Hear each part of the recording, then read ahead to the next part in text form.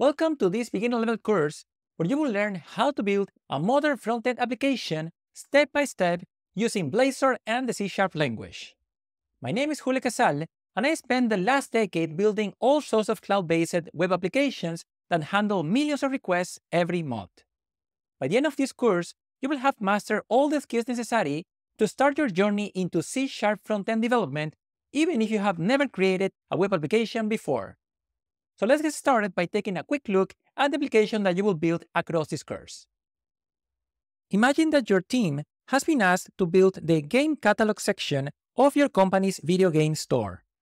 The backend developers already took care of standing up the REST API that provides all the standard operations to create, list, update, and delete games. Now you, as a front-end developer, need to figure out a way to build the web UI for this game catalog, where administrators will be able to manage information about all the games offered by the store. In this course, you will create this frontend from scratch using the latest innovations in the Blazor Web UI framework and C Sharp. If you're interested on the backend portion of this system, please check out my ASP.NET Core full course linked to this video where I cover how to build that part in detail. Creating a Blazor frontend involves understanding multiple concepts, techniques, and patterns that I'll cover in detail in this course. You will start by learning what is Blazor and how to create, run, and debug your first Blazor application from scratch. Then, you'll learn how to use Razor syntax to combine HTML with C Sharp to render a simple list of items in your browser, which you can later style using the popular Bootstrap CSS framework. Next, you will learn how to create your own Razor component and use it to improve the layout of your homepage. You will then use Blazor forms and bindings to capture data from your user and add it to your list of items. You will also add client-side validation to your form to ensure your application can only accept valid inputs according to your business rules. Next, you will dive into the dependency injection pattern to understand how to use built-in Blazor services in your components and how to reuse your object instances across multiple components. Then, you will learn to use Blazor's routing and navigation features along with component parameters to let the user navigate between components. And to complete your application UI, you will learn to use the interactivity features of Blazor to create a simple but useful dialog that can react to user events in real time. You will then learn to use the ASP.NET Core configuration system and the asynchronous programming model to configure your Blazor application to send requests to your backend API via an HTTP client object. And to close, you will learn to use the stream rendering and enhanced navigation form features to maintain a friendly and responsive user experience even when dealing with a slow backend. In order to take this course, you should have some basic knowledge of C Sharp, Java, or a similar object-oriented language. You should also know the essentials of web development, particularly how to use HTML and CSS to build basic websites. However, this is a beginner-level course, so you don't have to be an expert on any of these topics since we write every line of code from scratch and everything we do is explained in detail. In terms of the software prerequisites for this course, you will need to download and install the following. The .NET Software Development Kit, or SDK, which includes everything needed to build and run .NET applications. And Visual Studio Code, a lightweight but powerful source code editor that you will use to write, build, and debug your code. Please go ahead and install these tools now using the URLs on screen if you don't already have them. So, what is Blazor? Blazor is a modern web framework for building interactive web UIs using HTML, CSS, and C Sharp. With Blazor, you build web apps using reusable components that can be run both from the client and the server so that you can deliver great web experiences. But what does it mean to build web UIs using components? To understand this, Let's see what happens when your browser requests a page from a Blazor application. Upon the user entering or clicking on the site's URL, the browser sends a request to the server where the Blazor app is running. Blazor receives the request and loads what is known as a root component, which defines the top-level HTML layout of the page and imports the Blazor JavaScript runtime plus a few CSS files. The root component also finds and loads all the components specified for the requested page. For instance, there could be a header component, a sidebar component, and a main component. Each of these components can be developed individually with a combination of HTML, CSS, and C Sharp. And each component can also be reused and nested within another component. For instance, the main component here is really a combination of a search box component and an items list component. Blazor will then translate the structure of all these components into a standard HTML and it will send it back to the browser where the page will be rendered. Another thing to understand about Blazor is that it behaves like a single page application or SPA. To understand what this means, let's look at another request where the user has clicked on a link that requests the page to edit an item. In a standard website, such requests would involve navigating and loading an entire new page. But in Blazor, by default, there will be no navigation to a new page, and instead, a JavaScript fetch request will be sent to the server. This happens thanks to blazor.web.js, the key Blazor framework component that is able to intercept standard HTTP requests in the browser and transform them into fetch calls that request the HTML of the requested page without the need of loading a new page. On the server, Blazor will find the component that maps the requested route and will use it to prepare the updated HTML. This HTML response is sent back to the browser, and once blazor.web.js receives it, it will patch the document object model or DOM of the already loaded page, so only the pieces of HTML that changed are re-rendered. Since everything is really happening in a single page with no page reloads, you can think of a Blazor app as a single page application that preserves more of the page state so pages load faster and more efficiently than in traditional websites. Blazor has many other unique features, but at this point it's best to get our hands dirty and prepare our DevBox to start building Blazor applications. Let's see how to configure our local development environment to create Blazor applications. And here we are in Visual Studio Code, and the first thing that we probably want to do is to make sure that our .NET SDK has been properly installed. And to do that, we're going to open up our VS Code terminal. So let's go ahead and open our terminal by using this menu over here. So menu bar, let's open up this, and then let's go into terminal and then new terminal. Now a quick shortcut to open and close this terminal, because you're going to be using it a lot, uh, is by using, at least on Windows, the control tilde combination. So control tilde is going to close and open that terminal. And then another way to do this also, which is my favorite, if I just doing Control J, also on Windows, Control J is going to open and close that terminal. All right. Now, while being on the terminal, what you can do is use the .NET CLI, which comes with the .NET SDK, to verify eh, a couple of things about your SDK. The first thing that we can verify is the version, the version we have installed. So I'll do .NET dash dash version, and that's going to go ahead and list the version that I have installed of the .NET SDK in my box, as you can see there. And then if you wanted to get more information about your installed .NET SDK version, I'm going to just clean this quickly. You can also do .NET dash dash info, okay, which is also going to give you the version, but it's also going to give you much more information about everything related to the .NET SDK in your box, as you can see right here, right? Either way, if you're not getting any error, any errors over here, it means that your .NET installation is, is correct. Right, so now let's go ahead and close this terminal. And then the next thing that you want to do is to install one extension that is going to overall improve our C-sharp coding experience within Visual Studio Code. So to do that, let's go ahead and first let's just close this welcome screen and let's go into our extensions view on the left side over there. Let's open extensions view.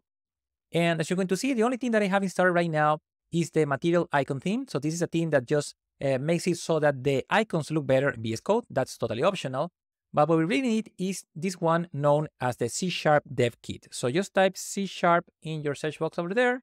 It should be the very first hit. So this one here, C Sharp Dev Kit by Microsoft, is one. So let's click on that one. And well, let's go ahead and just install it. So let's click on install over here. It's going to take a few seconds. And the purpose of this extension is to install all sorts of productivity improvements so that you can more easily manage your C Sharp projects in VS Code, create C Sharp files. There are a few wizards to create projects. There's also a solution explorer. There is a test explorer to run unit tests and a bunch of improvements for C Sharp development, right?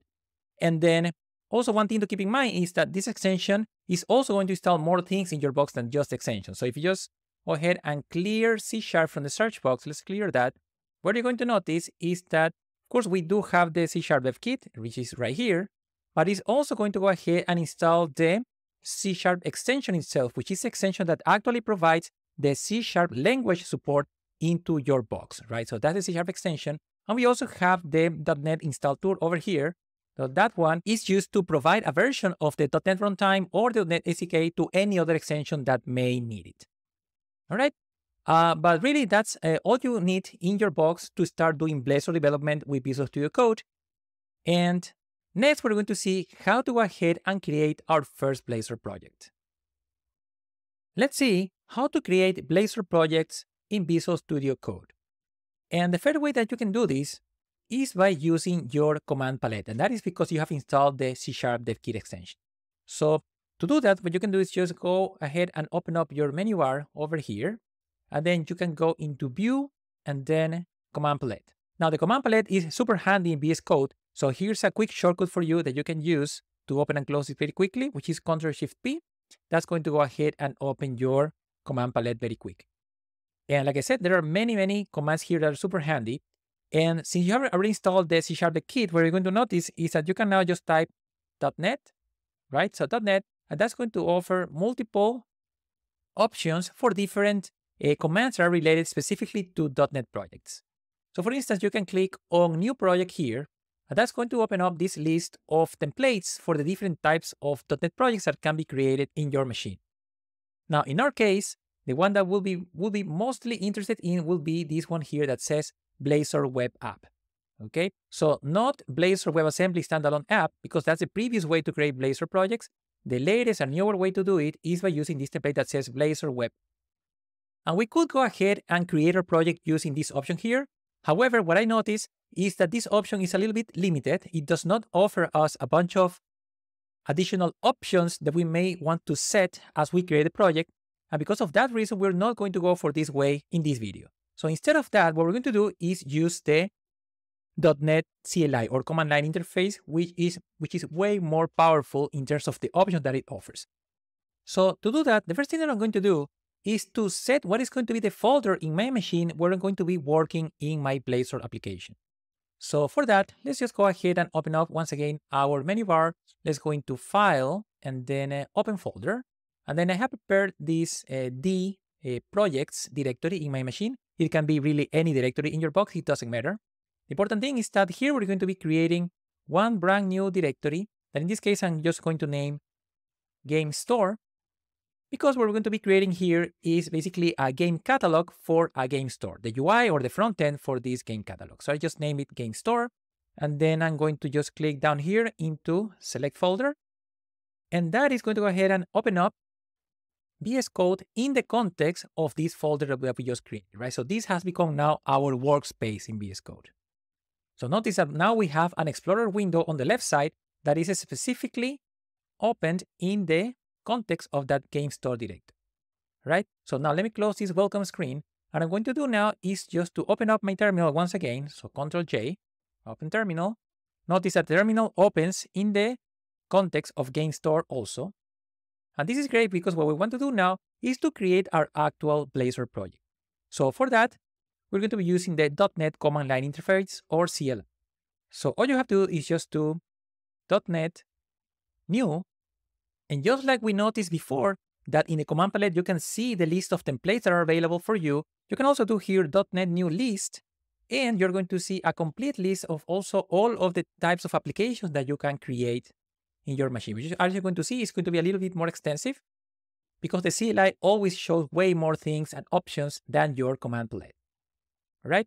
Now, in our case, since we want to go ahead and create a Blazor application, the option that you want to use is this one. Blazor web app. So that is the template that we want to use. Okay, so now how do we use it? Well, let me show you. Let's go ahead and minimize a little bit this terminal and let's clean this. What you want to do is the following. .NET new, and then of course we type Blazor here. And then one thing to keep in mind is that the Blazor project template has many possible options that you can use to configure how you want to create your project. So if you just type here dash dash help, you're going to notice that, well, like I said, this template has many, uh, many different options, right? Because Blazor is a very flexible platform, right? Now for this video, what I want to do is to create the minimal possible Blazor application, right? So that we don't have a bunch of files and configurations that we don't understand. And instead, we're going to start very, very clean. And we're going to start adding things little by little, like Lego pieces, so that we understand exactly what's going on at every step. Okay, so because of that, we're going to take advantage of a couple of options here. The first option is going to be this one here, interactivity. And for this one, we're going to choose none so that we don't enable any interactivity yet. We're going to look into this later across this course. And we're also going to be using this empty option over here so that we only get the minimal set of files in our project.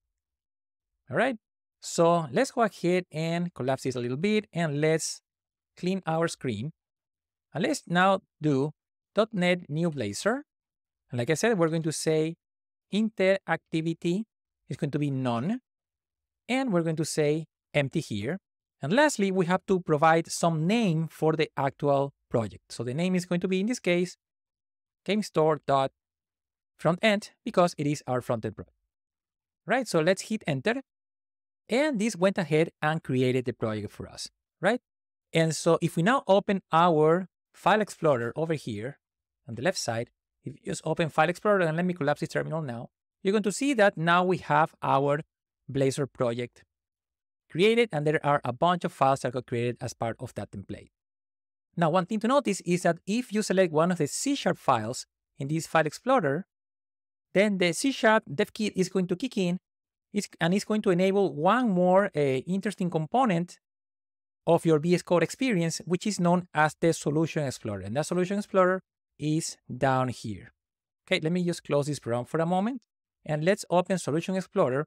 And what we're going to see is that, well, we have these two views of, uh, of the files that are composed in our application. And the difference is that our a File Explorer, this one at the top, is kind of a physical view of all of the files that are included in the application.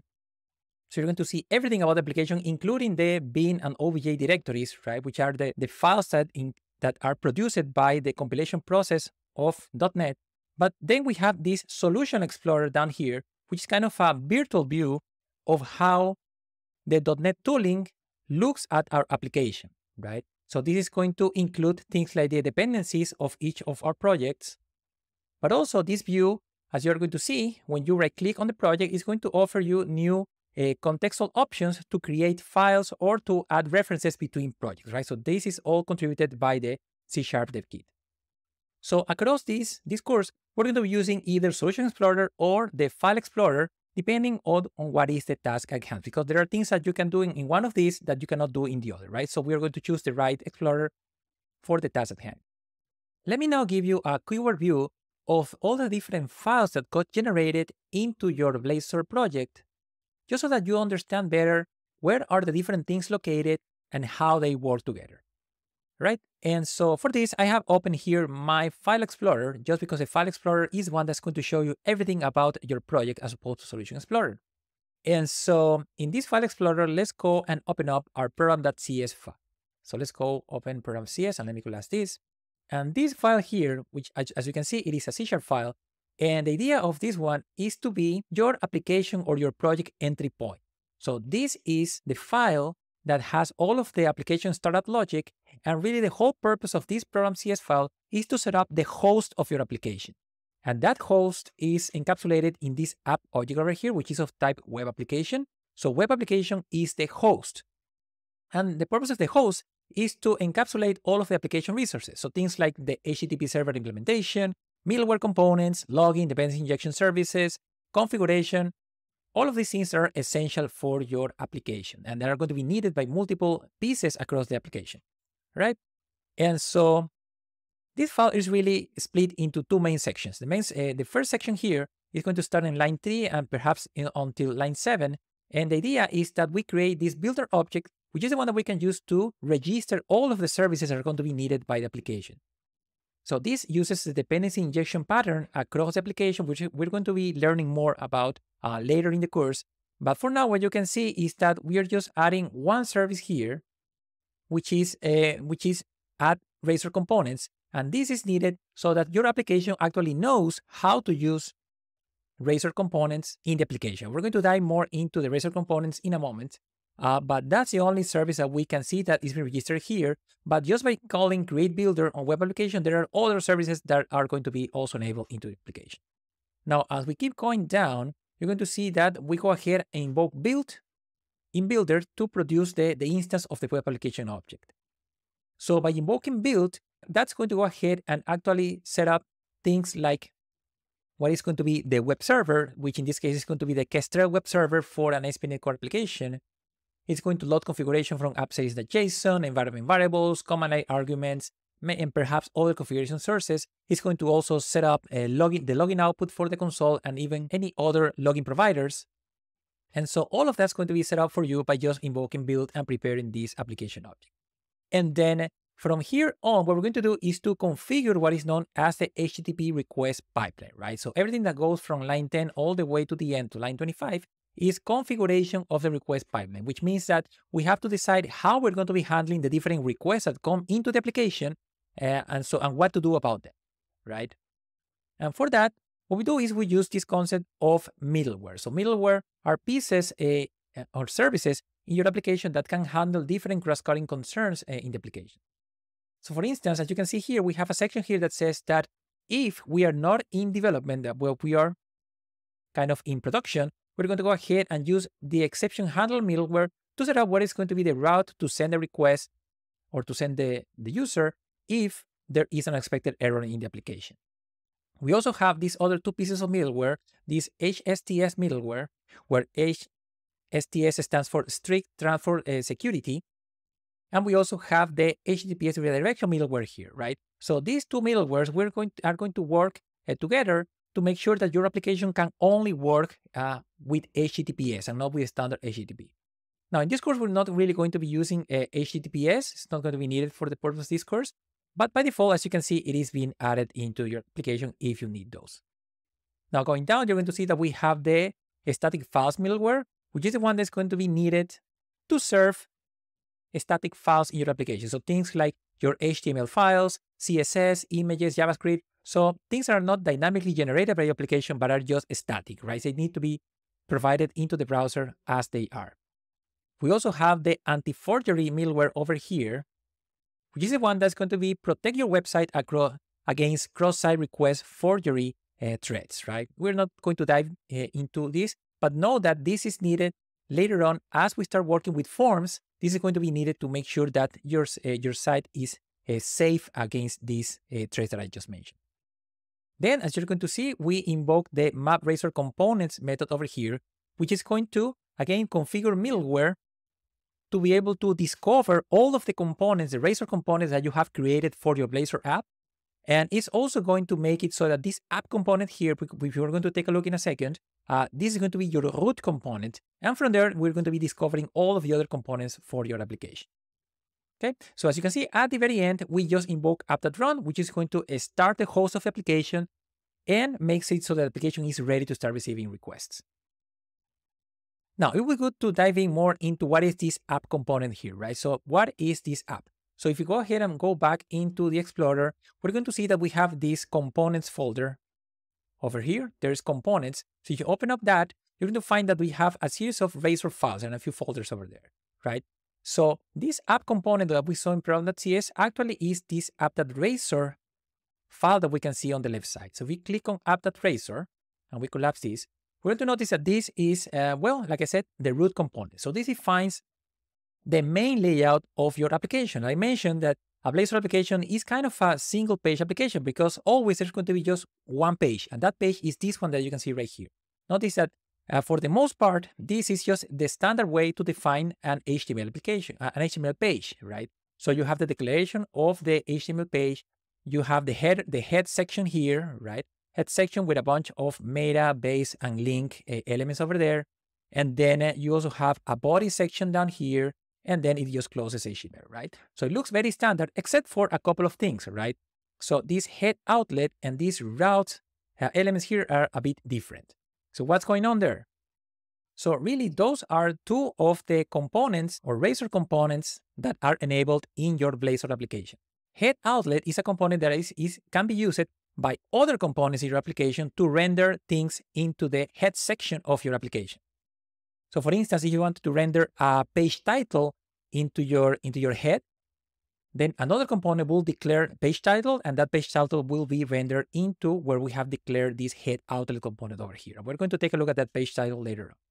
And then down here, we have this other routes component. So what is this route component about? So routes is actually another component that is declared over here. Notice this, routes.razor, right? So this starts uh, revealing the fact that you can start nesting components uh, one into another, right? So inside this app.razor, we're going to be nesting this routes component that is defined over here in routes.razor. Now, routes.razor is a very important component that you're going to find in really any Blazor application.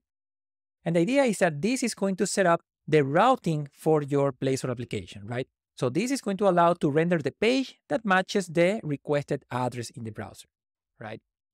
So you can see, so this uses the router, right? And the router is going to just find the assembly where we are running right now and then we have this section that says found. So found means that, okay, so we found the page or we found the component that we need to render, right? So context is going to provide this route data. Route data includes everything about the component that has been requested, right? And then it's going to send that over into this route view component over here, right? Now, the idea of route, route view is that it receives all of the data about that uh, component that needs to be rendered and it's going to, well, actually go ahead and render that component. Dynamically It decides what component to render depending on this route data that has been received. But it also provides what is known as the default layout, right? So the layout is going to be the component that wraps your actual uh, component that you want to render uh, inside this main, main layout, all right? Now, moving on, what you're going to see is that we also have this other component here known focus on navigate, which is just a component that is used to set up the initial focus uh, inside uh, the component that's been now, it is very interesting to actually see, well, where is this main layout and what's the idea of this main layout component here? So if you go back uh, into Explorer, you're going to see that we also have this layout directory over here. Okay, if you click over there, you're going to see that we have this main layout.razor file here. So the idea of main layout.razor is that this is the this is a component that inherits from layout component base, which turns this component, I mean, it makes it a layout component, and it is a component that can actually render the content of any other component that has been passed in, right? So as you can see, we're using Razor syntax here with this add uh, element here, add body. So add body is going to be the, the, the fragment of HTML that's going to be rendered inside this layout here. Okay, you can add many things to this layout. Right now, it really has nothing other than the body. But because we are defining it as a layout component base, uh, we are able to set the body, and that body is going to be populated. If we just go back into routes, it's going to be populated based on the route data that was passed in into route view, right? Now, but what is the actual, the actual component or the actual page that we're going to show inside the main layout? Well, that's going to be defined. Actually, if we go into pages, right? We go into pages over here, open up, that's going to show right now we only have two pages and the main one is going to be home.razor, right? So home.razor is kind of the main page at this point of your application, which as you can see, it defines the route, which in this case is just a route. It defines the route that is going to respond to, right? When the when somebody looks for it in the in the browser, it defines what is going to be the page title, right? The page title for the application, which like I said, page title is going to work in combination with the head outlet here in app.razor to render that actual page title in the head section of your application. All right. And then all we have here is just, uh, well, a hello world with an H1 and then some content over there, right? And just like as we have this, this home.razor, we also have an error.razor component here, which can be used when somebody, when the application redirects into the slash error uh, route over here to render any unexpected error in the application. Notice that this works in conjunction with what we said in program.cs. Remember that we said that if we are not in, in development, right, we are not in development, we are going to be using the uh, exception handle middleware to redirect into slash error. And that slash error maps into error over here, right? Error.razor, right? So that's that's mostly it about components, uh, Razor components in your, your, application. And but there's one more thing here. We also have this import that imports.razor file. And the idea of this file is to define uh, many common uh, using statements across the entire application, just so that you don't have to be importing these namespaces over and over again in multiple uh, in multiple components, right? It's a nice way to centralize uh, different different spaces. Right, let me close this. Now, another thing to notice is that uh, if it's is that main layout.razor also has another file next to it, this one here, main layout.razor.css, right? Which is kind of the uh, cascade style sheets or styles for this specific component. So you can specify styles for each individual component, or if you wanted to, you can also go, in this case, into www-root. Over here, www-root, you can go ahead and expand this, and you're going to notice that we have this app.css file. So the idea of app.css is that this defines all of the global styles that you can apply across any of the components in your Blazor application. You can see you have a bunch of them by default, right? But you can add as many as you want either here for, for, uh, for the global application, or you can define, like I said, uh, like in main layout, CSS, you could have a CSS for any specific Razor file. Now, that's pretty much it in terms of uh, Blazor or Razor components, but there are a few other things in your application. So for instance, a very important file is this gamestore.frontend.csproj file. So if you open this file, this is known as the, the project file for your application. And the idea of this file is to define, well, what kind of application is that you're building here. As you can see at the very top, this is using the Microsoft.NET.SDK.web SDK, which what it does is by default, it imports a bunch of dependencies that are specifically needed for web projects in ASP.NET Core. And then we have a few other things, like for instance, we have here the target framework, which is, in this case is .NET 8.0. So this defines what are going to be the APIs from the .NET SDK that are going to be available for your application, right? So if you had here uh, something like .NET 7.0, then, then that means that you have APIs only up to .NET 7, or if you have .NET 9.0, it means that you have even more APIs available, right? So it really depends on what uh, version of the SDK you want to target here. And you always get the default version that is aligns with the SDK that you have installed. So I'm going to not going to go into more details about these other settings right now, but another thing to know about this file is that this is the file where you're going to declare any other dependencies that this project have with any other project in your application, or perhaps with NuGet packages for libraries that you want to import into your project right? So that's a file. What else we have here? We also have these two files here. So appsettings.json and appsettings.development.json. And the idea of these files here is to define a series of configurations for your application that you don't want to just hard code into the C sharp code, right? So for instance, you can see by default, you have configured what is going to be the logging levels or what are going to be the logging levels for your application, right? That you don't want to be hard coding directly into C sharp code, right? And so you have one file here that's going to be used by default, right? So appsettings.json, but you could have another one like this one that in this case is specifically used by for the development environment, right? Appsettings.development.json does this would override whatever you have in the other file if you're working in your machine development environment. Now, talking about the environment, uh, where is that development environment defined really? So if you go into the properties directory over here, so go to the properties, you're going to find this launch settings.json file. So this file here is specifically used for development purposes, right? And this, the main thing about this file is going to define what is known as profiles, right? And uh, the profiles that you have defined here are the HTTP profile and the HTTPS profile over here, right? And each of these profiles are going to define a few settings about your project that are going to be activated in your development environment. So for instance, uh, this setting here defines that you want to launch a browser whenever you start executing your your project, it defines very importantly, it defines the application URL, which is the host and port that your application is going to be responding to when you work uh, with it in your machine. In this case, is localhost 5002. Now, the port is dynamic, so you likely got a different port uh, when you created your own project. And like I said, there is this concept of the development environment. As you can see, here we, we can define environment variables for the local, uh, the local execution and in this case, we're defining the well-known ASP.NET Core environment variable that in this case, it is set as development, which makes it so that we are running a in development environment in our box. Now, when you go into production, this file is not going to exist, it's not going to be used, And because of that, this is going to default into production, right? And that changes a little bit how the application behaves as, as you go into production. Now, just like we have the HTTP profile, we also have the HTTPS profile over here. With the only difference is that now we have another URL here for HTTPS purposes if you want to serve your, your application in HTTPS. And then, but then other than that, it's pretty much the same thing.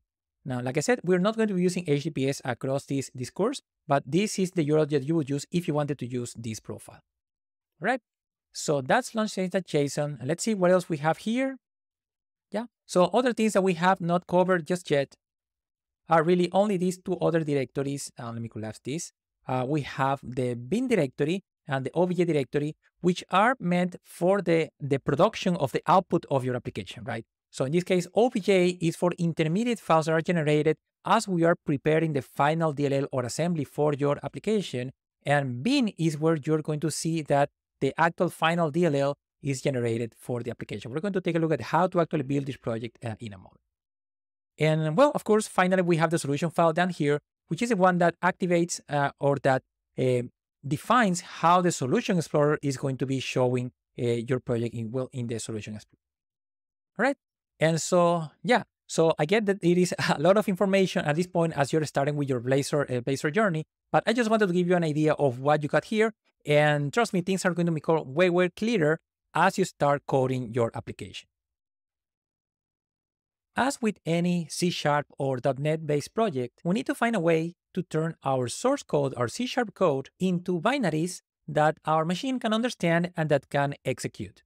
And for that, all we have to do is just to build our project. Now, in Visual Studio Code, there are a few ways to do this. And since we have the C Sharp Dev Kit and the Solution Explorer, we can actually start over there. So let's go ahead and switch from our File Explorer into our Solution Explorer down here. So let's open up Solution Explorer. Let's collapse this. And really to build the project, all you have to do is just right click in the project name right here. So right click on the project name and here you're going to find your build option there. So really, all you have to do is click on build, and then the .NET SDK is going to take over and it's going to go ahead and turn your C Sharp code for, for your project into the corresponding DLL. And you can see that it got generated right here. It says exactly where it output that DLL. And so we can actually go ahead and see that if we switch briefly into our file explorer, you're going to see that now we have this brand new bin debug net80 directory populated with a bunch of files and among, eh, among them we have our gamestore.frontend.dll. All right. There are a few other files, like for instance our appset.json and appset.development.json that we said these are the files that can have the configurations that we don't want to hard code into the C sharp code, right? And there are a few other files that we're not going to cover right now, but basically that is the build process, right? So just go ahead and turn your C Sharp code into DLL or also uh, is, is known as assembly in the .NET world. Now, that's one way to do it. Now, another way to do it is by using the .NET command line interface or CLI. So let me show you how to do that. Let me, for that, let me collapse this for a moment. And what I'm going to do is just click on this plus sign over here to open a brand new terminal over here. And I'm going to switch into my gamestore.frontend directory. All right. Let me actually kill the other terminal. I'm going to just click over here in this delete to delete that previous terminal so we have more screen. And here, in order to build the project using the CLI, all you have to do is just say .NET build, enter, and that will go ahead and produce your DLL. Okay, the process is going to be faster depending on how many changes you have in your code since the last time that you built, or it may be super fast if there's nothing really to rebuild in there, right? But you can see it's the same, pretty much the same idea. And then the last way that you can do this is by using the built-in integration of Visual Studio Code with the build task. So how does that work? So what you can do is just go ahead and go into your menu. So go into your menu and then let's go into terminal and then into this one here that says run build task. Okay, if you click on that one, you're going to see that VS Code already understand what is going to be the right uh, build task for our .NET project, right? In this case, it is .NET build, just like the one that we just executed. And if you just click there, you're going to see that it will go ahead and kick off the building of your project, just like, like we did a moment ago. Now, this you can also do via shortcuts. So what you can do now is just say use the Control Shift B combination in your keyboard, and that's going to go ahead and pop up that the dialog that you can click, and it will go ahead and build the project. Okay, so this is one of the fastest ways to go ahead and build a project whenever you just like there are multiple ways to build your project in VS Code, there are also a few ways to run your project. But really the simplest way to do this in VS Code and on Windows at least is by using the F5 key. So if you just press F5 in your keyboard, you're going to see this dialog uh, showing up, which is uh, pretty much asking you to choose what is going to be the debugger for your application. Since our application is a C-sharp application, we're going to go ahead and select C-sharp. So click on C Sharp. And next, VS Code is going to ask you, well, what is going to be the profile that you're going to use to run your application? Remember that we have at least an HTTP and an HTTPS profile defined in our launch settings JSON file, right? So now we have to choose which one to use, or we can just go for the default configuration, which is going to map into the HTTP profile. So let's go ahead and just pick the default configuration here. And at this point, VS Code is going to go ahead and first build the project. And once it is built, the debugger is going to start. And as you can see, it even goes ahead and opens uh, the website in your browser. Okay. And as you can see, uh, we are seeing here our Hello World title over there and welcome to your new app. Now, why are we getting this Hello World and this message over here? Well, if you remember going back to VS Code over here, that is exactly what we had inside pages in home.razor, right? And let me collapse this for a moment. That is exactly what we had here, right? So we have a hello world and H1 hello world, and we have welcome to your new, which is what we are seeing right now in the browser. Now, one thing to notice here is that you're not just running the application, you're actually in a debug session. And how, how we can confirm that? I mean, that actually means that you can start breaking into the execution of the application to inspect live what's going on with the different variables of the application. But can, how can we explore more about that? So Let's go back into VS Code. And what I'm going to do now is just to stop it temporarily. You can use this bar at the top, this stop button over there. So let's click on stop. And that's going to just stop the, the debugger right now. And what I want to do right now is just go back into program.cs over here. And I'm going to collapse this for a moment. And I'm going to place a breakpoint perhaps just before the application runs over here in line 25, right? So that the application stops right there so we can evaluate what's going on at that point in time as we debug the application. So now I'm going to hit F5 once again. Same process, builds application, runs application, but as you can see, now we have stopped right there just before launching the application and going into the browser. And as you can see, now we have the ability to just hover over some variables over here, for instance, over app, and you can see live the different uh, set of objects that are uh, running behind the application, like the configuration object here, and you can see, well, endpoints, environment, and well, a bunch of variables that are part of the web application object, right? We also have access to the uh, locals on the left side. You can see locals, the different local vari variables that we have here, like the builder, for instance, is also available there. You could add watches here if you want to watch a specific variable. You have the call stack over there, and well, a few things that are expected of a debugging session. So indeed, our application is in a debug session right now, right? So let me just remove this breakpoint and let's click. You can go ahead and click on this play button to keep running the application. And then as you can see, we just go back into the browser. Now, not all the time you're going to be needing to be debugging the application because debugging is actually a bit slower than just running the application. So if you just want to run it, here what you can do. Let's go back to VS Code and let's stop the debugging session. So stop that. And so yeah, I'm going to collapse this for a moment and let's go back into the terminal. And I'm going to go into my first terminal over here. Perhaps I'm going to delete the other one so, so that we have more space. Okay, let's clean this. And then here we're going back into the .NET CLI, right? So just like you can build the project, you can also run the project from here. So you all you have to do is just say, and notice, of course, what directory we are in right now. So we are in GameStore.frontend. So that's the directory. And being here, you can do .NET run. So that will go ahead and it will first build the project if it needs to be built, right? And otherwise, it will just go ahead and start running. Notice that this tells us right away what is the location of our application, right? So host and port. And you can actually go ahead and click on that to immediately go into your web page, as you can see. Now going back into VS Code, if we just scroll down a little bit, you're going to see that there's a bit of a warning down here, right? This warning here. And this warning, what it is saying is that uh, the .NET runtime was not able to switch into HTTPS in our machine. And that makes sense because we are not using the HTTPS profile, we're just using normal HTTP, and we will keep doing so across this course. So in order to, I mean, I don't like to have this warning just uh, hanging around every single time that I run the application. So to actually get rid of this, we're going to do the following. So let me do Control C. So Control C to stop the process right now. And then I'm going to collapse this. And here in Program CS, all we're going to do is to uh, remove this use HTTPS redirection call over here. Okay, so let's remove that. All right, so that the application is not going to try to redirect us into HTTPS anymore. And with that, if we just go ahead and uh, reopen the terminal, Ctrl J, and we do .NET Run, you're going to see that that warning is gone. So the warning is no longer here. Okay.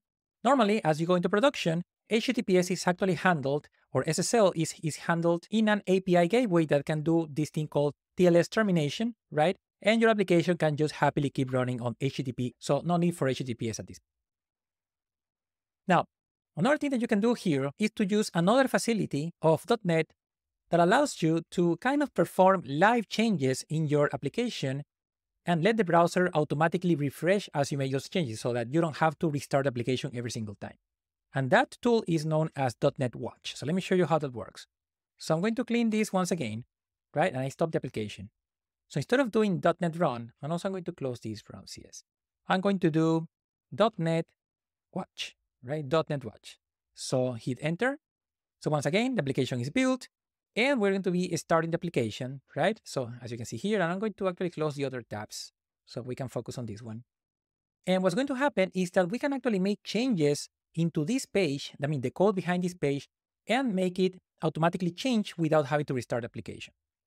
Now, just so that we can notice this better, let's see if we can put this into a screen. So let me put this on the right side perhaps, and then VS Code on the left side. Now it's going to be a little bit hard to manage these screens here, but I, I want to do this just for this part of the video uh, so we can see how things change on the browser. So now what we're going to do is the following. So let's go into Explorer. And before doing that, let me actually go ahead and collapse this terminal for a moment. Yeah, let's go here and let's go under components, pages, and home.ray. So remember that this is the place, right, where we have defined a few things about this homepage, right? Including the hello world and this welcome to your new. So let's say that we want to change this from hello world into uh, perhaps hello Blazor, right? And well, for that actually it should be nice to be able to see the terminal here. So let's do this. So for this, let's do hello Blazor, right? So notice that as the file is changed, right, .NET Watch has detected the change. So notice here, file changed home.razor, and then it performs known as hot reload, right? So that the changes to the application are reloaded and then the page, as you can see on the right side, has already changed and without us having to do any sort of stop and restart of the application. Okay, and same thing that we just did here, we could do, for instance, with the page title. Notice that the page title right now, it says home over there, is home over here. And we could say, let's say we don't want to say home, we want to say game store, for instance, right? And notice that hot reload happened once again, and now our title is Game Store. Okay, so yeah, that is .NET Watch. It's a handy tool. Uh, it is not perfect. There are going to be many more uh, major changes that you may want to do across your application that .NET Watch is not going to be able to handle. So you will have to restart the entire application. Uh, but we will try to use it in a few places across this course, wherever it makes sense and the changes are not that, that complicated. Now, since we're running the application, one more thing that I wanted to highlight here is how the structure of your web page is actually related to the structure of your Blazor application, right? So I think that's very interesting to understand. And for that, I'll have to actually, well, go ahead and maximize my screen here just to see better, right? I'm going to perhaps collapse the terminal for a moment. Now, let's go back into, into the layout of our application. So remember that we said that app.razor is the root component, right? So this is root component. Now, how is this app.razor reflected in the page that we were seeing a moment ago, right? So if we go back into the browser, I'm going to maximize my browser now. what we can do to inspect what is the actual HTML behind this browser page here is um, just press the F12 key. So go ahead and press F12 in your browser, and this is going to open up the browser developer tools. So this is a uh, this is common both in Chrome and in Microsoft Edge. It should open this screen here. Also, you may land in a different tab. But let me go into the Home tab over here. You may be seeing this here. But what I'd like you to actually look at right now is into this section here, this one here, which is going to show the elements. Okay, and it is a bit big for me here. Let me do this. Yeah, and so what you're seeing here is the developer tools that allow you as a developer to inspect what's going on with this page over here. And it's going to be very handy and you should get familiar with this because for front-end developers, this is a, an essential tool. And what you're seeing here is that we are looking at a structure very, very similar to the one that we have in our app.razor file, right? So we have the HTML, we have the head, we have all of these meta elements, right? Over here, we have this here, including the import of the CSS, and we even have the body over here, right? So things are very similar, but notice one difference. So at the point where we should have the head outlet over here in the head, if we go back into the browser, we're going to see that what we have is the, the title, right? The title that later it is reflected over there in the title of, of the tab in the browser, right? And also, if we go back into VS Code, at the point where we should have this routes a component over here, if we go back into the browser, what we actually have is this H1 here that, has that says hello Blazor and also welcome to your new app, right? So why is this happening? Well, Blazor is using the root component to replace what is in there with the, the actual contents of the component that we want to show here. Since we navigated into the, into the root or, or the home of the application, what happened is that, okay, so it said, uh, first it went into app.razor, right? So this is our root, uh, root page and root component, right? And so then it noticed that it had to go and use the routes component over here, right? So in, goes into routes over here, and then route says, okay, I'm supposed to be using the layout, main layout as the layout for my page. So that will map into this main layout component here, which pretty much has nothing other than the body, so not that relevant. Uh, but then you will go ahead and figure out what is the route data to show uh, in, the, in the requested location. Now, the requested location is just the root, right? So it's like as, as we did this, it's just the root. If it's just a root, then it means that it has to find a component that maps to that location. So that component happens to be home.razor, because home.razor is the one that maps to the root.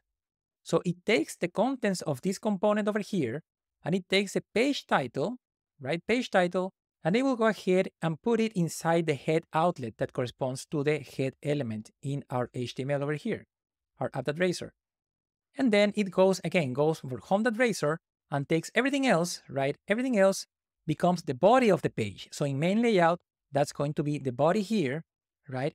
And that is going to be set into the route via the router, right? So with routes, it's going to be set into our route view and that means that it's going to be replaced exactly where we have defined routes inside the body.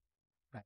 So that is how our home.razor gets home.razor actually lands into the location where we had routes, right? And that's what shows the page here. Because otherwise, notice that the rest is just what we had app.razor, but some pieces have been replaced. This is a key mechanism of, of Blazor. You're going to see that anytime we browse to different locations in the browser, you're not going to see the entire page reload, but since it is just a single page, only the elements that need to change, like this one and this one and that one, are going to be changing depending on where we navigate, right?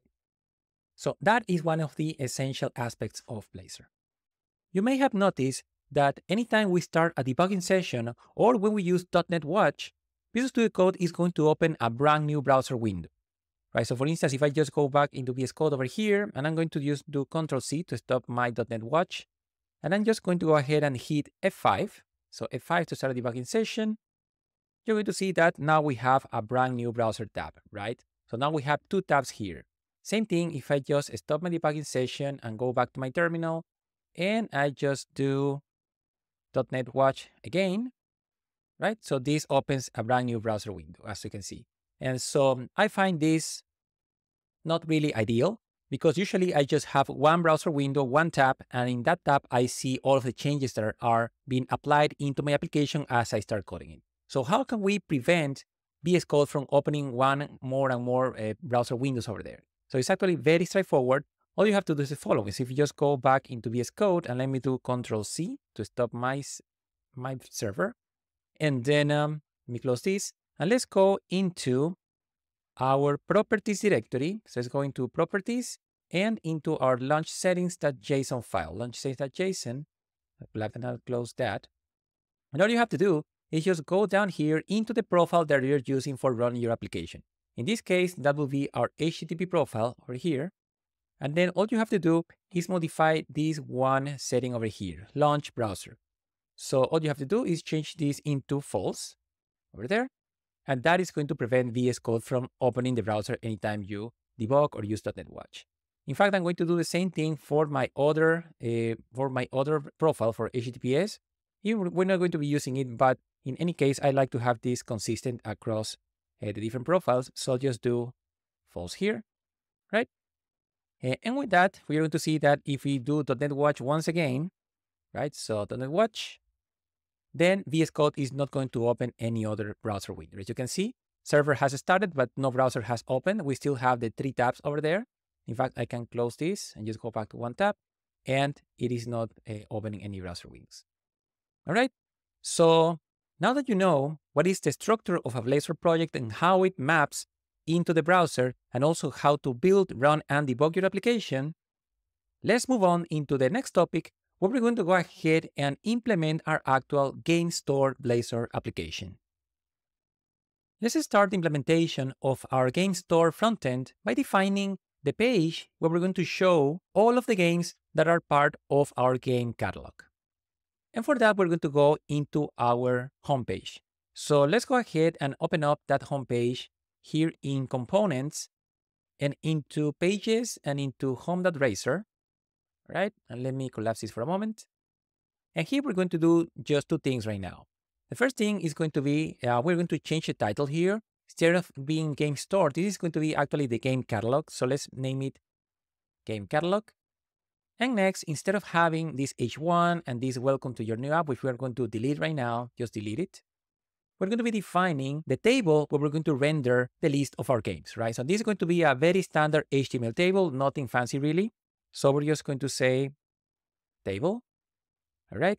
And then this table is going to have a bunch of headers. So here we're going to define the headers that we're going to need.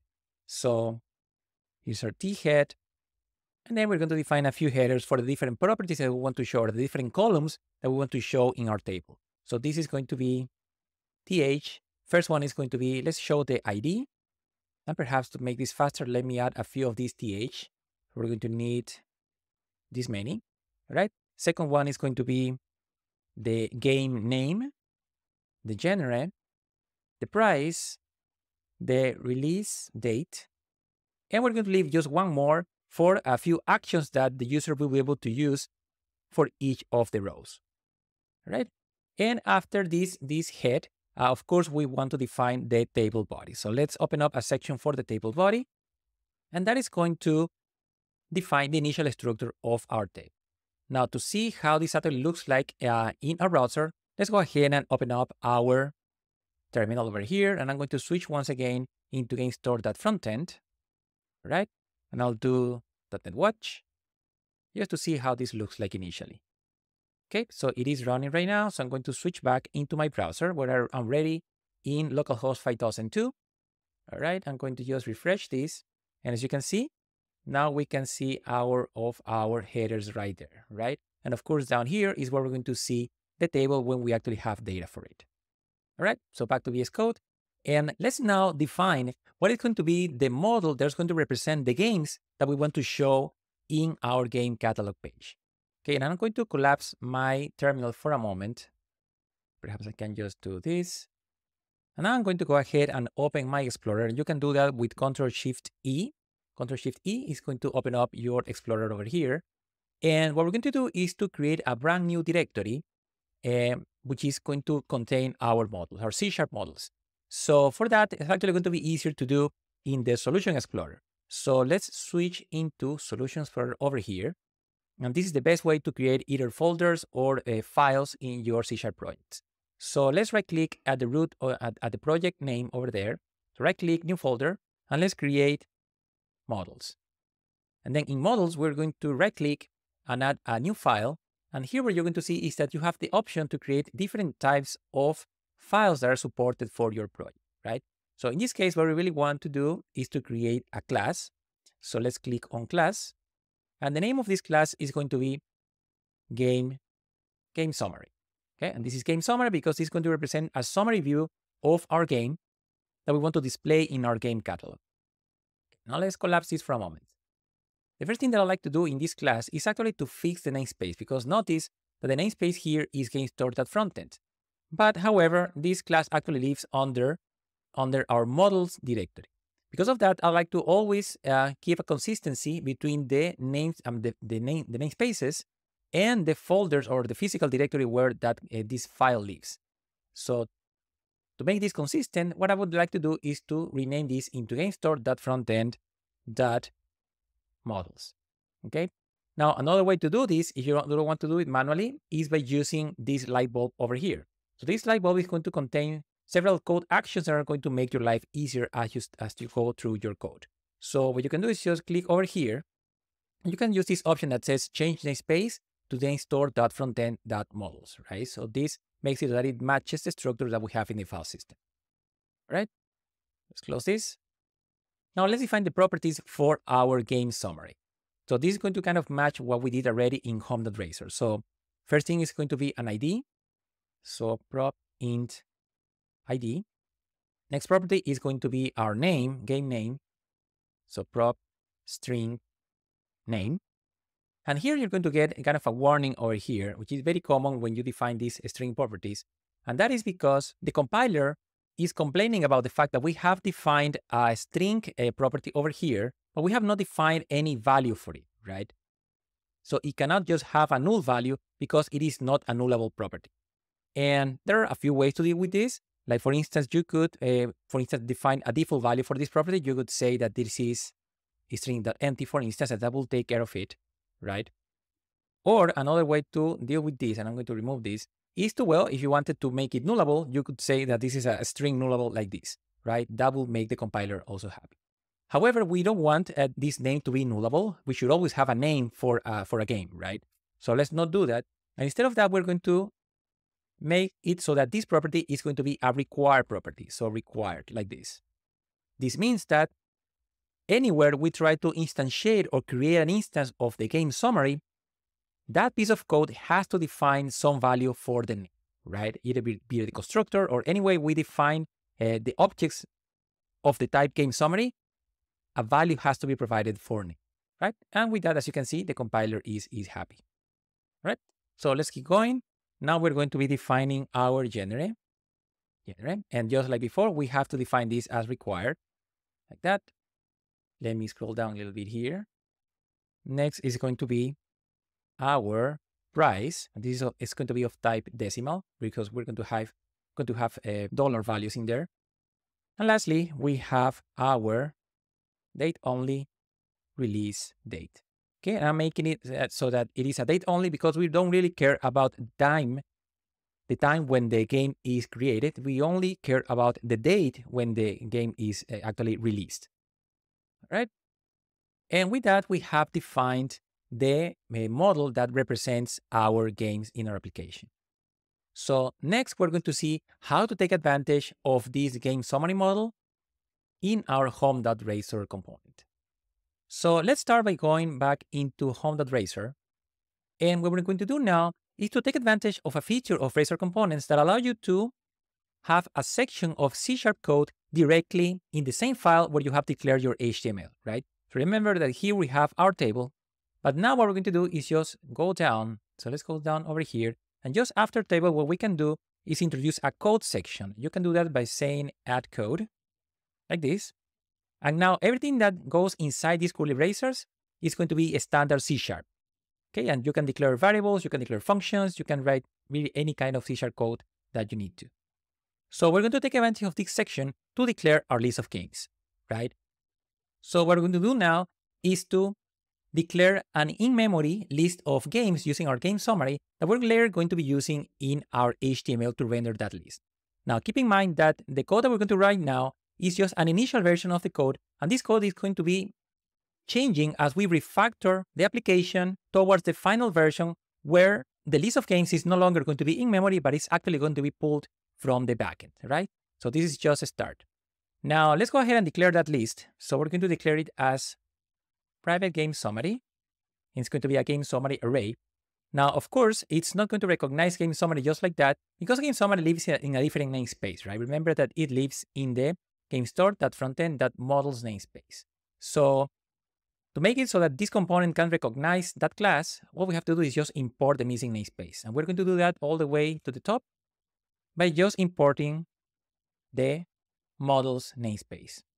Now you could go ahead and import the entire thing, right? So game store that frontend that models, right? But you don't really have to do this, and that is because when we created this project, the .NET SDK template took care of defining this initial root namespace in our imports file. So if we go back, I'm going to do Control Shift E to go to my Explorer, and notice this underscore imports that razor file that we have inside components, right? So imports that razor, this is a file that's importing a bunch of common namespaces that we may find super useful across different components. And notice that here we already have an import for GameStore.frontend and even for GameStore.frontend.components.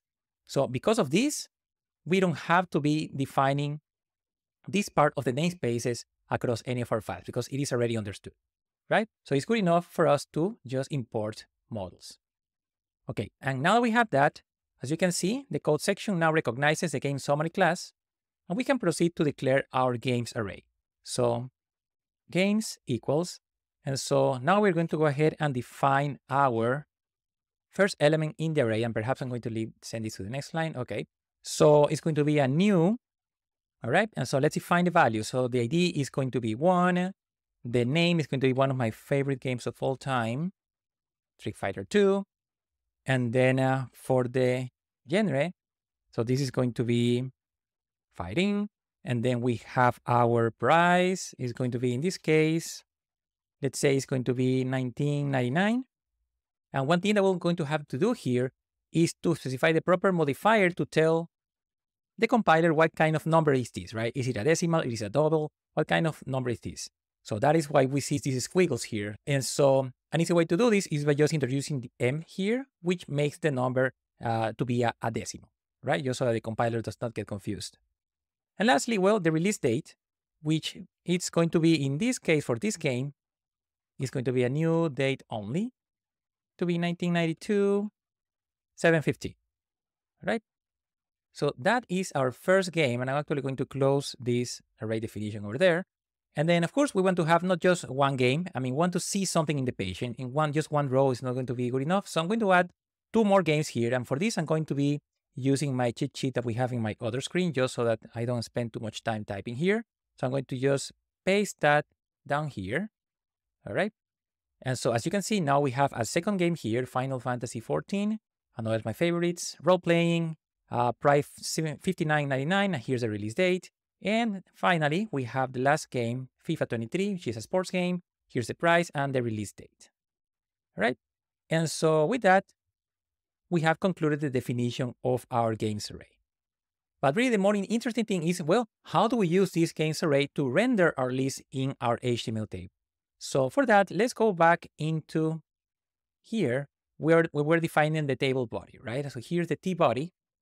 And what we can do here is to use what is known as razor syntax to combine HTML with C Sharp on the fly, right? So notice that so far, all of this section is really just standard HTML, right? This is just standard HTML. There's nothing fancy there. But what we're going to do is that by using the uh, at symbol, we are switching into C Sharp, right? Directly from here. So by doing that, what we can do is the following. We can now introduce a control structure, right? Like for each for each. In this case, we're going to say var game in games, right? Where these games is really the games object that we have defined in the code section. You can reference anything that you have in the code section inside your HTML over here that is now in Razor syntax.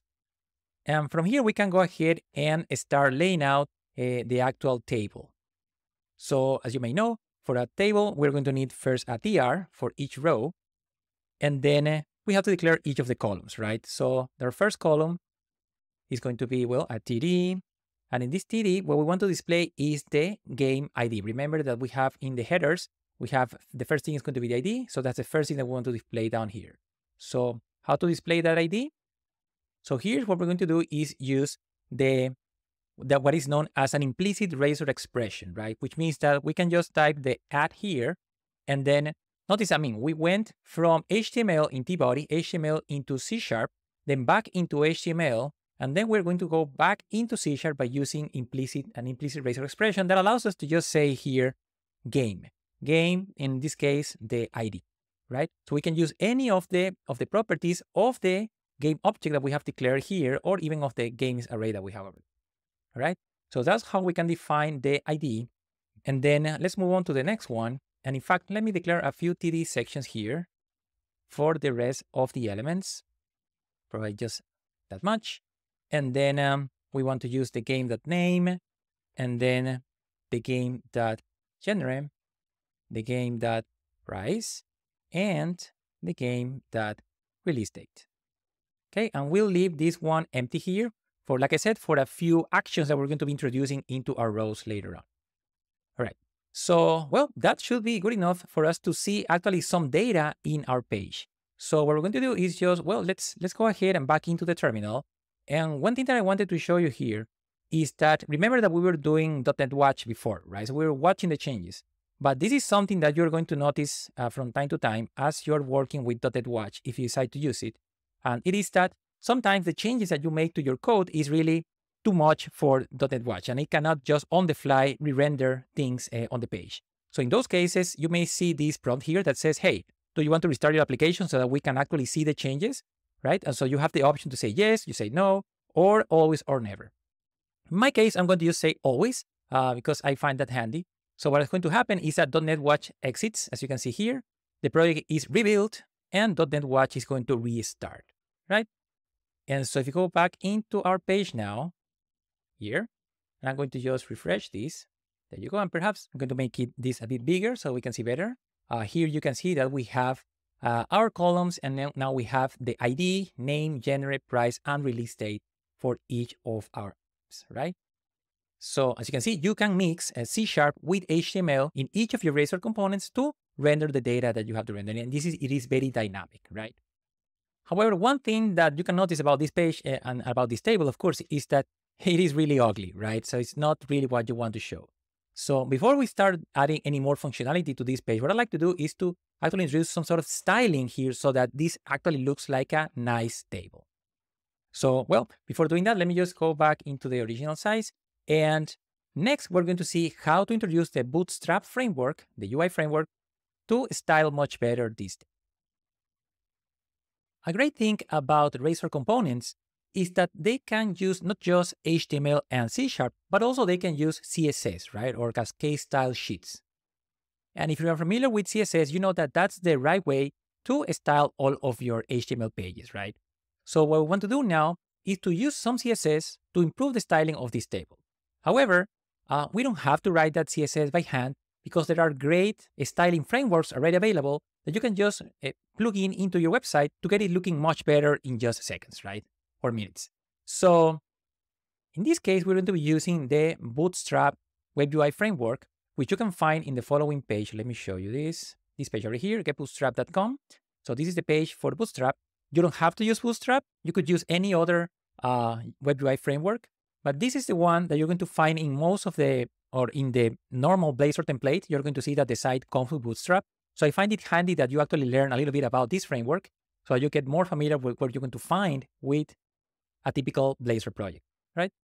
So how do we start using Bootstrap in our site? It's actually very, very straightforward. So from this page, what we're going to do is just go into the docs page, to the docs section over here. Let's go to docs. And here in the documentation page, what you're going to do is just scroll down into this section where it gives you the quick start.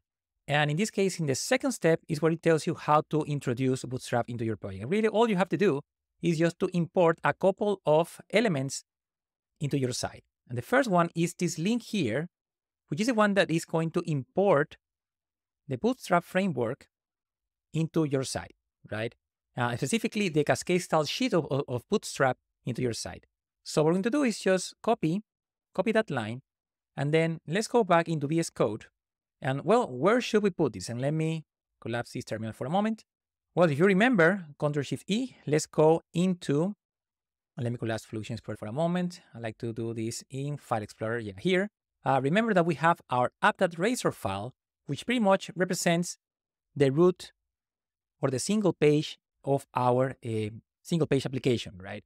Our Blazor site. So this is where we have the root HTML. So this is the right place for us to introduce a Bootstrap framework. You can see that we already are importing some style sheets here, right? The global style sheet and also a style sheet for GameStore.frontend.styles. Uh, but now we can go ahead and also import one more thing here, which is the one that we just copied. I'm going to paste right here. So paste it there, right? So now we are importing all of the styles available in bootstrap.min.css, which are a lot, right?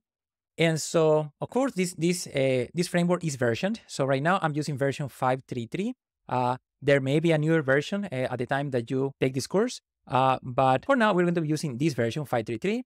And then the next thing is that, well, Bootstrap also has some dynamic behaviors that are activated via JavaScript. So if you go back into the Bootstrap page, you're going to see that it also asks you to introduce the Bootstrap JavaScript. So I'm going to also do that. So I'm going to copy all of this.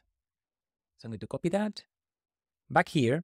And the right place to introduce this is going to be just under our blazor.web.js import inside the inside the body here. We're going to go ahead and introduce that uh, other JavaScript, right? So this is the bootstrap that bundle that mean that JS that we're introducing here. So now, all of our components in our Blazor application have access to both all of the styles available in Bootstrap, plus any of the JavaScript functions uh, that are also available uh, in Bootstrap. All right, so now what we want to do is just go back into home.razor, and we can start giving styles to our table. Now, you may be wondering, well, how do I know what styles are available in Bootstrap? Well, that's very easy. You just have to go back into this same page and well, the documentation is, is really pretty good. So you're going to find on the left side, there is documentation for everything that you can do with Bootstrap uh, across your site. Uh, now, in our case, the main thing that we're interested in is tables. So I'm going to go into the tables section over here. And this is going to tell you everything about the different ways that you can lay out and customize your tables uh, using Bootstrap. And as you can see, there are many, many things that you can do uh, with, with your tables. Now, I already know exactly how I want my table to look like, so I'm not going to be copying things from here, but if you want to get a better idea of where I got all the styles that I'm going to be using across this course, everything, everything really comes from here. So just take a look at this page when you get a chance. So let's go back over here.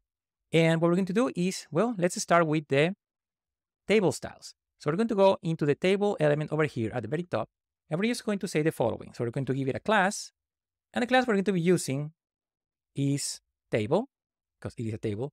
And then we want to be using the table striped style. Let's also have some borders with table bordered. And also let's use the table hover to add some nice small animations as we hover across the table. Now let's also add a different header. Let's make it so that the header is actually a darker. So we're going to be using, for the t-head, we're going to be using class table dark. Right, so let's start with that and let's see. Yep, so .NET Watch is doing its, its job. So if we go back to the site now, over here, you're going to notice that the, the, the page has already changed, right? So notice that this is now uh, a table, a stripe table, right? So it is it has stripes. Now the header is all black, right? It's all black over there. And so it's really looking like, like a table now. So this is this is what we wanted to, to see. Now, a couple of other improvements that we can also do in this table is that, for instance, uh, the prices, I like the prices to actually be aligned into to the right side, right? Because these are prices. And if we have a price more than 100, uh, this is going to start looking a bit up. So how do we make the price to go into the right side? Well, all we have to do is just use a, another bootstrap style. So if we go into the price header, so let's start with the price header. Over here, what we're going to do is just add a class of uh, it's going to be text end. And again, all everything about these these styles is available in the Bootstrap documentation page if you want to know more about it. Uh, and let's use the exact same style for the actual uh, rows, right? So price td class is going to be text end. And not only that, let's make it so that when we render the price, we want to see it uh, with the with the currency symbol, right? So so that it's very clear that this is actually a, a, price that somebody has to pay as opposed to just a random number. So for that, what we can do is just use the standard facilities of C Sharp to format this number. So we're going to do to string, and then we're going to do, in this case, C2 to format this as a currency, right? And so if you go back here, you're going to see that indeed the price is now is now on the right side, right, of the column, and we have the currency symbol for every each of the elements right Okay, very straightforward. And then, well, one more thing uh, that we may want to do here is to add perhaps a little bit of space, right, between this table and the browser, right? So it's just completely attached to the left side and, and to the top and even to the right side, right? So perhaps we can add a little bit of space. So what we're going to do now is not touch the table itself, but let's actually go into our main layout. So let me do Ctrl Shift E. So you're going to find your main layout under layout, main layout.razor over here. And remember that this is the component that wraps the current active component that you're trying to show, right? So what we want to do is just to always have some sort of container element around our active component. Now for that, all we have to do is just define div, right? And this div is going to wrap the body just like that. And then for this one, we're going to be defining the container class, which is a class, again, a standard of a Bootstrap that's going to be defining a div, a, a, a nice div with some nice uh, spacing around our body. So if you go back into the page now, you're going to see that now we have some space uh, on the left side there and also here on the right side. Let's now create the new Razor component that is going to act as the header for our page. So as you can see, here is our table and well, we don't have any sort of header right now other than the header of the table, but we want to have something that's going to show on top of every single page that we're going to be creating. So how do we introduce that header? So for this, we're going to be using what is known as a navbar in terms of Bootstrap. But what is a navbar and how do you create one of those? Well, really, if we go back into the Bootstrap documentation over here, I remember that, like I said, everything is uh, described over here. And so if we take a look at all of the documentation, we should be able to find a place that talks about the navbar. Over here, here's a navbar. And this is going to give you all the information about how to declare these navbars, like this one over here, right? So this is navbar. And this is the kind of stuff that we want to uh, show in our case. It's not going to be that complicated. We're not going to have menu items, but at least we want to have something that shows the name of our application, right? The game store and that's going to be clearly separated from the rest of the of the data. Now, if we keep scrolling down a little bit, um, the start I'd like to start with is actually this one here that says uh, as a heading, because we, all we want to show is something like this, right? Uh, just a title for our site. So how do we do that? Okay, so we know what, what content we want there. But first, of course, what we have to do is to create the actual uh, Razor component. So let's go back into VS Code and let's call Ctrl Shift E to show the Explorer. In this case, we're going to be switching once again into Solution Explorer because it's the best way to create these new files. And the place where we want to place this uh, component is probably going to be inside layout because this uh, navbar is going to show or it's going to be part of the layout for the entire site. So I'm going to right click on layout. I'm going to say new file. And if we scroll down in this list, you should be able to find one element that says Razor component. Okay, so let's pick Razor component. And the name we're going to give to this component is just nav menu, right? So nav menu. Great. So let's go ahead and collapse this. And here's our, our component. Now notice that, uh, I mean, it's very similar to the one that we have already, right? To home.razor. Uh, it has an H3 here for the title and then it has a code section, but it does not have um, page directive, right? So if we go back into home.razor, we're going to see that home actually has a page directive here with a slash here, meaning that you can get to this component by just going to this route. In this case, it's just the, the root of the, of the site. But in the case of nav menu, we don't have that page directive. So this means that this is, is going to be a non-routable component, right? You cannot navigate to it, but you can define it and reuse it or, or nest it into any other component as you're going to see. Okay, so what is going to be the content of this tab menu? Well, we already saw that, right? So it's over here. So I'm going to just copy this from Bootstrap, and I'm going to come back here. And well, we don't really need anything, anything that we already have here. So I'm going to just delete all of this, and I'm just going to paste what we just got. All right. And so I'm just going to make one small change into this because I'd like to actually do a uh, kind of a dark theme for our navbar. So for that, what you want what you want to do is just say here data bs theme is going to be dark. And again, all the documentation about this is in back in that bootstrap page.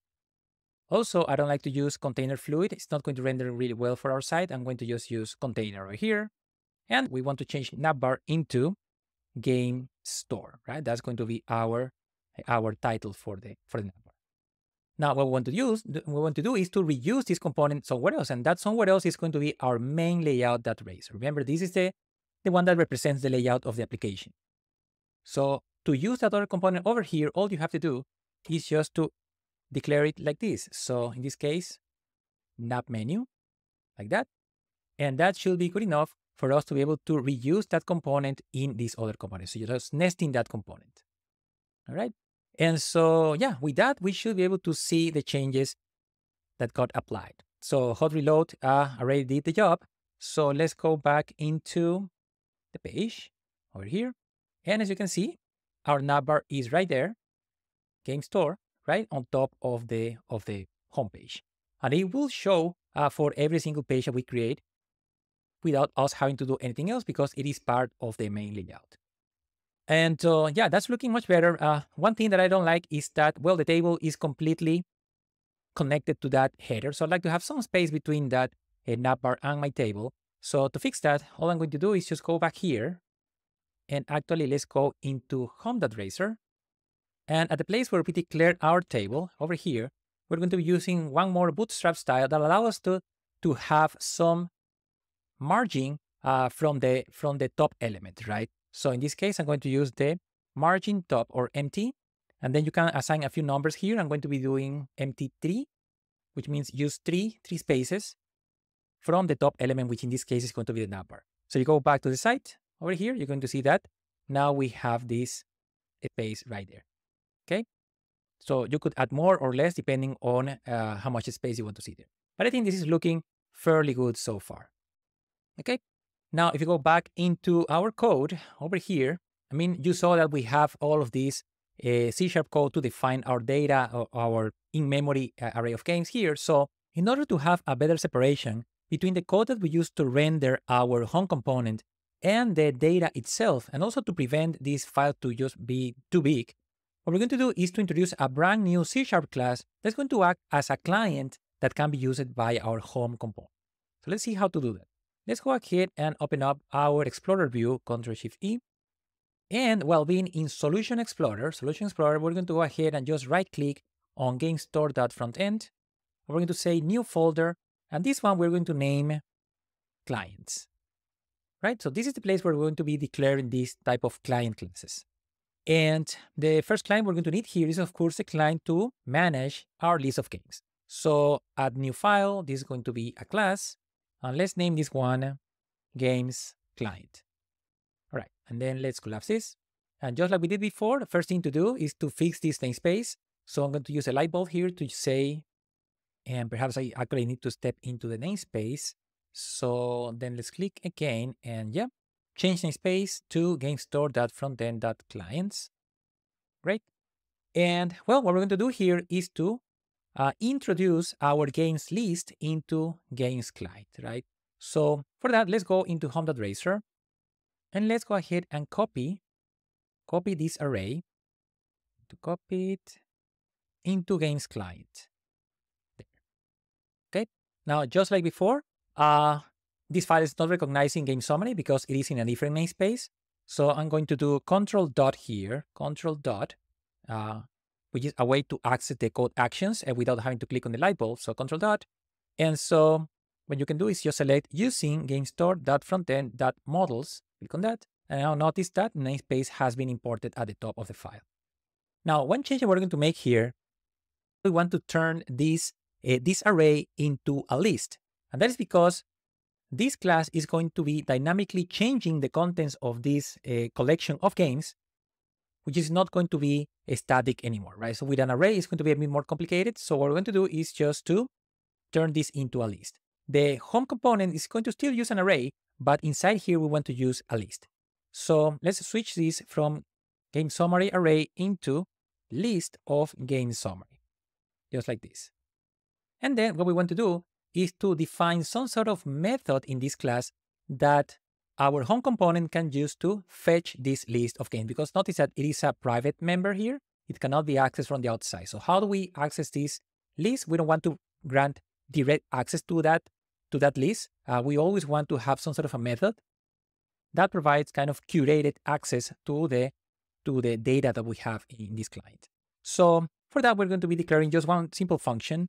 So public now this is going to return actually a game summary array because the array is working just fine for our home component. Uh, and then the name is going to be get games. And we're going to just directly point into games that games that to array. Right? Now there are a couple of things that we can improve here also. Uh, first thing is that you can notice that there is a little suggestion here that says that the collection initialization can be simplified and that is true. What I'm going to do is actually just click on these three dots and then just do control dot. And we're going to be switching into using a collection expression, okay? Which is another way to uh, go from your list into an array by using this expression that you can see here, right? Little improvement on C Sharp. Another thing that we may want to improve here, so let me see these three dots here. Uh, it is suggesting that we should make the field read-only, which makes sense because there is not going to be any place uh, across our code here where we reconstruct the entire list, right? We are not going to be assigning anything a new value into this list. We will be adding and removing elements from the list, but we're not going to be destroying and reconstructing the list. So because of that, we want to add the read-only modifier into this list, which protects it from being modified later on. Again, this, this prevents a modification of the actual games object as opposed to the modification of the elements inside the list. Awesome. So now that we have this games client ready, what we're going to do next is uh, see, well, how can we use this games client to populate our list of games when our home component is getting initialized. So let's go back into home.razor. And what we want to do is, well, while being in the code section, well, we want to declare an instance of our games client. Like I said, there are different ways to do this, and we're going to see more about that later in the course. But for now, we're going to just declare it as a standard variable in the code section. So it's going to be a private games client. It's going to be the client. And of course, uh, notice that uh, it is not recognizing the client because it is in a different namespace. So let's go back over here and let's use, let's import the namespace clients like that. Okay, let's go back here so now it can recognize the games client. And this is just going to be a new instance, just like that. Now our game summary array is now coming from the client, right? It's going to come from there. So there is no need to keep having this, this entire array declared here. So I'm going to just remove all of this, right? It's now just game summary games. Okay, I'm going to just close it here. And well, since we're not going to have an instance of this game summary array when the component is initially created, and we're going to see in a second where we're going to create the instance of this, uh, what we have to do here to avoid this warning is to actually define it as null. Because it is expected that it's going to be null when the component is just created. But well, where do we actually uh, initialize uh, this array? Well, that's going to require the use of one of the lifecycle uh, events and methods uh, in Blazor. So there is a specific life cycle of events in Blazor applications. And I can actually show you a little bit about that here. So I'm going to pull up this page from the Blazor documentation over here. And what I want to show you is that if, uh, well, this, what page is this? Let me show you. This is a page, ASP.NET Core Razor Component Lifecycle, right? So this is the part of the Blazor documentation. And so what I'm going to show you is that there are a series of events that occur for every single Blazor component, right? So as you, can see right here, when your component is instantiated, right? So it is created and then it's going to go through the set parameters async uh, method. So that's a method that you can use to receive parameters into your component, which is something we're going to learn uh, a little bit down the, this course, but we're going to explore that later.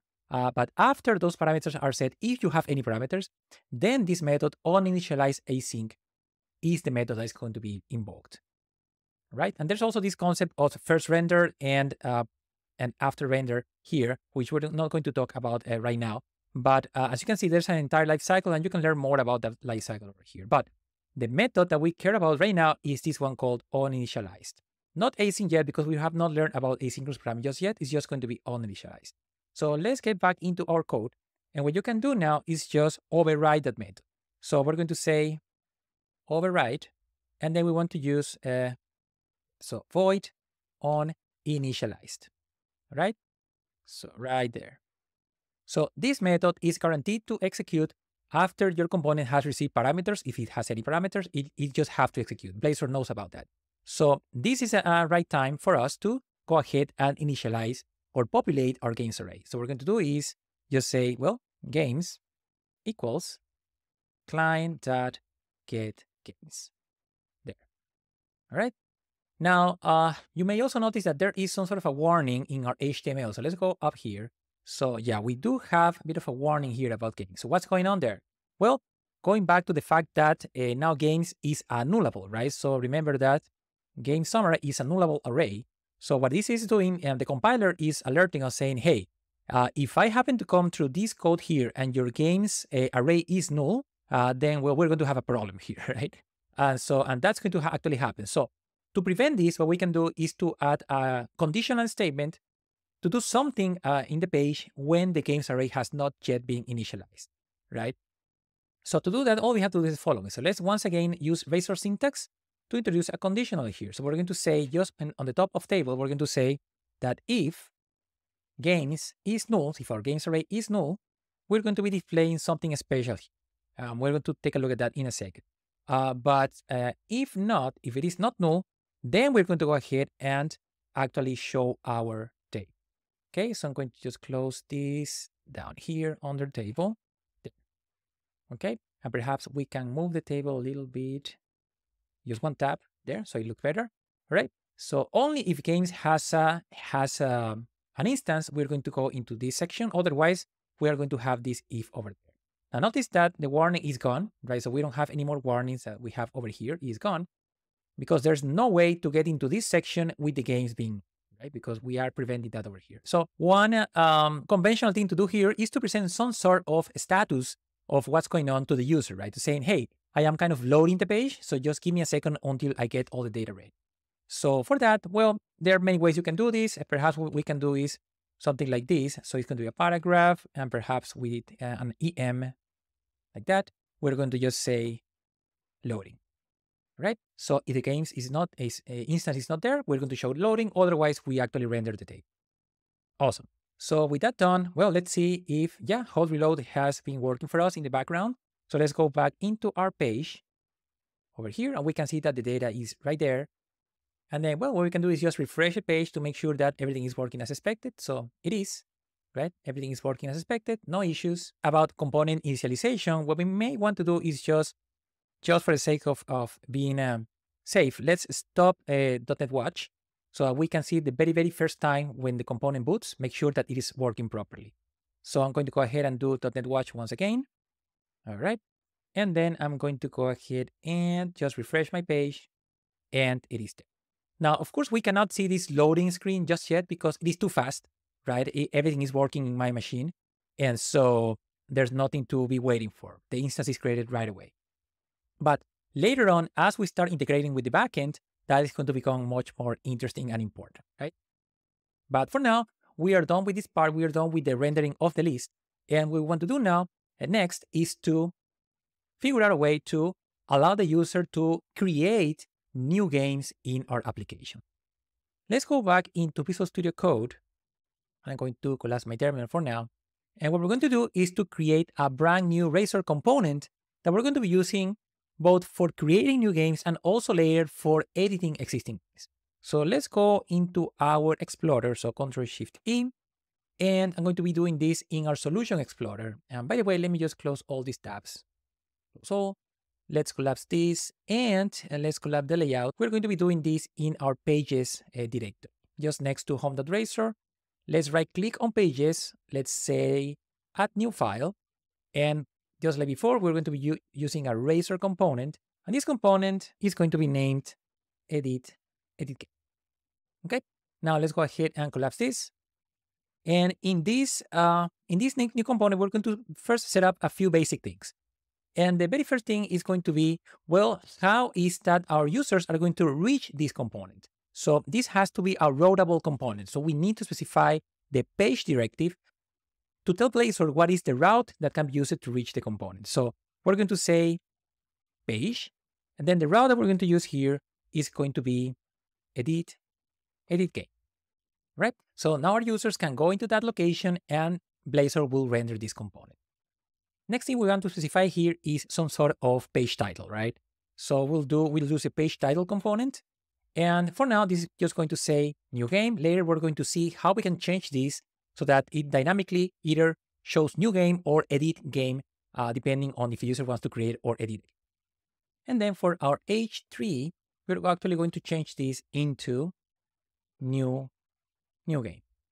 Okay, now the next thing we're going to need is some sort of model that we can use to bind to the form that we're going to be using here to capture the user input, right?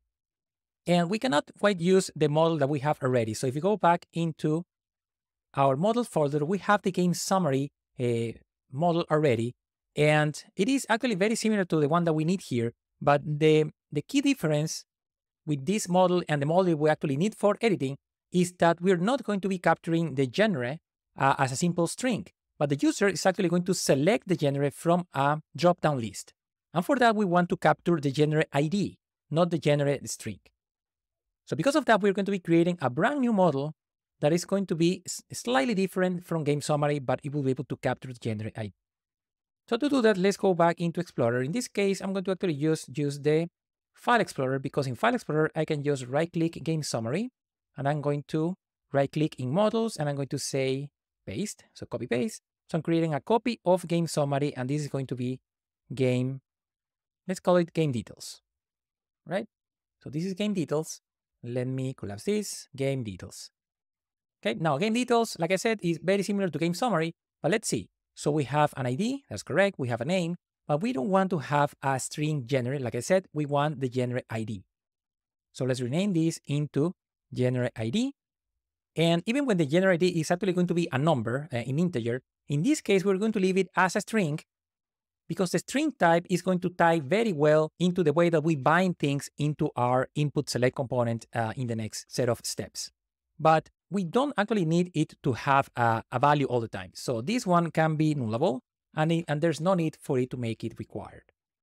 We could make this guy an int, right? Uh, however, we're going to have problems when we want to present the initial value for that dropdown list which is going to be really empty, and the int is only going to translate into a number of perhaps zero, and zero is not going to map well into the dropdown list. Because of that, we want to use a string, a nullable string, that is going to allow us to have an initial null value in that dropdown, and later the user can select the value that they want to use, right?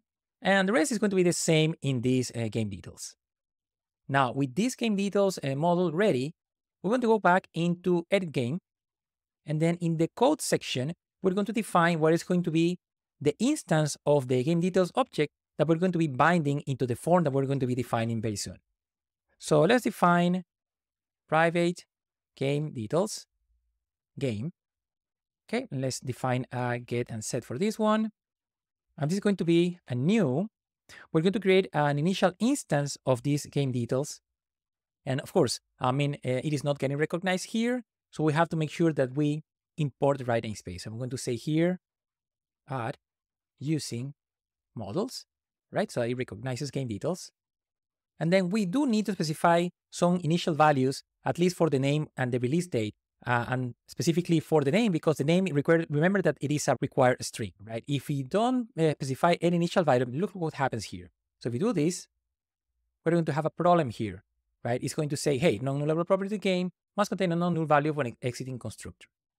So we have to set this as new, but it's not enough to just say new because we have to specify something for game details.name, right?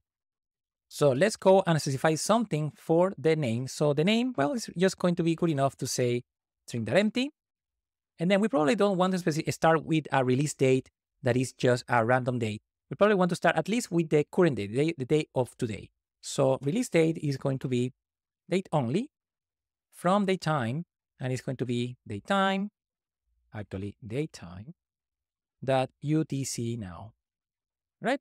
So that is going to be the initial uh, object we're going to be using in the form that our user is going to fill in, right? With an empty name and a release date of the day of today. So next, we're going to see how to actually define this form that the user is going to use to input the values. Now, how do you define a form in HTML? Well, that we can actually take a quick look at that from the Bootstrap documentation once again. So here I'm back in Bootstrap in the documentation page, and I, I am in the forms section here, the forms overview section. And you can take a quick look at how you normally define the forms by looking at examples here. For instance, here's a very simple form to, that captures email address and password, right? And there's a button and a checkbox here. How is it defined in normal HTML? It is right here, right? And so as you can see, it's a standard form element, and there's a bunch of divs to define uh, each of the uh, inputs that are going to be captured from the user and even a button at, at the very end. So what we're going to do is to just copy this, and we're going to go from this into an actual form that uses Blazor controls to capture data, right? So I'm going to just go ahead and copy this to clipboard, copy everything from the clip to the clipboard, and then back in our Blazor components, I'm going to paste that right here, right? Now from this example, I'm just going to keep one of these divs here to start and not even the button. So just going to keep one of the divs and then we're going to be replicating what we're going to do for one of our input controls. We're going to be doing the same for the others. Now, as you can see, in standard HTML, we start with the form element over here. However, in Blazor, there is a much better option, which is known as the edit form component, right? So that component is great because you can actually bind that component into your game object that we have, we have over here in such a way that whatever the user enters is going to be stored directly in our game variable. And on top of that, we can perform nice validation on the inputs of the user before they send the data back into the server, right? So let's go ahead and change this form clause into edit form. Okay, so we should also close down here, edit form. And then there are a couple of things that you should specify for all of your Blazor forms. The first thing is going to be, of course, the model. What is going to be the model object that's going to be bound to this form? So model is going to be, in this case, we have to use razor syntax to point to our game object over here. So we're going to say add game, okay? And the next thing is that you have to specify what, you have to give it a, a name, some name for this form. But this is because there could be multiple forms uh, in your page at any given time, and you want to make sure that Blazor does not get confused with which form you are posting back into the server. So we're going to do form name, and let's just name it edit game. So now we have the form, and we have to start specifying what are going to be the input controls in that form. So what we have here is just a new div that starts with some margin bottom, so three spaces in, in the bottom, just so that it's not completely tied to the next control, right? And then we have a label, standard label. Now, uh, we're going to give it a, a, name to the input that we're going to be creating here. So this is going to be for our name input, okay? And the actual text is going to be just name. This is going to be the name. And then we're going to make, make a few changes here. First, we're going to get rid of this last tip. We're not going to use that. And then instead of using input here, we're going to be using another component provided by Blazor, right? So this one is named input, input text, right? So this is the control that you can use to capture just standard text in your form. Now let's also close this at the very end, like this. Okay, so it's an input text. And then we don't need a type here, but we do need an ID. So let me actually grab the ID from here and into just overwrite type with ID. And the ID for this one is going to be name. Okay, so now for this to work properly, uh, just make sure that this name that you have here, right, the ID that you have here it matches the label that you specified here, right? So this is the label for the name that you, the, the control that's named name, right? For the, right? So those have to match. Okay, now we're not also not going to use uh, this one right now. Uh, but the last thing that is very important to use here is the bound property because we know that we are bound into the game uh, model over here. But we need to tell it uh, to which property on that game object we're going to be binding this input text control or input text component. So for that, what you want to do is use the bind value attribute here. And for that one, you're going to specify, in this case, game dot just like that. And with that, you have specified your very first uh, input uh, input component for your edit form. Now, just like this, let's go ahead and define a few more components for all of the data we have to capture from the user. So I'm going to add three more of these. So one, two, three, by just copying the first one, right? And so let's fill in the value. So the next one is going to be the genre. Now the genre is interesting. This is not going to be an input text. This is going to be an input select, right? So this input select, and then this is going to be, the ID is going to be genre, right? Let's make sure that we use the ID here over there too for the label. The bind value is going to be into game dot genre ID, right? Remember that we're using this model specifically because we need the ID. We don't need the, the name of the genre, but the ID. And the class for this one is actually going to be form select. Now for this input select uh, component, we're actually going to have to have something inside input select. I mean, the options for the input select, right? But for now, uh, we're going to just leave it empty and we're going to look into how to fill in the, the values for this input select later on. Uh, for now, let's just define that and let's keep, keep moving on so that we can finish all of the components for this form and we can see how they render in the page. So next one is going to be ID price. So it's going to be the price. Let's make sure we use price here and there. Let's put price here.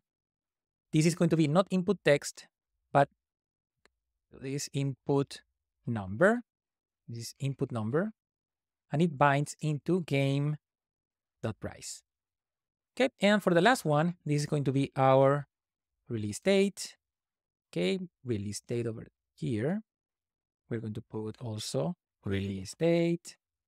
The bind value is going to be again game dot release date and uh, the actual control is not going to be a date, it's going to be uh, an input text, sorry. Uh, it is going to be an input date. So input date is the right type to use here because we're dealing with a date object. Okay. And so by doing that, I mean, we have some basic layout for our for control. And I think it's a good time to go ahead and test and see how this control actually looks like in our front end. So let's go ahead and, well, let's see Okay, so .NET Watch at this point is asking us to actually restart the entire application because the changes were just too hard. So let's go ahead and say, I'm going to say A for always.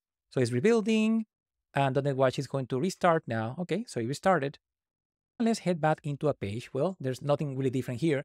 And well, the thing is that we have created a brand new component, right? So now we have to navigate into that new component. Now, what, what is the address of this new component? Well, if we remember, and let me collapse this for a moment, the address is slash edit game. So let me copy that. Let's go to the portal and let's put that here. So edit game. So I'll hit enter. And as you can see, now we are in our brand new page where we are able to collect the name, the genre, the price, and the release date. And notice that for the price, there's even uh, facilities to move up and down the, the numbers, and the release date is able to, I mean, you can select from this nice calendar over here, right? These are nice facilities that come by default with Blazor. Now, I think that uh, the width of, of the controls here is just a bit excessive, right? I don't think we want to have a form that just goes all the way to the right. So let's make a small change to, to make it so that this lays out a little bit better. So let's go back here. And all we're going to do really is just to use both the row and the col elements of Bootstrap to lay out things a little bit better. So I'm going to add a div uh, just at the top here which is going to have a class of row. Okay, so these rows are the standard way that you lay out rows uh, in your Bootstrap layout. Okay, and then under the row, we're going to add one more thing, which is going to be another div with a class, which is going to be uh, a col, but not just a normal column. It's going to be a column, um, a medium column of size four, right? So I'm going to close that and let me close the div over here, there. And let's move, let's tap this edit form a little bit to the right, there. So I not, not reads better. Um, now, one thing to notice is that in Bootstrap, you can have up to 12 columns, if I'm not wrong, 12 columns. Uh, and so by using four here, I'm saying that I want pretty much less than half of the page, right? Thinking of the horizontal page uh, to render my form. So now let's go back into the, the portal. And as you can see, now our form is only using this left side of the page, right? So this will be the four columns that we're using right now. If we set something like six, perhaps it would be all the way to this mark over here, right? Or and if you don't do any numbers, well, it just goes all the way to the end. But this is looking uh, just fine for me.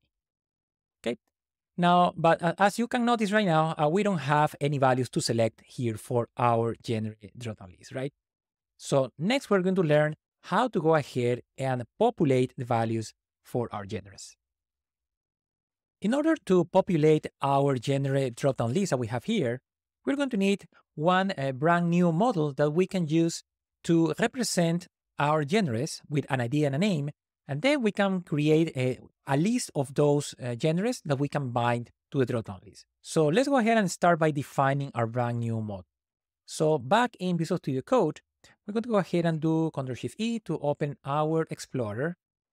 In this case, we're going to switch into our Solution Explorer because we're going to be creating a brand new file. And this is going to be under Models. We're going to right click and we're going to say Add New File. This is going to be class. And the class name is going to be genre. Okay. So this is genre. And then, uh, as with everything else, we want to fix the namespace so let's go ahead and select change namespace to GameStore.frontend.models, like that. And then for our properties, we only really need just two properties. The first one is going to be our ID, and the other one is going to be a required string, which is going to be the name, right? Very simple model, but very useful for our dropdown list. Now, just like we did with our games, we also need some sort of client that our edit game component can use to retrieve that list of genres. So let's go back into Explorer and we're going to go ahead and create a brand new client. So let's right click under client where we only, only have games client right now. We're going to right click, new file, class, and then this is going to be our genres client. Okay, let's collapse this. And then once again, let's click on the namespace and then let's click the light bulb and then change namespace to GameStore.frontend.clients. Now, just like with the other client, we're going to start with an in-memory list of genres. And later on, you're going to see how this client is going to evolve to be able to pull those genres from the backend. So for now, this is going to be just a private read-only genre. This is going to be just a genre array. And that is because we're not going to be modifying this list, really, at least not in memory. Uh, it's just going to be static for the purposes of the dropdown, right? So it's going to be named genres. And then here is where we're going to be defining the values for our list. So I'm going to start by saying, well, this is going to be a new genre, and this is going to be, let's say, ID1, and then uh, the name is going to be fighting. That's going to be our first genre. Now, of course, we want to have a few of them, and I don't want to type all of them. So let me actually grab them from my cheat sheet on the other screen. Let me scroll down here. I'm going to just paste them under this first one there. Okay.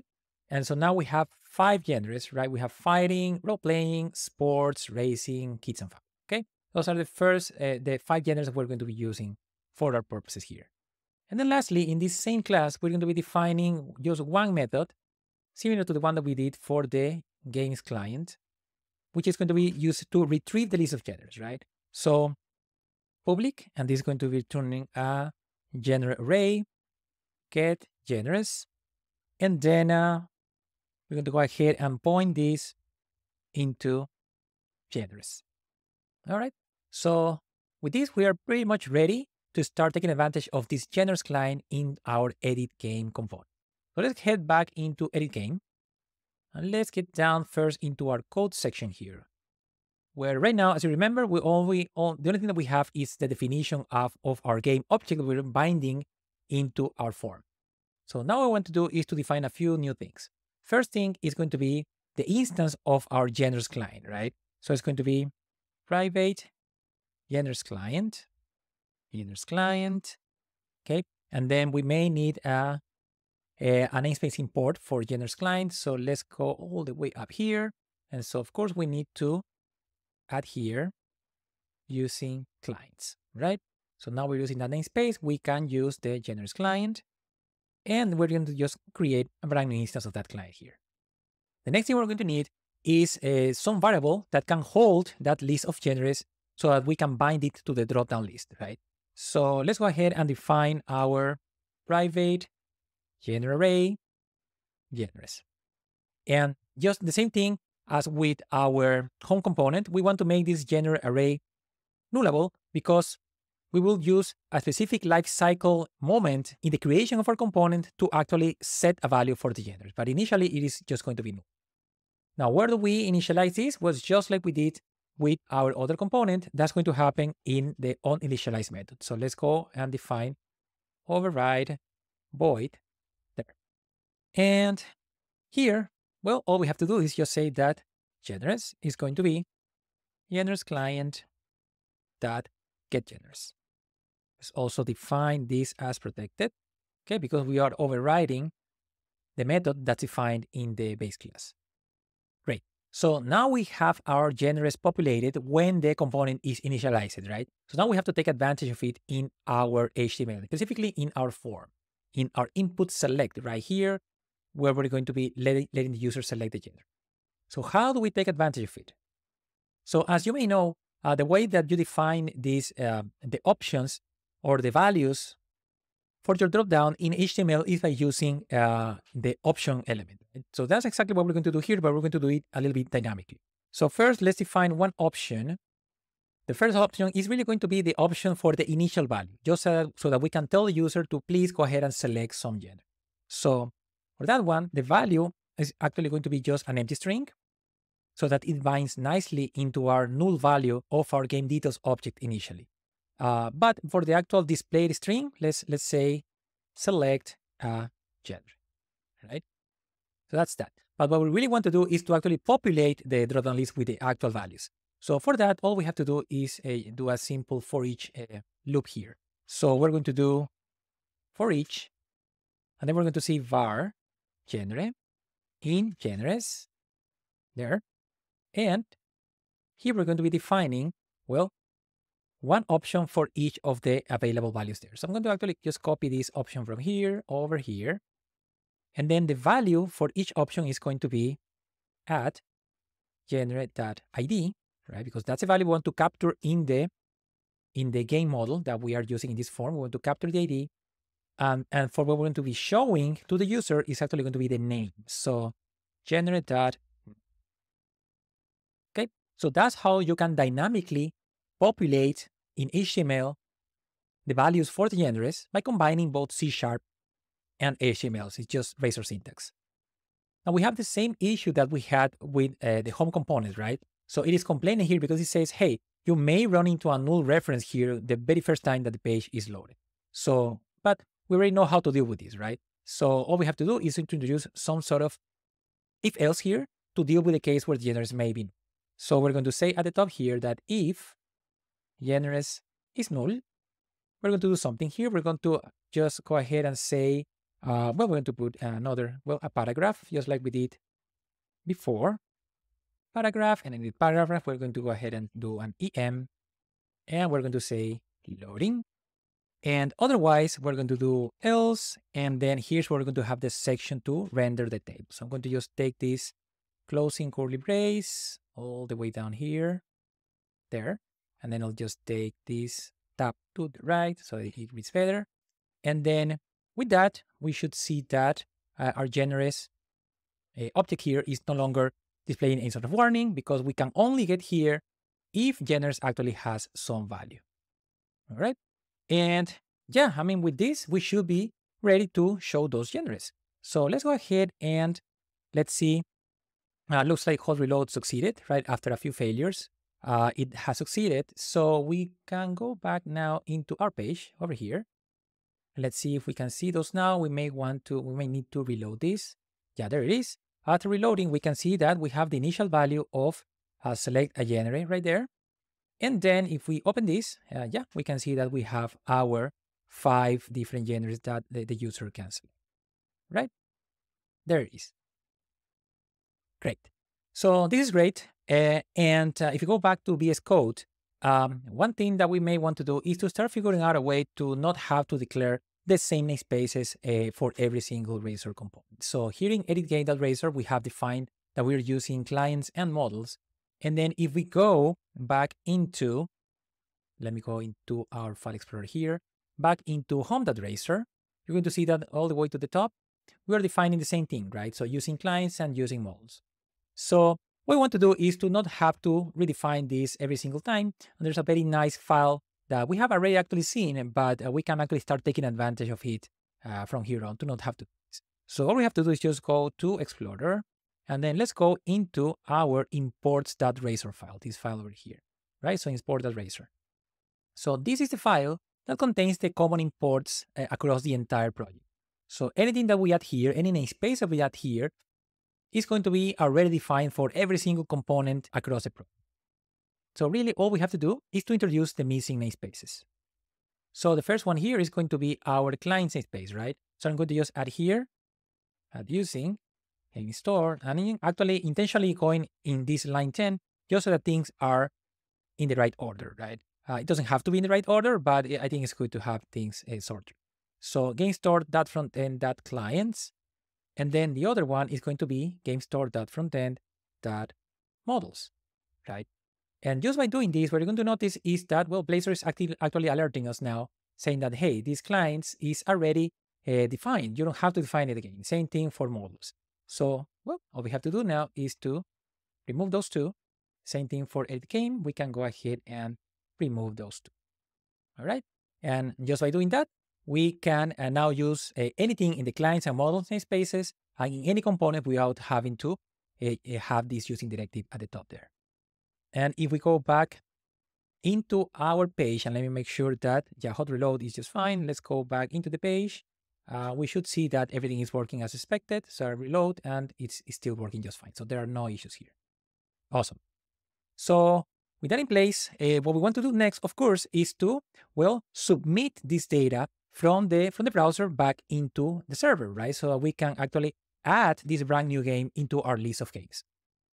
So for that, the first thing we're going to have to do is just go back into VS Code into our games client, right? So here is our, let's see, if we go into all the way up, clients, games, click. Let's start here. All right, I'm actually going to close all the other files so we can focus on this one. Now, what we're going to need is to have some sort of method in our games client that we can use to add a new element into our games uh, list that we have here because it is private, right? So the only way that any component is going to be able to add something here is by having some public method that can uh, add a new element into this game list. So let's get down here and let's just at the very end, let's add a brand new method. So let's name this one uh, add game. All right. Now the the type of the game that we're going to receive here, remember that it is game details. It is not a game summary because game summary is one that we use at the home in the home com component. Uh, but in the edit component, we're using game details. So we're going to receive a game details game. Okay. And then what we want to do here is to, since, I mean, as you can see, what we have here in our list is, is a list of game summary. It is not a list of game details. So somehow we have to transform these game details into a game summary instance before, before we can add it into the list. So let's go ahead and try to do that, right? So let's go ahead and say, well, var game summary. It's going to be a new, well, game summary. Okay, and for this one, we have to define a few properties, right? So we need the ID. And so what ID are we going to be defining for this brand new game summary? Well, for now, since it's just um, an in-memory list and it's just a step towards later using some data from the backend. Uh, for now, what we're going to do is just get the count of our games list, so games.count, and then we're just going to add plus one, right? Just to keep things very simple. And next property is going to be our name. So name is going to be from game.name. And then we have the genre. So genre, and then thing is, well, if we do game.genre, we're going to notice that here we have a bit of a problem, right? Because game summary uses the, uh, the genre as a string, because that makes sense to show in the homepage. but uh, the game details have the generate ID, which is what we capture from the user, the ID, and it makes sense. That's what we need. So before we can complete the definition of this game summary, we're going to have to find a way to take the, the ID of the genre that the user selected and transform it into the description of that genre or the name of that, that genre, right? So to do that, we're going to do a couple of things. The first thing is that here in this same class, we're going to be defining one more array. So not just the games array, but one more array, which is going to be for our genres. So just under our previous array for games, we're going to be defining the following. So by the read-only, genre array, and then uh, is going to be the genres. And then to retrieve the list of genres, which is pretty much static uh, at this point, it's just a simple list that comes from the games client.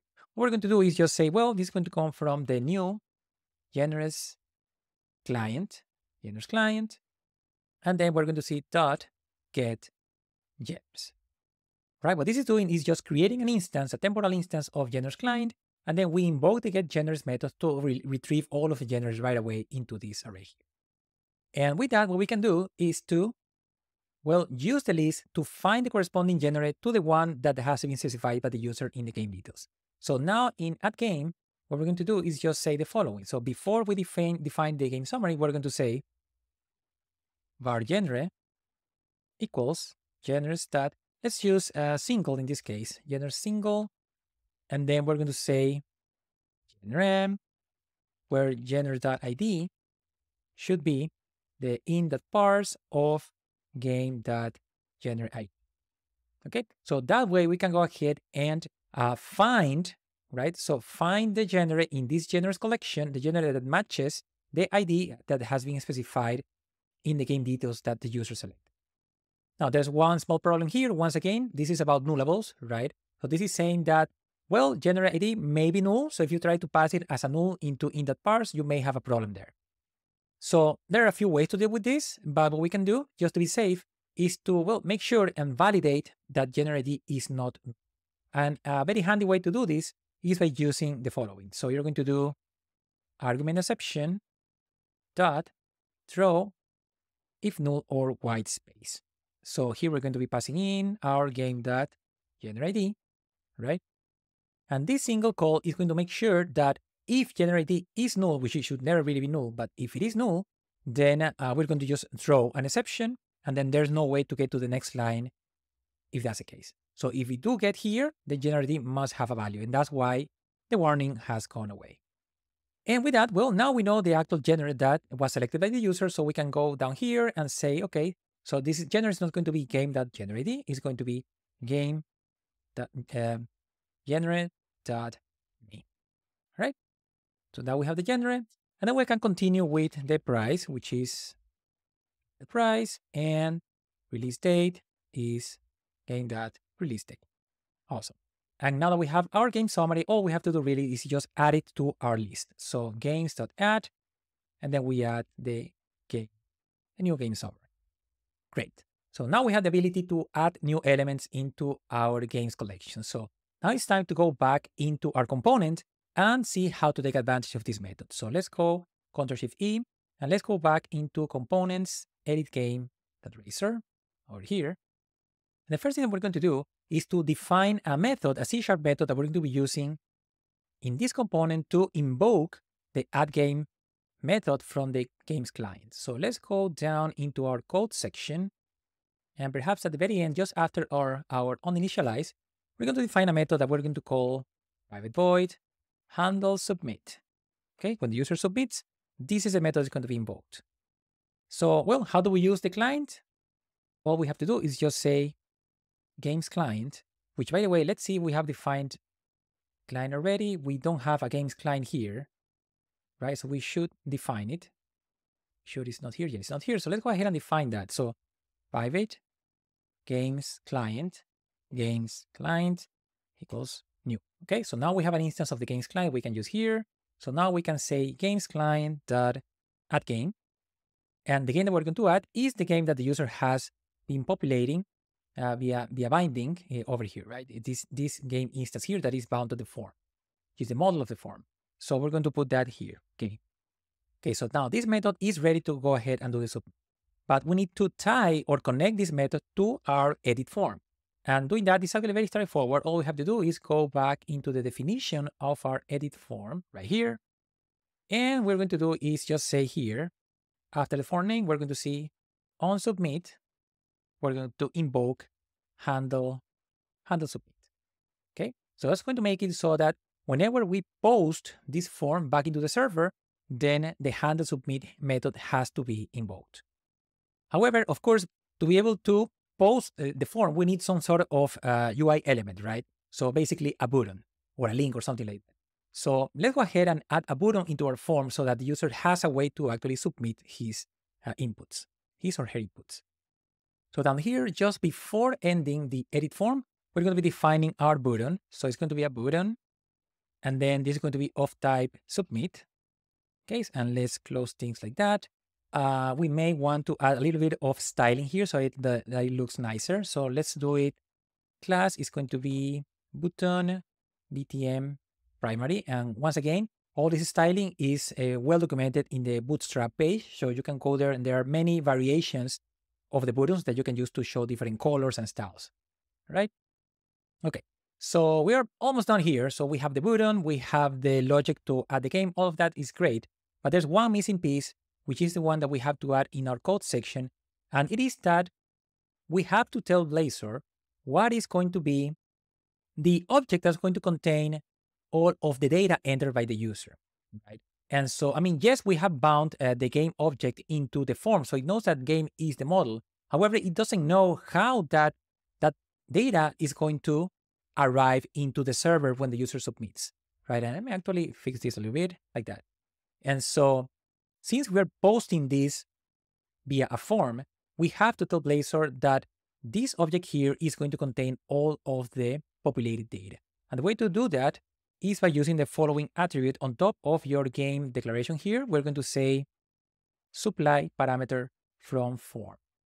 Okay. Otherwise, if you don't do this and you just post a form, Blazor is not going to know that game should have all of the values that have been posted uh, as a form into the server, right? So when this arrives to the server, because we have this attribute, Blazor is going to populate this game object with all of the data entered by the user.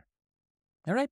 And so, yeah, that is the last piece really. And we are ready to go ahead and test out uh, this edit game component. So to do that, what I'd like to do is actually to set a breakpoint so we can do a, a little debug session here. Just to confirm that the game can be added to the list. So I'm going to go all the way to the end line 63, I'm adding a breakpoint there. And I'm going to open up my terminal. I'm going to stop my .NET Watch. And instead of that, I'm just going to, well, I'm going to close my terminal. And I'm going to do F5 so that we enter debugging. And I'm going to do this because uh, we want to just make sure that the elements, uh, the new game is getting added to the list, right? We don't have a good way to verify that otherwise. So yeah, we are running right now. I'm going to go back into my page over here. And I'm going to just go ahead and refresh it. Refresh it. And I can tell, tell right away that we missed one small thing over here, right? So the button is there, but it has not. So let's go ahead and fix that quickly. Let me go ahead and just stop debugging for a second so that we can add the actual text, text to the button, right? So right here on line 37, all we need to do is say save. That's all it is. So I'll do F5 again. Okay, and I'll go back into my page over here. I'm going to refresh this. And notice that the button now says save. Great. Now I'm going to enter some data, right? So let's say I'm going to add a new game here. It's going to be Super Mario Bros. 3. It's going to be a kids and family game. Let's say that the price is $9.99. And let's say that the date, uh, yes, we may want to go a few years back, right? Let's say 1995, February 13. So let's hit on save and let's see what happens. So now, as you may notice here, VS Code has stopped into our handle submit method right there. So that's awesome. And then let me collapse this for a moment. Let's see that the game object actually was able to receive from the form, it received all the values right into the gender ID. We have, we don't have an ID, uh, an ID that makes sense. Uh, we have the name, we have the price, and we have a release date. Everything as we entered in the form, so that's great. So I'm going to go ahead and step in into Games Client so we can see that we can go to the next step. Where we find that it's not null. We should be able to find the gender here. Yeah, so we found that this is kids and family, and then we define our game summary, and the game summary has been added into our games. So as you can see, now we have four elements where the last element number three is the one that we just added. So yeah, so the element has been added. It is part of our list. So the logic is working as expected. So I'm going to go ahead and just hit on continue and then going back into the browser. Well, uh, sadly, nothing else is really going to happen at this point because we don't have any more logic to say, for instance, go back to the home page or do something else after this. But that is okay. Uh, and I think that what we should do next and what we're going to see next is, well, how do we add uh, some, perhaps a button into our home page, to our home component, so that we can navigate from that home page and into this, uh, this edit game component so that the user can enter a brand new game. So if you go back into home, so let me just clear the URL here, just, just go to home. What we want to do is to start with is to have some sort of a button here, right, that allows us to just jump into that edit game component. So how to do that? Well, that's actually very straightforward. If we go back into our VS Code over here, what I'm going to do is just to stop our debug session. I'm going to clear this breakpoint. And I'm going to, well, let's go ahead and just close all of our documents. And let's go into home.razor. Okay, let's start here. And really all we have, what we have to do is to uh, find a good spot in the page to add a button with a link to go into the other page. So right here, I'm going to add a brand new div. Okay, so it's going to be a new div.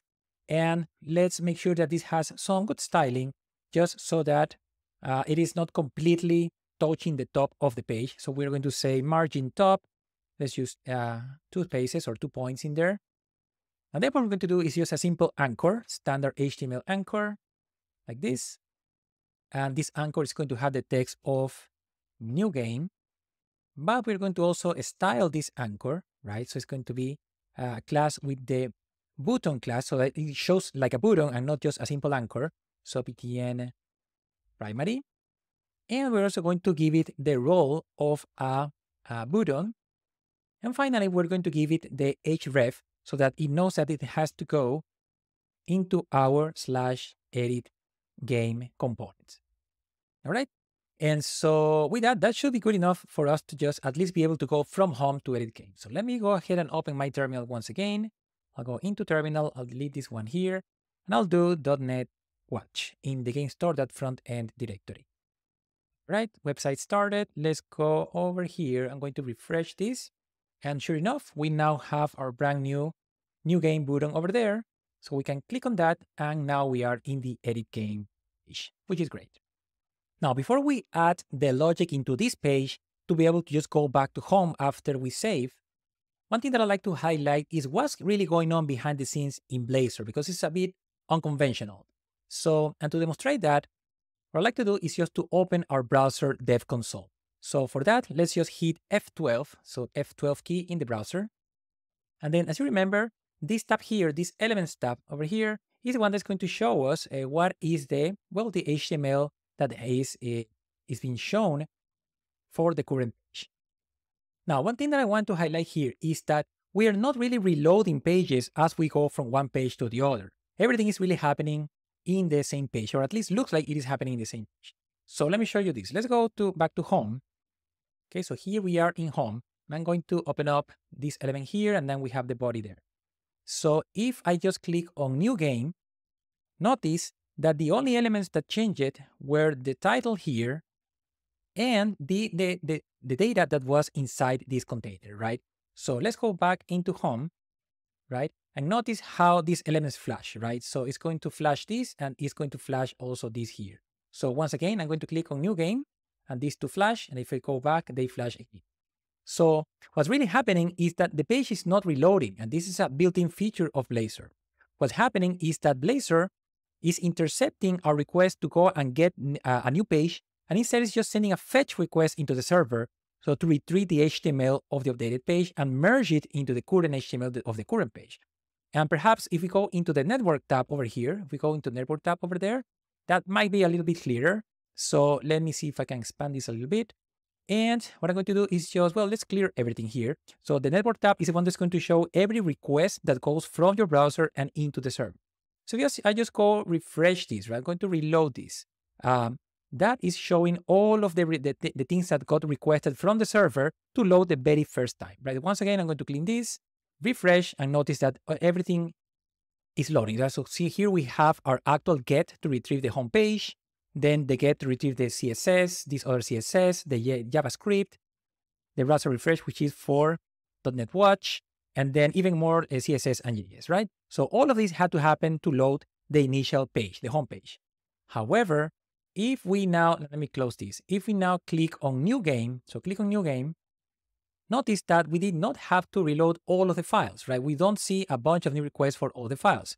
Really, the main thing that we see here, let me see if I can expand this a little bit to the right, is this call over here, this one here.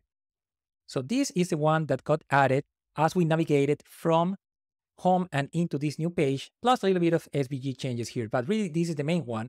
And this, as you can see, is a fetch request. It is a fetch request into the location that's going to, that we have asked, right? If we click on edit game, we're going to see that this is actually taking us into the new page, right? Into edit game, as it says right there, but it's a fetch request. So we are not trying to reload the entire page. And instead, we're just saying, hey, just bring me back the HTML of that other component, and I'm going to merge it into the current page. So that is a very nice feature of Blazor that allows you to have a website that behaves as a single page application and with less reloads. And it's going to be way more evident as you have an application that's actually deployed right uh, in the web and going to see how it behaves much better than a traditional website. right? So yeah, that's something I wanted to show you there. It's very interesting to understand. Now let's go ahead and close this. And well, let's see how to uh, modify this page here so that we can go back to the home when we are done with saving the changes. So what we want to do now is just go back into Edit Game. So let me go ahead and open up this and close that.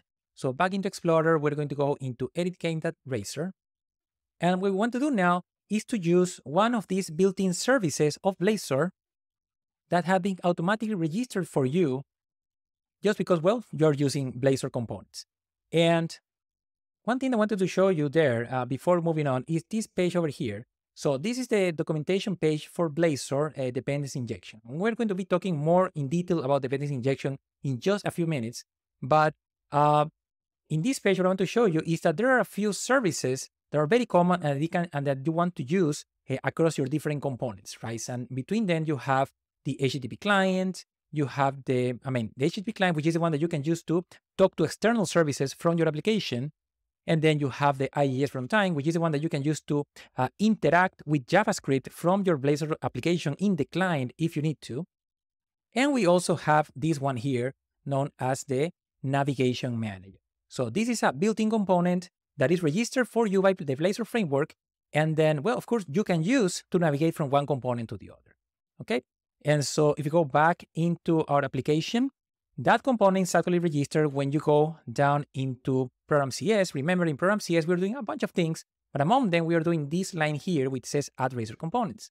So because we're doing this, we have the ability to take advantage of that navigation manager, right?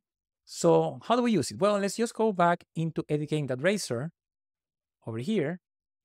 And what we can do is use this directive that is named as inject right? Inject. And once again, we're going to be talking about the base injection in just a few minutes because I want to show you one more thing. But uh, here you can just say, well, I want to use the navigation manager component and let's just name our local instance navigation manager, right? And um, just by the, by, by the fact that we're declaring it here, Blazor is going to take care of creating an instance or making an instance available for us at runtime and so we can just go ahead and use it without having to construct it explicitly.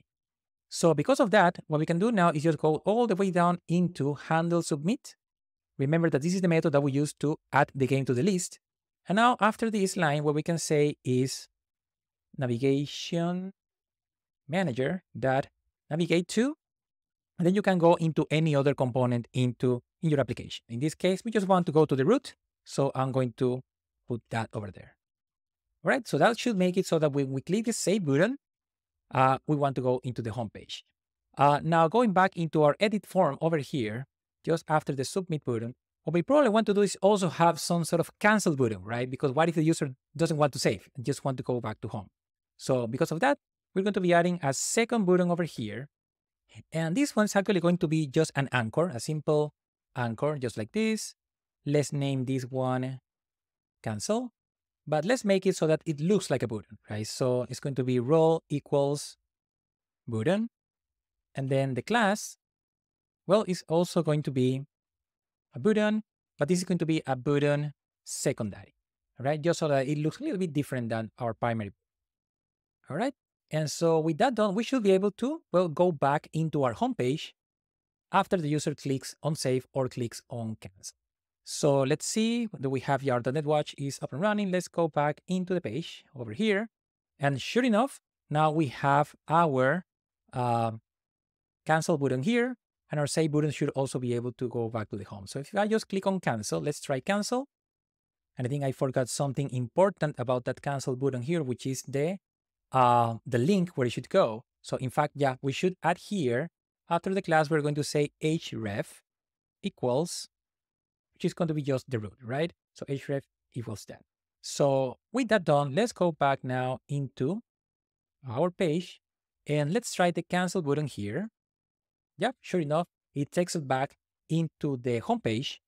And then, well, let's see if we can actually save a game, right? So let's go back into new game and I'm going to enter once again, Super Mario 3. And then uh, it's going to be Kids and Family. Let's say price 9.99. And then let's just keep the current date uh, because why not? And let's click on Save to see what happens. I'll click on Save. And if this happens to you, right, which is very unexpected, and it has happened to me in the past, this is because really our .NET Watch tooling and the hot reload of of .NET was not able to handle the fact that we have injected a brand new service into our page, right? So there's nothing wrong with the code. And really all we have to do is just go back to VS Code.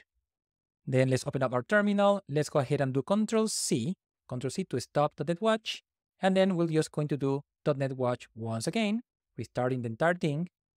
And so that's going to make it so that ASP.NET Core and Blazor understands the brand new service that has been injected into our EditGame component.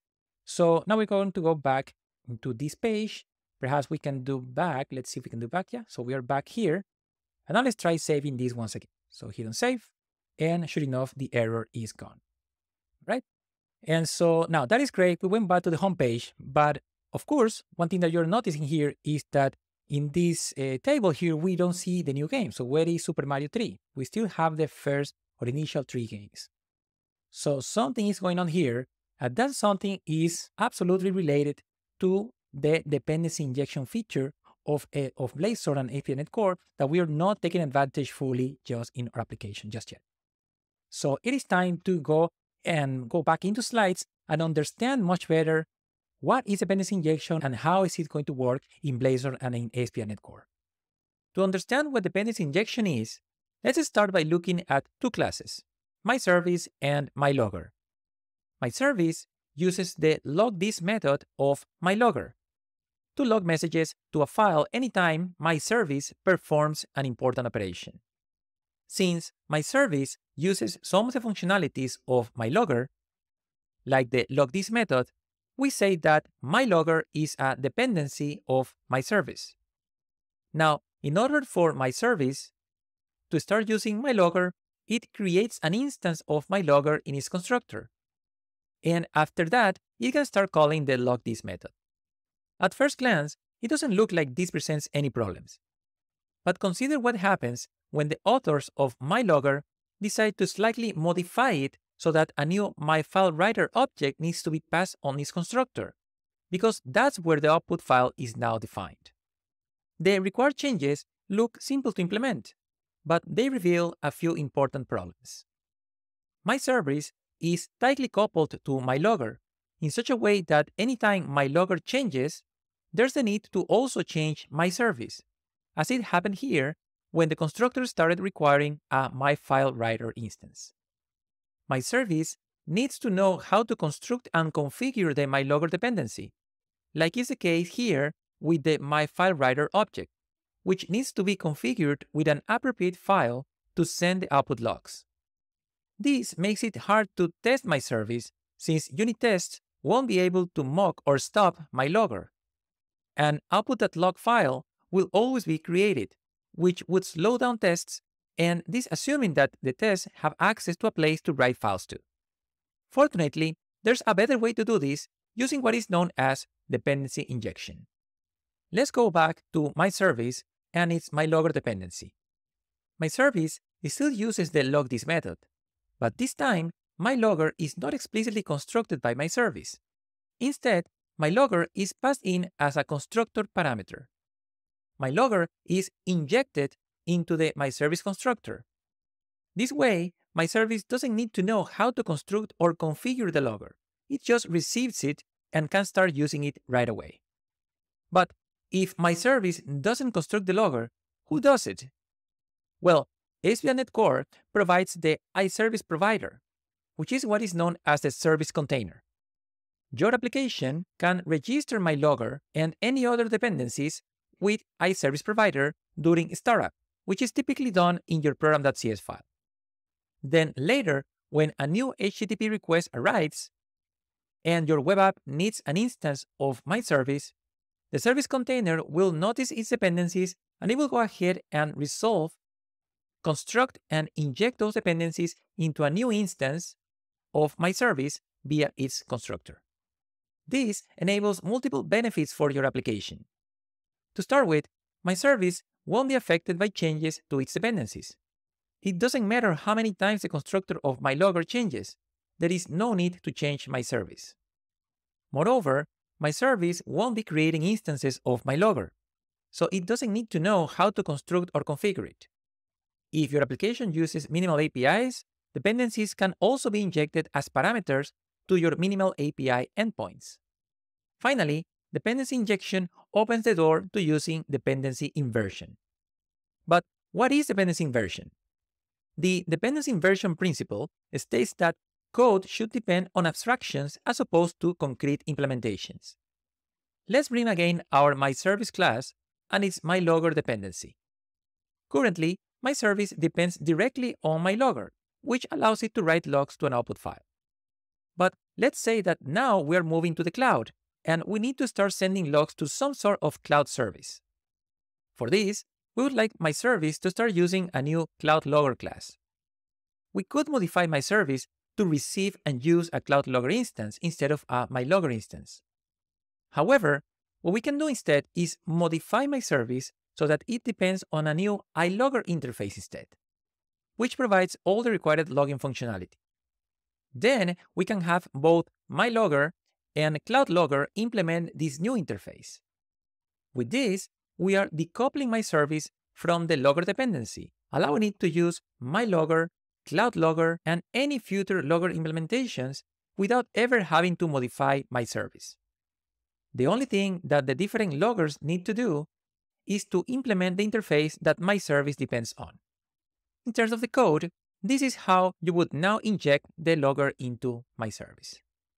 So the main benefit of using the dependency inversion principle is that dependencies can be swapped out without having to modify the class that uses them. But also, it is now much easier to test my service, since the logger dependency can easily be mocked out or stubbed. And finally, your code is now cleaner, easier to modify, and easier to reuse. Now, before we start using dependency injection in our code, there is one more important concept to understand, which is the service lifetime. We now know the basics of dependency injection in ASP.NET Core.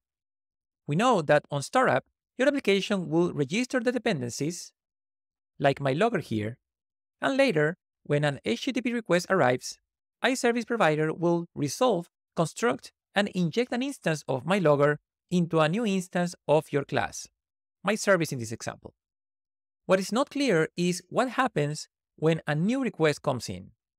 Should iService provider create a brand new MyLogger instance for the new request? Or should it reuse the same instance? What if another service that also has a dependency on MyLogger needs to be created in response to a new request? Same MyLogger instance or new MyLogger instance?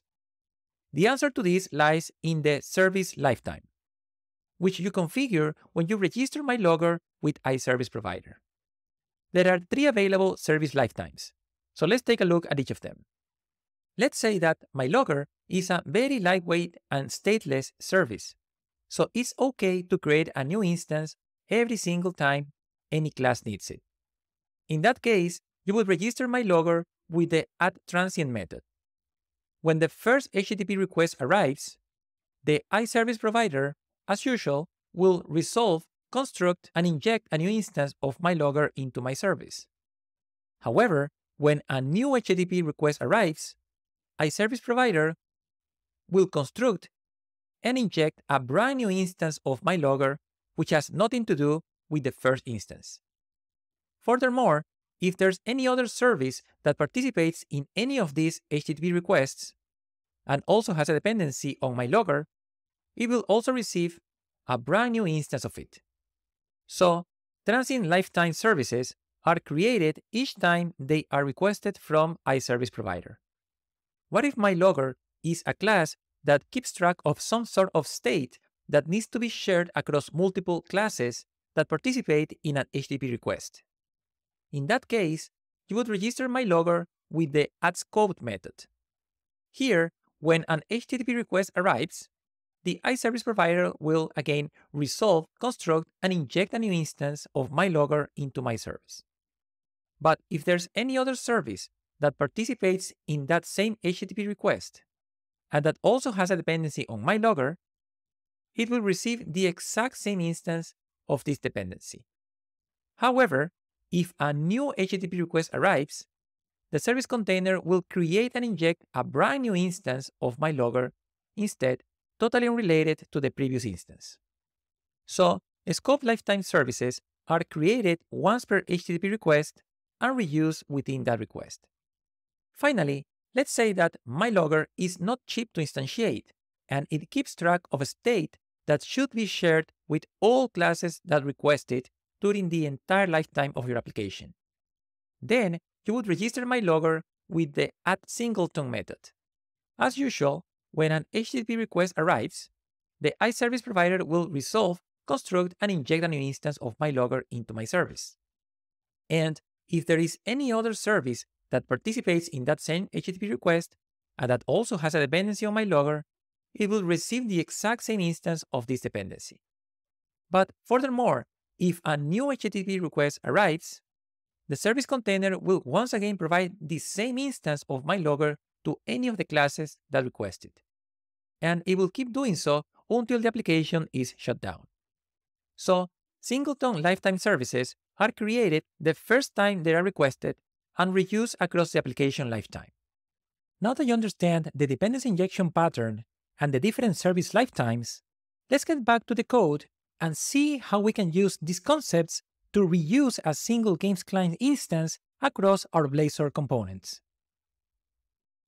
With our new understanding of dependency injection and service lifetimes, let's see if we can fix our Blazor frontend so that each of the games that we create in the edit component actually become part of the list that we are showing in our home component. So let's understand better what's going on uh, currently. So here we are in the home component. And what I'm going to do is go down into our code section where we are populating our games list right here, right? So here I'm going to just place a breakpoint right there. And let's do the same thing into edit game where, well, we actually already have a breakpoint at line 65, which is where we add a game, right, into the game screen. So now let's go ahead and start a debugging session. So I'm going to do Control J, uh, is currently in a .NET Watch session. I'm going to do Control C to stop the .NET Watch. I'm going to close this and I'm going to do F5 to actually start the debugger. Right, so debugger started. And now let's go back into our front end. And let's see what happens when I go to new game. So let's go to new game. And then let's enter something, right? So Super Mario 3. And then, uh, yeah, we said kids and family, 999, and just the current day. So I click on save.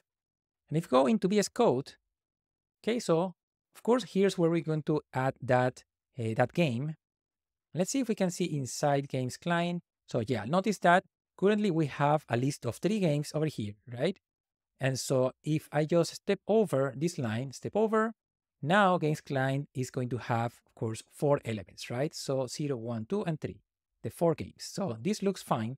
And now we're going to navigate back into the home component, right? So I'm going to hit play. And never mind this exception. This is totally normal uh, currently. Uh, let me collapse this so you can see better. This is a normal navigation exception that happens when you go from one page into another page. And it's more evident when you're not doing asynchronous programming. So this is fine. So I'm going to just hit uh, continue. And now we're back into home.razor, right? And in the on initialize because we are initializing the home component at this point. However, if I look into client here, you're going to notice that games only has three elements, right? Where is the fourth element? Why is it not there? Well, the reason is because notice that we are defining one instance of the games client right here in home.razor. We are creating an instance and in edit game.razor, we are declaring, well, another instance, games client over here. So the instances that we're using in each component are different. And because of that, we are never going to be able to actually reuse the instance that we need that has all the data from one component to the other. So this is never going to work, right? So let me hit play. And then, well, as expected, if we go back here, it, it is not going to be there. So here is where we want to start using the dependency injection pattern so that we can reuse the same instance of that game client across the multiple components, right? And so we have already actually looked at how to use dependency injection uh, in, a, in, in one place already. So let me actually stop this, stop this, and so if you remember, we are doing it in edit game all the way here. We are doing it for the navigation manager, right? Like I said, navigation manager is getting registered in program CS when we do add razor components. So underneath, this is adding services, including that navigation manager so that we can use it in edit game. But now what we want to do is to register our own game client via dependency injection, right? So how to do that? So all we have to do, and let's start with home.razor, right? So home.razor, let's go all the way up.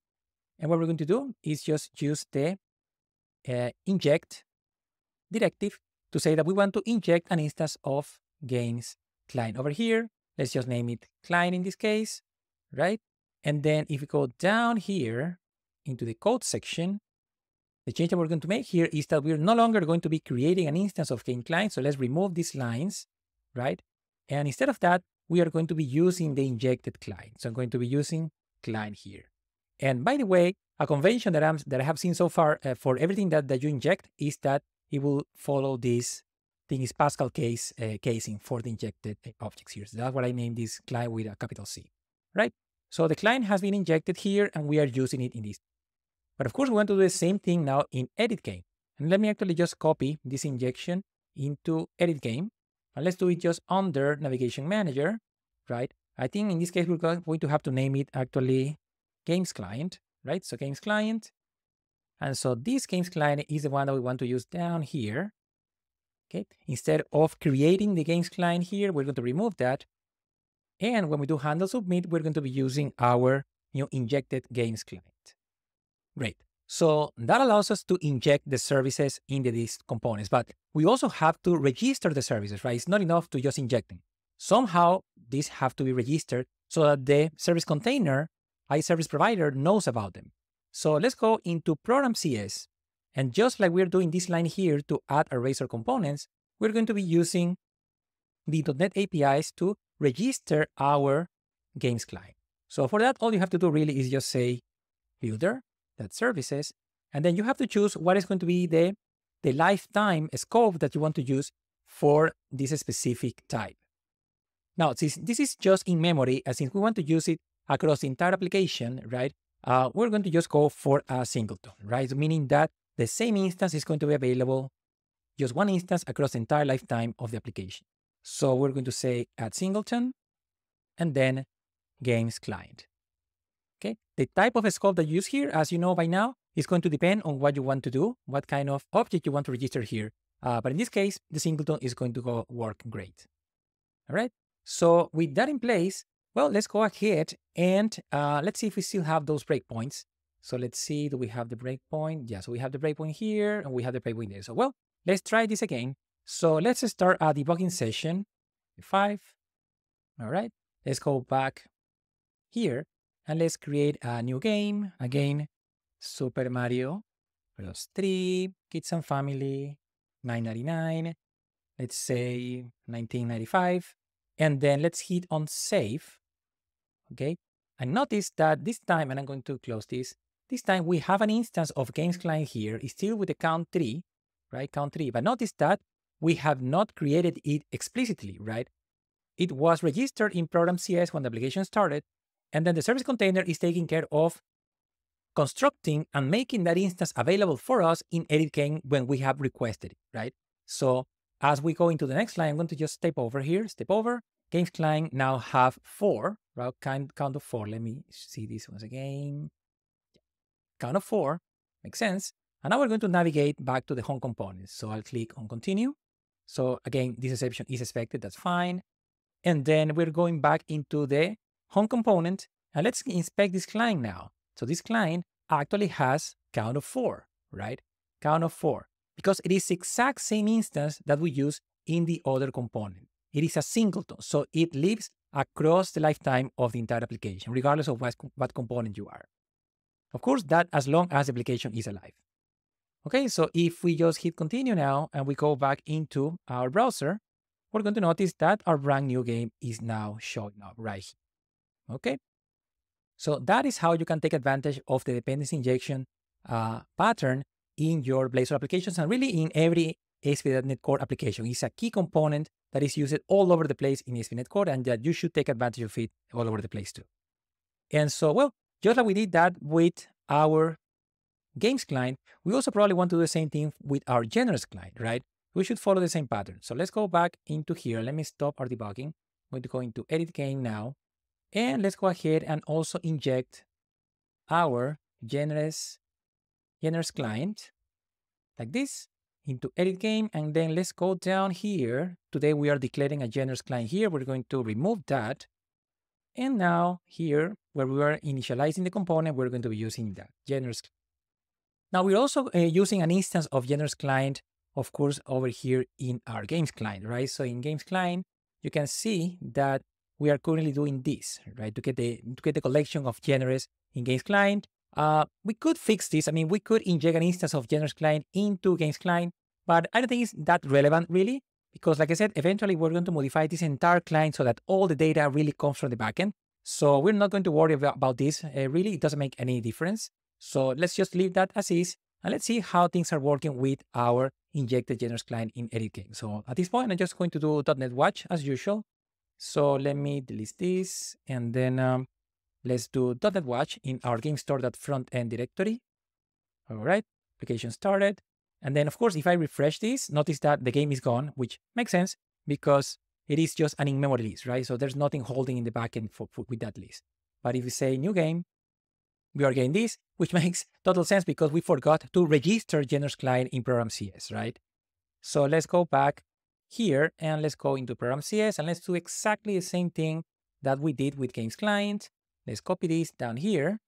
It's going to say genres client, right? Genres client. And then we may need to restart our .NET Watch uh, session here because like I said, it can get a little bit confused when we just start playing with injected services. So let me start .NET Watch once again. All right. So let's go back into our browser over here. So back to the home. Now let's go to new game. Notice that this is working properly. We can see all the genres here, right?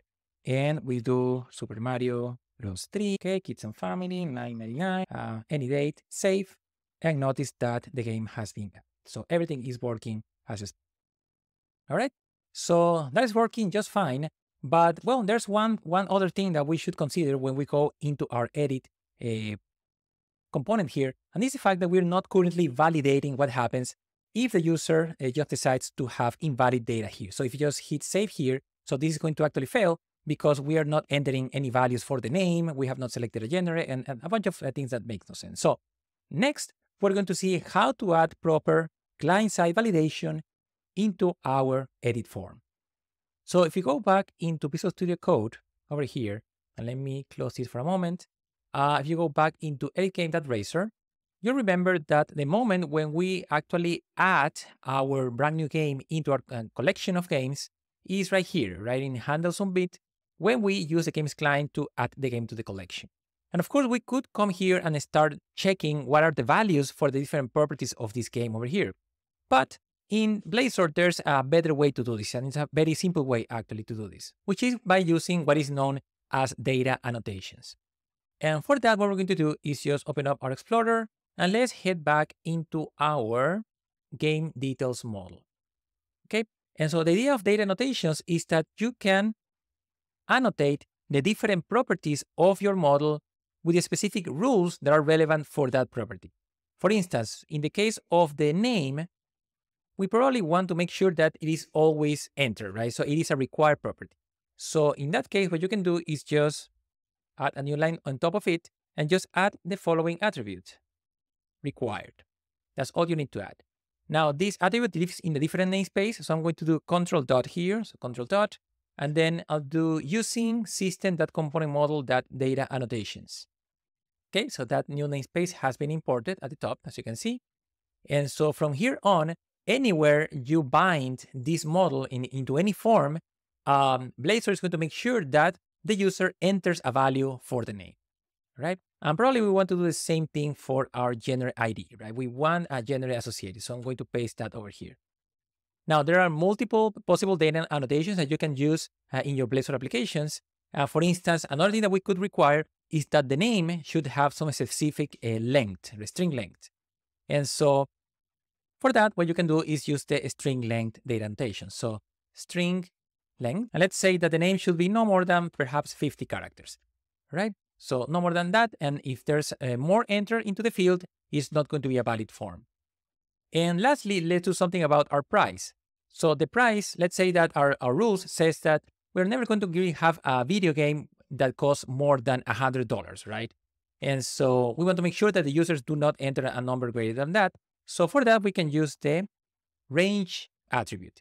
So what we can do here is to enter what is going to be the range that is uh, valid or allowed for this property. In this case, of course, we don't want negative numbers either or even a zero. So there's not going to be free games. So the range is going to be from 1 and into 100, right? So that defines what is going to be the valid range for the price.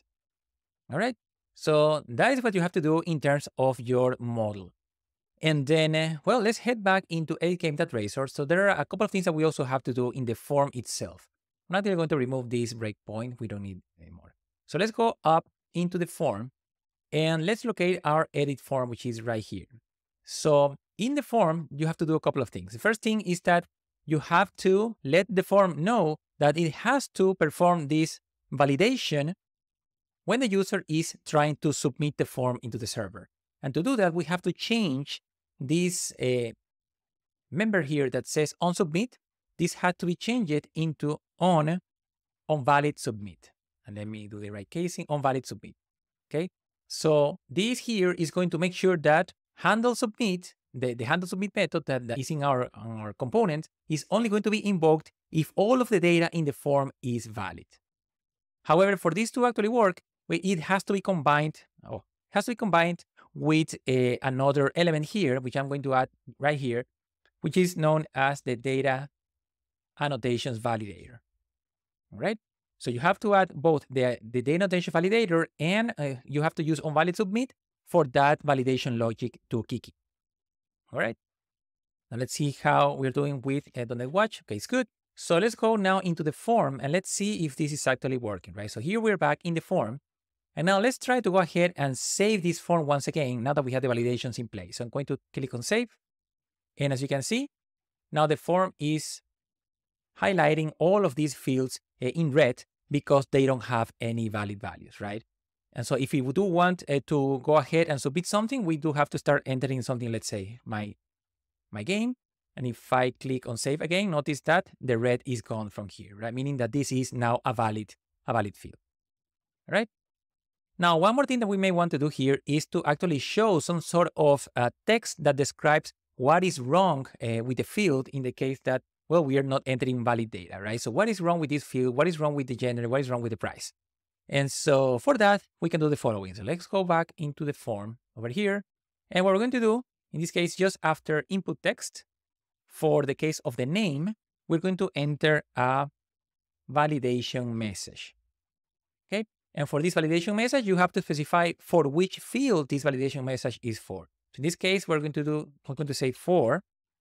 And here you want to use, you want to use a lambda expression like this, and this is going to be for game.name.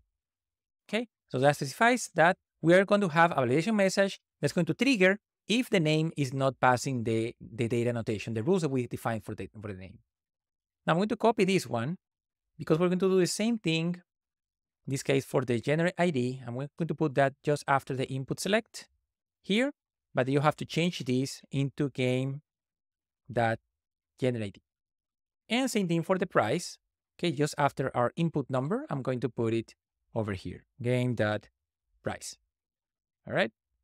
Now in this case, uh, Blazor is alerting us that, yeah, this change was just too much. So do we want to restart the app? I'm going to say A for always. So that's, that's fine. Okay, so the app is going to restart now. All right, so restart it. And so now I'm going to go back into our form. Okay, and perhaps let's see if we can, yeah, it's refreshed.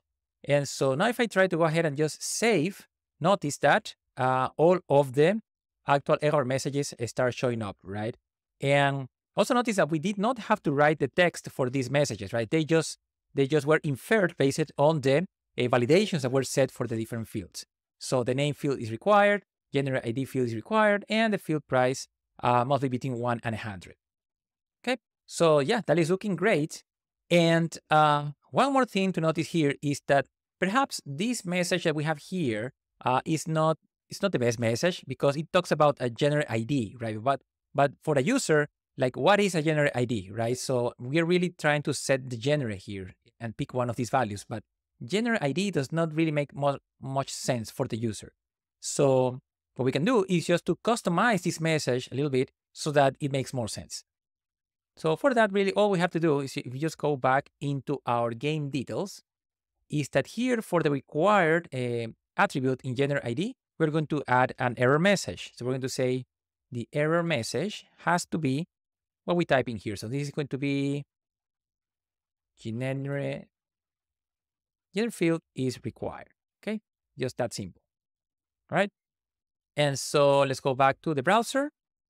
And then if we now try to save this, yeah, looks like it is not just not working. So this has to be .NET Watch. That's not catching up with the changes. So I'm going to do stop and restart .NET Watch. All right. And so let's refresh the page. I'll do continue. And so sure enough, now the message is correct, right? So the genre field is required. That's what I was saying that .NET Watch sometimes may not work as expected. So, so keep an eye on that. Uh, so yeah, so now we have the right uh, message over there.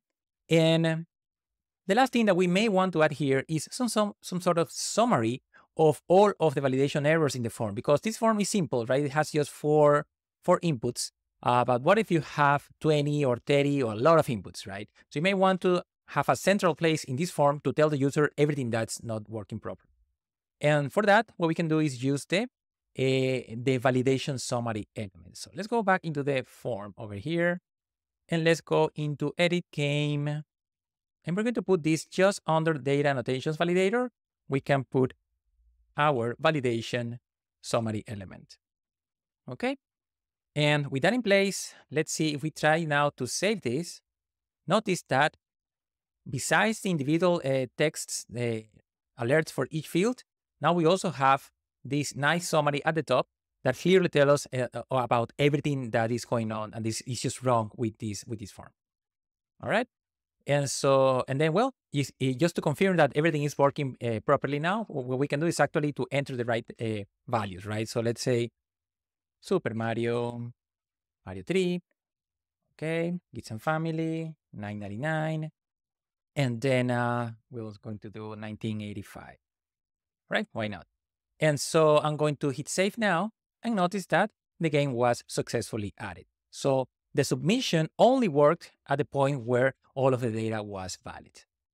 Okay, so with that, uh, I think we have our creation or game creation experience in good shape. And what we want to look at next is on how we can enable editing one of these existing games uh, also in the same Blazor form. The first thing that we need to figure out is how to open up our editing form with some data already populated, right, for the specified game. And the first step towards that is going to be to work uh, once again in our game client so we can retrieve the details of one specific game. So let's go back into VS Code And at this time, we're going to work with our games client. So let me close a few other tabs so, so that this is not so much crowded. All right, so games client. What I want to do is to add a brand new method here that based on a game ID, it can return the game details for that game ID. All right, so we're going to go all the way to the end. And let's define this method as public game details get game in ID. Okay, so to find uh, the, the game itself, is it should be pretty straightforward. So all we have to do is just say var game equals games. We can use the find method in the collection, find. And for find, we're going to say that we want the game where game.id equals the ID that was passed in, right? Now, the next thing that we're going to need is the genre that corresponds to this game. Because remember that this one here is going to be a game summary object. And the game summary does not have the genre ID. And we do need to return genre ID as part of the of the game details uh, back to the to the caller. So for that, what we're going to do is the following. So genre is genres that in this case we're going to be using single. And we're going to say that we want the genre that matches the name of the genre of the found game, right? So it's going to be string that equals, and we're going to use equals because it is uh, easier to do a case insensitive comparison by using the equals method here. So genre that name is going to be compared to game that genre. And we also want to specify here our string comparison ordinal ignore case. All right, and perhaps I, I should do this in a next line. So let me do this so we can see better. There.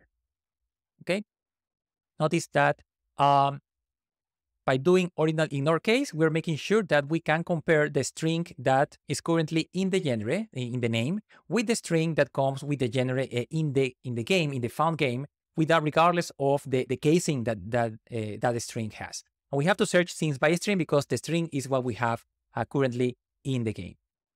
Also, we are not using find here in this case because genres is a simple uh, a simple array, right? So it's an array of uh, genres as opposed to games, which is a proper list, right? So for the array, really what we want to do in this case, we could use single, we could use first or first or default, but I mean, we are pretty much sure that there has to be a genre that matches this string in this uh, in this array. So that's why we're saying single. And if we cannot find it, this is going to throw an exception, of course, which should really never happen.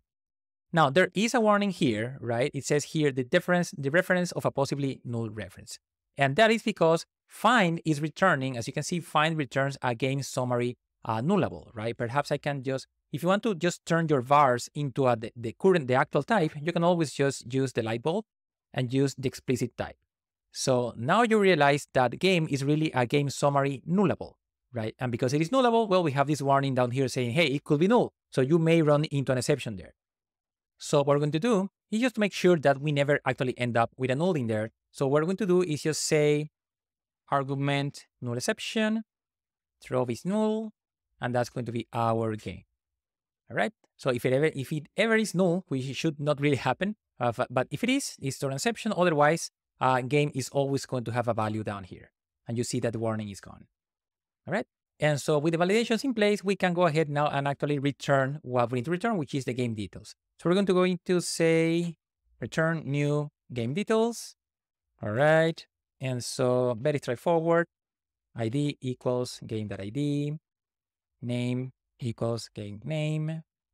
Now for the genre ID, we can now use our found genre object here ID. And I remember that this, this one is a string, so we have to do two string over here. Price is the game.price and release date is game release date. Okay. And yeah, that's pretty much what we have to, uh, to do for this method. And I mean, yeah, I mean, bear with me. I know that this this logic is, is not great uh, to have to do this kind of search by string here. Uh, but uh, sure enough, we are going to be switching away from this logic uh, pretty soon as we move into talking to the backend. But for now, this is going to be good enough for us to refine what we want to do in our Razor components, which is the point of, of this part of the course. Okay, so our games client is ready. And now we have to switch our attention into edit game.razor, where we want to make a few changes to allow for editing our games. The first thing is that uh, in this form, now we have to introduce the ability to be able to receive parameters, right?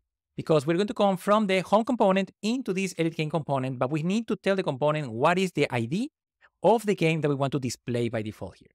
So for that, we're going to go all the way to the top. And remember that we have this page directive at the top, right? I'm going to separate it perhaps like that.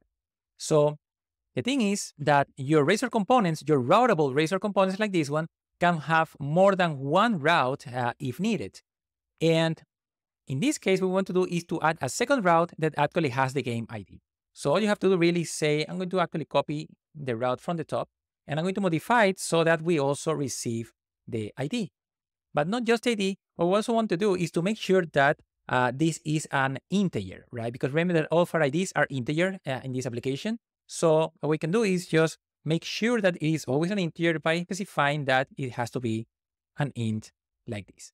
Okay, so that's a way to prevent the client or the browser to send from sending us anything that is not going to be a, an integer. That's great. Now, if you're going to be receiving the ID like, like this, well, we have to capture it somewhere, right? So that is why we're going to go down into our code section. And perhaps at the top here of the code section, we're going to be adding uh, our int ID. So I'm going to say public int. It's going to be the ID. I'm going to be uh, going to have a getter and a setter. Now, as, as everything else in these Razor components, uh, it may be null when the component is just getting created, but eventually it's going to receive the value for the ID, right, from the parameter.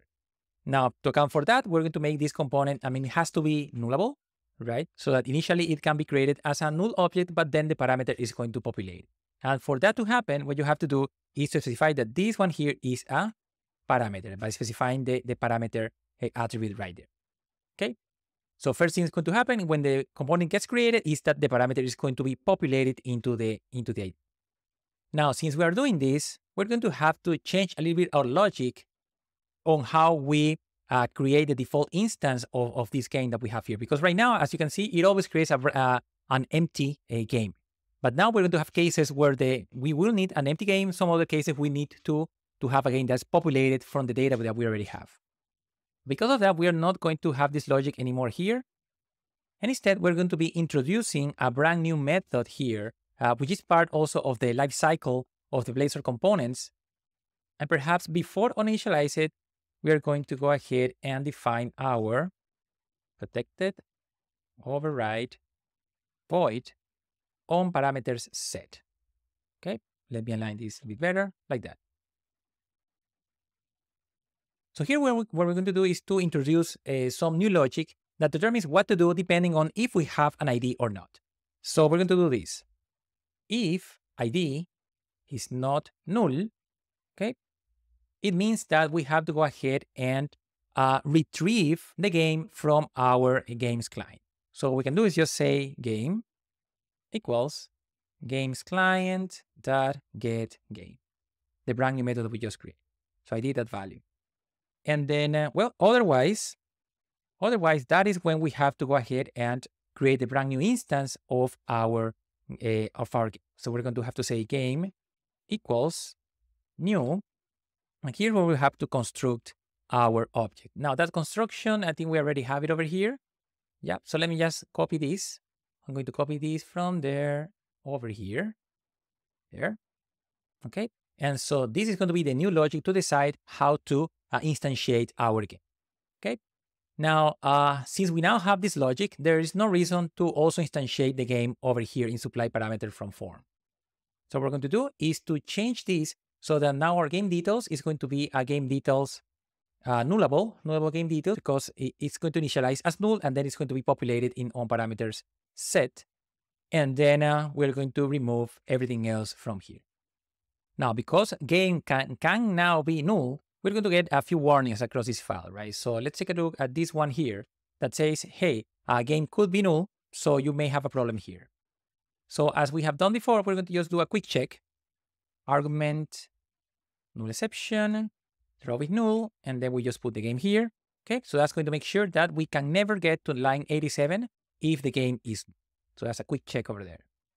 Now, one more thing that we have to check here, if we go all the way up here, right, is that when we're trying to use the game now in the form, now the game could be nullable too. So what we're going to do is to go up here into our uh, if and say that we don't want to just check for genres is null, but also or game is null. In both cases, we're going to be just displaying the loading, right? And otherwise, we proceed to render the form. And notice that there are no more warnings over here. Now, one last thing that we need to account for over here, which is not very obvious, is on parameter set. And it is that we need to know if we are on a point where the user has already submitted the form so that we can go ahead and, uh, and save the game. And the thing is that on parameter set is going to be uh, invoked both the very first time that you go into the form so that the user starts entering the data, but also it's going to be invoked when the user sends the data or submits the data uh, into the server. So if we keep the logic as it is right now, and the user submits the game, we're going to right away, immediately, just destroy what the user entered by either doing this logic here or this logic here, right? This method is going to be invoked before we get to handle submit, right? So that logic is not going to work. And it's, it's something that is not very obvious, uh, I know, uh, but it's actually very easy to control. What we're going to say is that, well, you know, if game is not null, right? So if the game is not null, it means that uh, it means that it was uh, posted, right? Posted by the user because we're using, remember, supply parameter from form. So it came from the form. So the game is not null. So if it is not null, it means that there is no need to load or to prepare a new instance of the game. We just have to uh, let it get submitted. So we're just going to, going to say here, return. There's nothing else to do here. Okay, so that will let uh, the logic continue into our handle submit, and the game is going to be added to the collection. All right. And well, with that in place, I think we're ready to test this out. Uh, we have a couple of, uh, well, one more change to do, but let's test this out and see how it goes. And so, yeah, so hot reload is asking us to restart the application. So I'm going to say A. So yeah, go ahead and restart it. All right. Let's go back to our browser over here. Perhaps I'm going to refresh this. Yeah, so we're fresh. So now if I go to new game, so uh, yeah, it works as expected. So it's just an empty form. But what I can do now is to actually specify that I want to load one specific game. So if you go click cancel, remember that we have games with ID 1, 2, and 3, right? So I can go to my edit game form and now say slash perhaps 1, right? Slash 1. And notice that immediately it loads all of the details for our first game, right? Street Fighter, here's the genre, the price, and even the release date. Everything is loaded because we're using the new route that we specified for our form. And furthermore, I could go ahead and change this ID, let's say ID 2, and now we're looking at a different with all the details loaded. So yeah, so that logic is working great. And well, one last thing that we may want to do here is to, uh, well, do something about the form title, right? Because notice that it says new game. Over here, it just says new game, even when we're editing an existing. So what can we do so that perhaps we can show here that we are editing some specific game as opposed to say new game? So that's actually very straightforward to do by combining C Sharp with a little bit of HTML. So let's go back into our form over here. Let's collapse this. And what we can do is to introduce a brand new variable over here. Perhaps after the definition of genres in the code section, we're going to define our private string title. Okay. And it, that's going to be initialized with string.empty. Okay. It's just going to be an empty title. But what we're going to do is uh, to use our logic in on parameter set, we're going to expand this logic a little bit so that in the case where we are able to find the game, we're going to say, well, we're going to say that the title is going to be perhaps, we're going to, use a little bit of string interpolation here, is going to say edit game dot name, right? So it says edit Street Fighter 2 or edit Final Fantasy 14, something like that. If the game is known. Otherwise, we're going to go into the other uh, section. We're going to say that title should be just, set a new line, title should be perhaps new game. All right. So now this is a, a dynamic variable that will change according to what we have in the form. And so finally, we have to take advantage of this variable somewhere in the HTML, right? And that somewhere is just going to be up here for our page title and our H3. We're just going to go ahead and replace this with add title, right? Add title, and then uh, add title over here. So now, and let me just check quick on hot reloads, working great. So if you go back into our form, you're going to notice that, I mean, right away, the title changed, right? So now it says editing Final Fantasy 14. So because we're loading that game. If I change game back to perhaps game one, now it says, well, editing Street Fighter 2, right? Which is great. If I say cancel and I say new game, now it once again, it says new game. So yeah, all the logic is working uh, as expected. So yeah, so this is working great. And then of course, what we have to do next is to figure out where how we're going to be submitting that those changes back to the server. Because if you just hit cancel and we go, let's go, let's say that we go actually to game number one, and we say Street Fighter 2.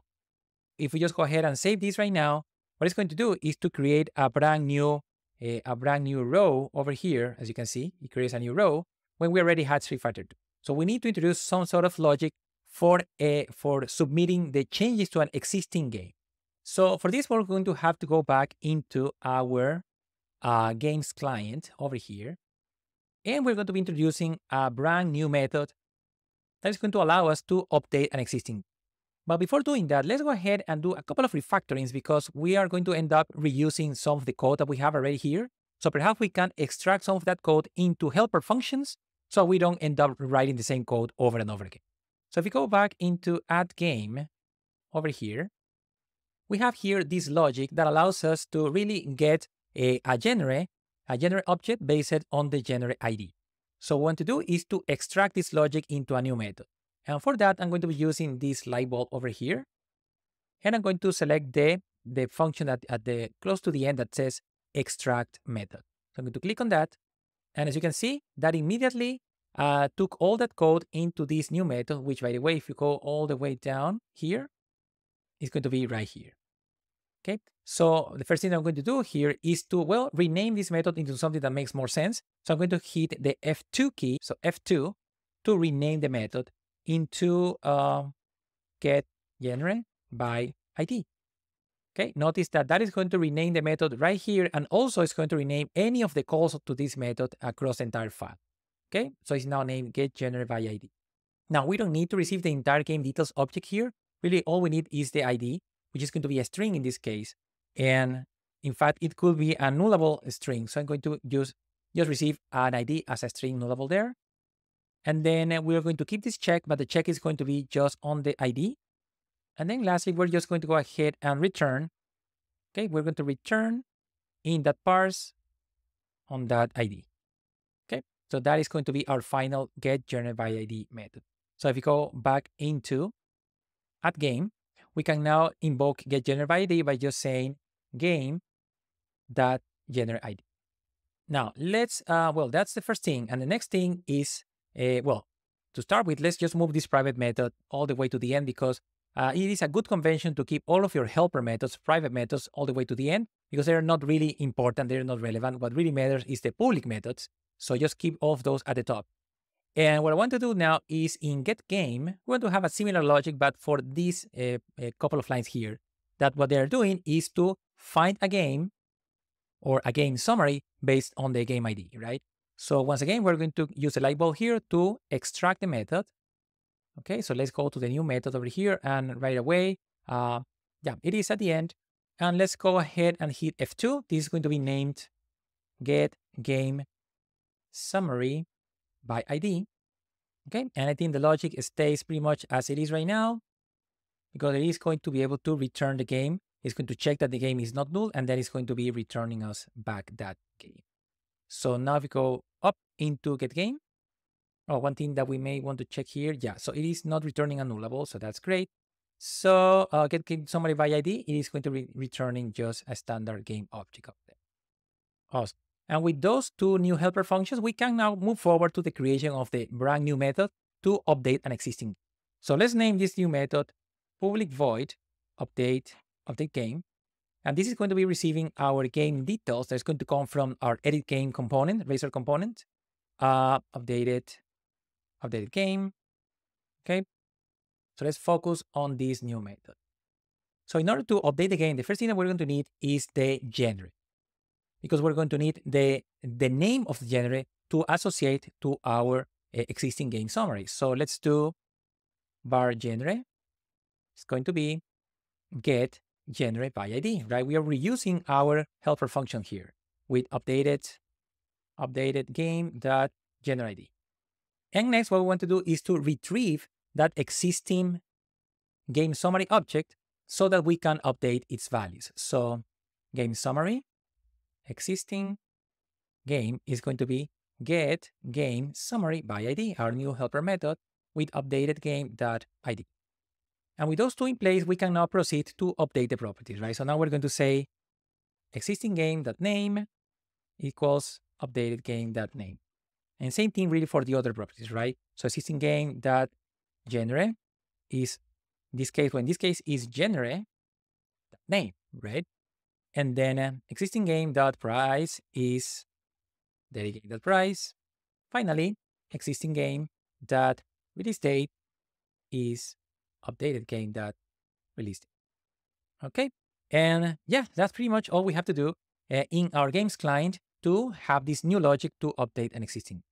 So now it is time to go back to our edit game component and add the logic that is needed to use this new uh, method in games client. So what I want to do is to go into the code section into our handle submit method over here. And we want to do the following. So we're going to open up a section here and we're going to say that, well, if the ID is null, it means that, well, we're trying to create a brand new game, right? So in that case, we're going to grab this logic that we have already. We're going to put it right here for the case where the ID is null. Otherwise, otherwise, here is where we have to update an existing game. So we're going to say games client dot update game with the game that has been passed in.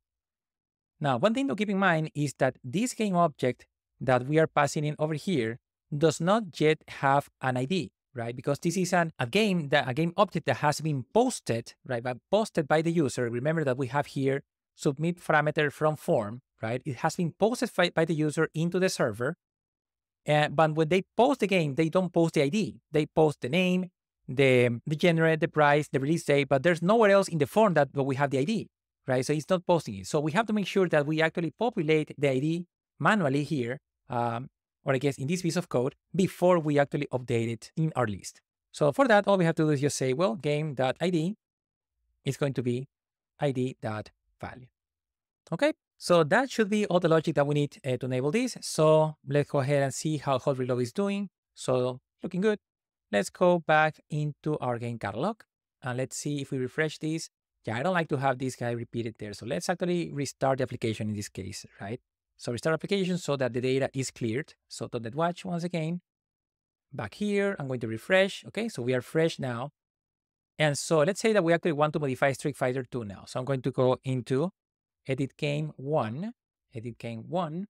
And so now we're going to say that this is a Street Fighter 2 Turbo okay? And that the price is going to be 9.99 or 9.97 let's say. And uh yeah that's how it is. I'm going to hit save. And well this time it actually worked right? So street fighter 2 turbo and then the price is 9.97 there's no repetition right? The existing game has been modified. So yeah so that is working great. Awesome and uh, of course, the next thing that we want to do here is to, well, somehow introduce some sort of UI into this table so that we don't have to be playing with the browser uh, address bar all the time, right? Just to go and edit it again. So next, we're going to see how to add an edit button into this table here so that you can jump into editing a specific. Now that button is going to live over here in this uh, last column, right? So we're going to want to have some way to display a button for each of these rows. And just to make it look nicer, we're not going to be using just a standard button. We want to use kind of an icon to represent the act of editing. So how do we introduce an icon into this table here? Well, what we can do is to actually extend the, our use of Bootstrap to also use Bootstrap icons, right? So if you go back into the Bootstrap page over here, you're going to notice that there is actually a section for icons. So Bootstrap also provides you a series of icons that you can use uh, to represent different actions in your application, right? As you can see, it's a, there's a very long list of icons over here that you can choose and you can easily just incorporate into your application. Now, how do we start using these icons? If we go almost to the top, uh, if you just click on this install uh, link over there, so click on install, you're going to go into this section. And as you can see, there are a few ways to install the buttons into your application. In my case, I'm just going to be using the CDN to keep things simple. Uh, that's going to provide me a link that's going to uh, immediately make the buttons available to my application. So I'm just going to click copy to clipboard over here. And I'm going to go back into our VS Code instance. So where do you think we're going to be adding this style sheet for the buttons? Uh, well, in the same place where we have been putting uh, all of these CSS, JavaScript, and stuff like that, that will be in our app.razor file over here. Okay, so we scroll a little bit up. Remember that here's where we define the main layout for the HTML for our page, right? And so we have the import for two style sheets here. We also, also have the import for Bootstrap over here. And so right here under this is where we're going to just go ahead and paste uh, this new style sheet that includes all of those Bootstrap icons. Okay, and so as you can see, it's just a bunch of CSS, right, that we can, that we can take advantage of in our application. And now that we have that, we can just go back into Edit Game. Sorry, we can go back into our home component actually, home component, like that. And let me close this other one so we don't get confused. And we want to go into the location where we render our rows, right? So it's going to be over here. Here's our for each. And of course, here is a section that we have prepared uh, to introduce our uh, button actions. And we're going to start by adding a new div here. Okay, it's going to be a div. And inside this div, we're going to add just an anchor. Okay, it's going to be an anchor that we want to style, right? So let's go ahead and do, let's class, and then uh, we are going to make it look like a button, right? So like we have done so far with other buttons in Bootstrap. And perhaps since we are here, we may want to also add a little bit of spacing. So with ME2, a little bit of spacing on the right side of the button, because we're going to have another button coming on uh, later on for deletion, right? So might as well just add that spacing right now. Now, the next thing is that we're going to make this anchor act or, or show as a button. So let's do role equals button. And uh, inside this button is where we want to use our icon, right? Now, what icon we want to use here? So if we go back into Bootstrap, uh, the icon that I like to use for this is actually a pencil, right? So let me see, let's go up a little bit. Let me see if we have some sort of search here. Okay, so let me type pencil. Okay, as you can see, there are three variations of pencil that we could use here. So let's say we want to use uh, this one, the first one, pencil over here. Okay, so how do we use it? Well, it is actually right here. So you see, this is the code that you have to add to render your pencil. So I'm just going to copy this and back to VS Code. I'm going to paste that over here. So if I now go back into our page and let me just check on, yeah, hot reload. Let's go back into our page and perhaps we refresh this. You're going to see that, well, the, the, well, the button is right there, as you can see. We have now an edit button right there and we didn't have to do much to uh, make it look like, like a nice icon for editing. Okay, so yeah, so that is great. Uh, but of course, this button is not doing anything right now, right? So we need to tell the button where is that we want to go when we click on the button. So for that, let's go back into VS Code. And what we want to do is to provide uh, the location where we want to navigate. And usually for an anchor, what you would do is just do an href, right? So it's going to be an href. And here's where we're going to put the location. However, that location is going to be a little bit dynamic, right? You, we know that we have to go into slash edit game and slash the ID of the game. But for that, we're going to have to calculate what is going to be that URL, right? It's not static and it's going to depend on the game. Because of that, I think one nice way to do this is to actually define a function in our code section. I'm going to remove this breakpoint. In our code section, I'm going to define a function that's going to return the URL that we want to navigate into. Okay, so let's go ahead and define a private static and static because we're not going to be using any instance variable in this in this function. It's going to be a string. Let's name it game URL.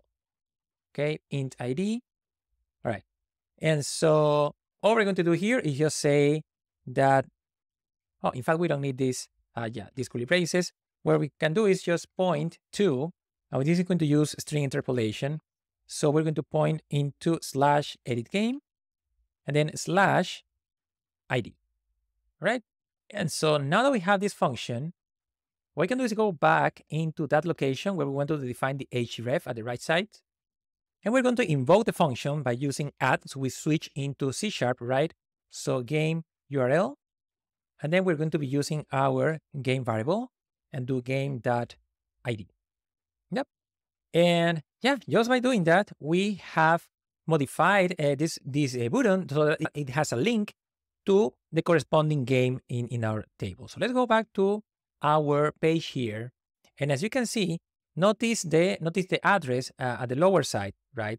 So notice the address over here. So by, by just selecting one of these buttons, that address is now changing because the button is now clickable. So if I click on the second button here, notice that we browse immediately into the Final Fantasy 14. Click on cancel and I click on the last one. Now we are in FIFA 23 and so and so, right? So just by doing that, we have enabled a very nice experience that allows us to uh, navigate into any of these uh, So yeah, that completes our editing experience. And of course, what comes next is that we want to figure out a way to also allow our users to delete one of these games. So next, we're going to see how to introduce this delete experience. And what we want to do is to once again add one more button over here in our actions column that is going to allow us to, well, delete the game that the user uh, chooses. So the idea is that the user is going to click on the button and we're going to have some sort of dialog show up over here that is going to say, hey, do you actually want to delete this game? Yes or no, right? And that is what is going to allow us to delete the game. And so as with everything else, we're going to be developing a brand new component that is going to be the one that's going to represent this delete dialog. So let's go back into Visual Studio Code. And what we're going to do is just, well, open up our Explorer. Let's go into Solution Explorer. And perhaps let's close all the tabs here and let's go into our component section. And I'm going to right click on pages. I'm going to say add new file. I'm going to add Razor component. And let's name this one delete. All right. So like I said, this component is going to be a, pretty much a dialog, a pop-up dialog. But how do we represent these dialogs on Bootstrap? And so just so that we don't have to reinvent the wheel, we're going to just go back into Bootstrap, the Bootstrap documentation, right? And in on the left side, if you keep looking, you're going to find this model dialog section. And this is under the component section. You're going to find the model. So the model is a built-in element in Bootstrap. And so really all you have to do is to learn how to make it work and just combine it with your Blazor application. So what I'm going to do is just scroll down into this section that says live demo. And I'm going to copy, I mean, you can actually see a demo of this so you can see, click on the button and then you get this model here. So this is exactly experience that we want to show uh, in our uh, in our application, right? And so, so to start, we're going to copy this section here that represents the model, right? So let's just copy this and let's go back into VS Code and we're going to just replace this delete game with the code that we just got, right? We're going to leave the code section down there, but the rest is replaced by, by, by we just copied. Okay, so we are going to keep most of this dialog and you are going to notice that we have a few sections here, right? So we have, uh, so here's the model dialog, we have the content, then we have a header. This is a header section. Then we have a body section, and then we have a footer. Now for our model, we, since all it's going to say is that, well, do you want to delete a game one, two, three? and then uh, just a couple of buttons. We don't really need a body for that. We can just use the title and the footer. So I'm going to get rid of the body. We're not going to be using the body. Now, the key thing about this uh, model dialog is that we don't just need one of these. We're going to need one of these dialogs for each of the games that we have in our game list, right? And each of these dialogs have to have a unique identifier. So, of course, the identifier is going to be tied to the game that we want to delete. So because of that, we're going to add a little bit of code here to have a good way to get an ID for the current model. So the first thing that we're going to need, of course, is to, well, know what is the game to delete. So and for that, we're going to be using a parameter, just like we did before. So we're going to add our public, and this is going to be a game summary, going to be nullable. Let's name it just game, and we're going to add the getter and the setter All right, And this is going to be our parameter, right? So whoever invokes this component has to pass in the actual game. Great. And the next thing that we're going to do is to introduce a function that based on the pass-in game is going to provide the ID for the, for the model that we have just opened. So let's scroll down a little bit and let's go ahead and declare our public static string get model ID. So we're going to pass in the game, the game summary instance, which is going to be nullable. Right. And then we are passing in actually a parameter here as opposed to just using uh, the, the, the, the one instance that got assigned into the parameter, because you're going to see that later we have to use this function, this public function, we're going to be using it directly from another component, right? So we need this to be a public function that's going to be reused across two components. Now, uh, what do we do here? Well, first thing, let's just go ahead and uh, make sure that, I mean, we check that the game is an instance, it is not null. So throw if null game, right? Just to avoid any nasty warnings. And then what we're going to do is the following. We're going to return, and this is going to be string interpolation. We're going to do, let's name it delete model dash, and then we're going to use the game ID. So game.id. So this is going to represent the ID of the model that we are showing on screen. So now let's go up all the way to the top and notice that we have this ID section at the top there. So with our new function, what we're going to do is just replace this example model by switching to C Sharp here, and we're going to just invoke our get model ID function, and we're going to be passing in our game instance. So in the case of this delete game component, this game instance is the one that comes from the parameter. Look at that. Okay. And so when the component is getting rendered or is getting actually created, the parameter is going to come in, the game is going to be set, and it's going to be set for our model. And then we're going to be sending over that game into get model ID, and get model ID is going to provide us with the delete model. Okay, so that's great. Now, next, uh, we probably want to have uh, some text, perhaps over here, where it says model title. Perhaps we want to show there what is the game that we're trying to delete, right? Just so that the user can confirm this. So for that, let's go down once again into our code section and let's define our private string title. It's going to start as a string.empty. And we're going to be once again overriding our uh, OnParametersSet method. So protected override void OnParametersSet. And well, we're going to set that title is going to be string interpolation, delete game dot name. And this is going to be a question, right? So question mark, just like that. Okay, so that way we have a quick way of, of showing what is uh, the, the, the game that needs to be deleted. So now let's go ahead and use that new title variable. Well, where it says model title, we're just going to say title. All right, so that's most of what we need to code here. Uh, let's do a little bit more. So let's change these buttons over here. So this is the close button. So let's just rename this one. Since this is the secondary button, let's, let's actually call this cancel so that the user cancels. I don't want to delete it. And then the other one is going to be our actual delete button. Now, one thing that we're missing here in this delete button is this attribute data BS dismiss, uh, because this is the attribute that is understood by Bootstrap that will allow the model to get dismissed or to disappear after the user clicks on the button. Okay, so let's let's make sure that we also add that attribute over there so that clicking any of the buttons is going to get the model to just disappear. All right, so I think that's all we need for now in our uh, game component. Now, how do we use this component from our other component, our home component? So let's go back into home.razor. Okay, here we are, home.razor. I'm going to put it on the left side. And what we want to do is just, well, we are already in this. Here's the section where we are rendering each game. Remember, this is our for each. We have the columns. We have our first button over here. Here's our first button. And what we want to do, of course, is to add a second button over here.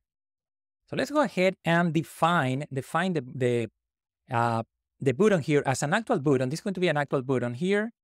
Let's give it the, the class is going to be btn uh, in this case, we're going to be using BTN uh, danger. So BTN danger is for a kind of a, a red button, right? Which means danger. And then there are two important attributes here that we want to use that uh, Bootstrap understands and that are specifically for the purposes of showing a model. The first one is data BS toggle, right? Which is going to make it so that this button is able to toggle a, a model dialog. And then there's another one, and I'm going to scroll a little bit to the right, it is data BS target, right? And perhaps I'm going to uh, send these things to the next slide so that we can see better. Data BS toggle and data BS target. Now we're going to see what do we need to put in data BS target in a moment, but for now, let me actually complete the definition of this button by actually adding, well, the, the button that we want to represent with an icon. Now, what icon we're going to use here? Well, let's just go back to Bootstrap, right? And so remember that we have this Bootstrap page where we can um, uh, search for icons. So let me just go back. I think, yeah, so this is, again, our Bootstrap icons page. We were looking for a pencil before. Let's see if we can look for perhaps an X to represent a, a deletion. Um, and yeah, I mean, yeah, this is going to show a lot of icons. And perhaps the one that we want to use is this one here, XLG uh, and a large X.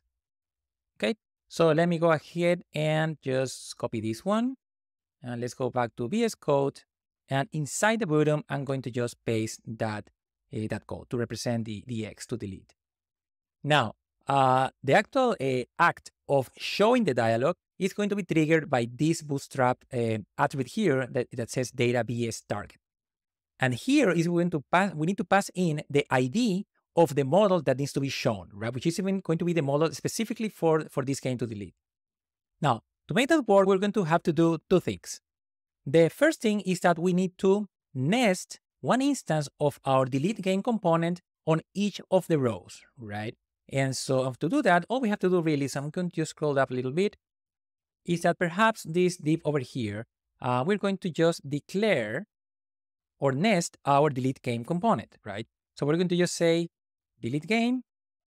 Okay, so that's the, our nested delete game component. And as we know, delete game receives a parameter, which is the game. So we're going to just pass in for the game parameter, we're going to pass in add game. Okay, so this should make it so that when we render each of our rows for each game, we're also going to be rendering the HTML for the delete game dialog. Now, don't worry because the dialog by default is not going to show, right? It's going to be kind of hidden uh, in, the, in the page. It is going to be there, but the user is not going to be able to see it. So what we want to do now is to introduce the logic to actually make the specific dialog show up when the user makes a click. And for that, like I said, we have to fill in the, the ID in data BS target. So since we already have a function over here, this get model ID function in a delete game, all we're going to do is to reuse that function from another small function we're going to be creating over here. So let me go, just go down here. And at the very end of our home.razor in the code section, we're going to introduce in the following function. So private string get delete model ID is going to receive the game summary game. And here, let me go down. Here we're going to just return and this is going to be a string interpolation. Uh, remember that in HTML, the way that you locate elements by ID is by using a pound. So we're going to be using a pound here. And now, inside these curly braces, we need to figure out what is the ID. And to do that, remember that we have this static function. It is static, so we don't need any instance of the delete game component to invoke this function. So what we can do is just say, well, delete game dot get model ID. And of course, we want to pass in the game object.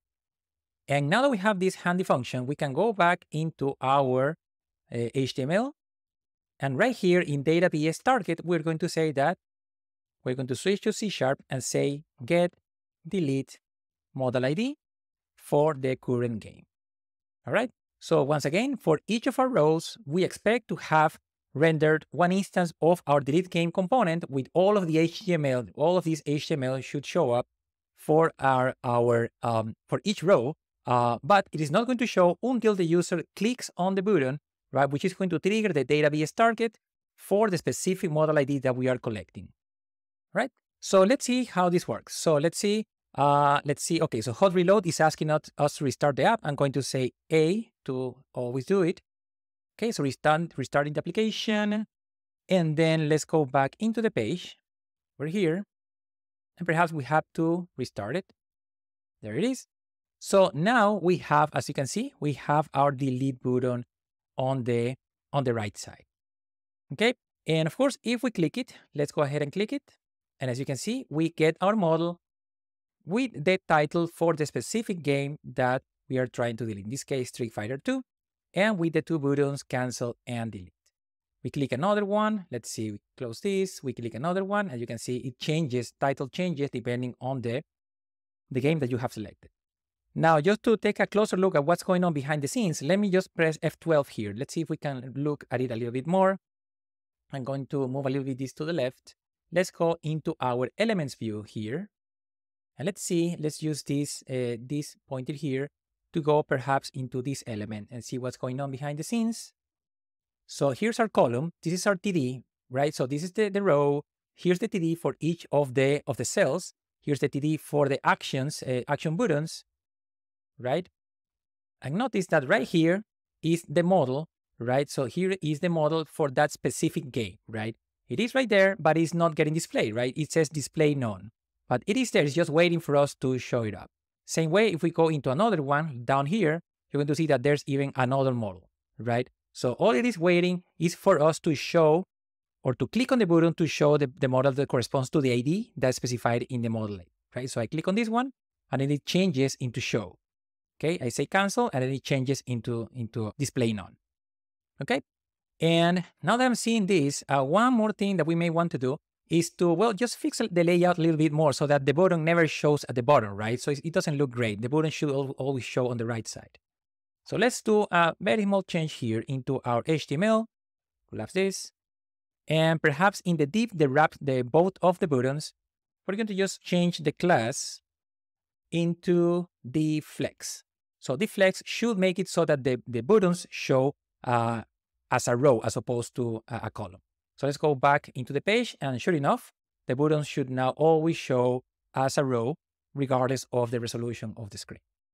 All right. And one last thing, if we click on one of these and we click on cancel, the model goes away. And if we click on delete, the model also goes away. Awesome. So the model is working great so far. And of course, what we want to do next is to actually introduce that delete logic so that the game is actually deleted. So, well, let's go back into VS Code.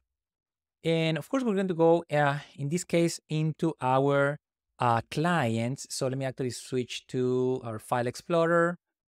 Let's go into our Games client over here. And just like uh, we have done for get, uh, create, and update, it is time to add a function for deletion. So just after update game, I'm going to add a brand new function here. So let's name it public void delete game int ID. Okay, so it receives the ID and then it's going to go ahead and delete the So let's scroll down this. Very simple function. All we're going to do is just say, well, var game equals get game summary by ID, right? Which is our helper function. Here's the ID. And then we're just going to say games.remove the game. All right, so that should go ahead and remove the game from our current list of games. Awesome. So now we have that function, what we want to do is to go back into our delete game component and uh, I will take advantage of the dependency injection pattern that's supported in Blazor so that we can get an instance both of the games client and also the navigation manager to complete our delete experience. So let's go ahead and inject our games client. It's going to be named just client. And let's also inject the navigation manager. Let's name it navigation man. Okay. And now what we want to do is to introduce a function in our code, perhaps uh, at the end, private void. All right. So this is a function that's going to take care of removing the item from the collection, right? So all we have to do is just say client dot delete game, and we're going to pass in our game dot ID. Now in this case, once again, uh, the compiler is complaining about uh, the, the variable. It could be null. And so we could do an argument null exception check uh, but in this case, we are absolutely sure that the game has to have been set, right? Because it came as a parameter. So what we can also do is just use the null forgiving operator, which is this exclamation mark like that. And that will make it so that the compiler really doesn't care. We are saying, hey, I know that it will have an instance. It's not going to be null, so just don't worry about it, right? So that's another way that you can handle this depending on the situation. And well, after deleting the game, what we probably want to do is to just refresh the data in the page in the home component so that it doesn't show the deleted game anymore. And for that, what we're going to do is just say navigation manager dot refresh. Remember that our delete game component is really part of the, I mean, it's nested into the home component. So by doing refresh, we should be able to refresh uh, everything in the, in the entire page uh, right away. Now, lastly, uh, we have to use this confirm method. We have to use it uh, in our primary button, our delete button on the HTML. So I'm going to go into our primary button, which I can see that uh, there's a lot going on there. So let me actually send things to the next line so we can see better.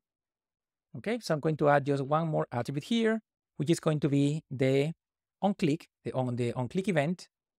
And we're going to say add confirm. Okay, so, so that should make it so that when we click the button, then our C sharp logic that is in confirm should go ahead and trigger and well, delete the game and then refresh the page. All right. So with that done, uh, let's check hot reload, should be fine. And so let's go ahead and get back into our page over here.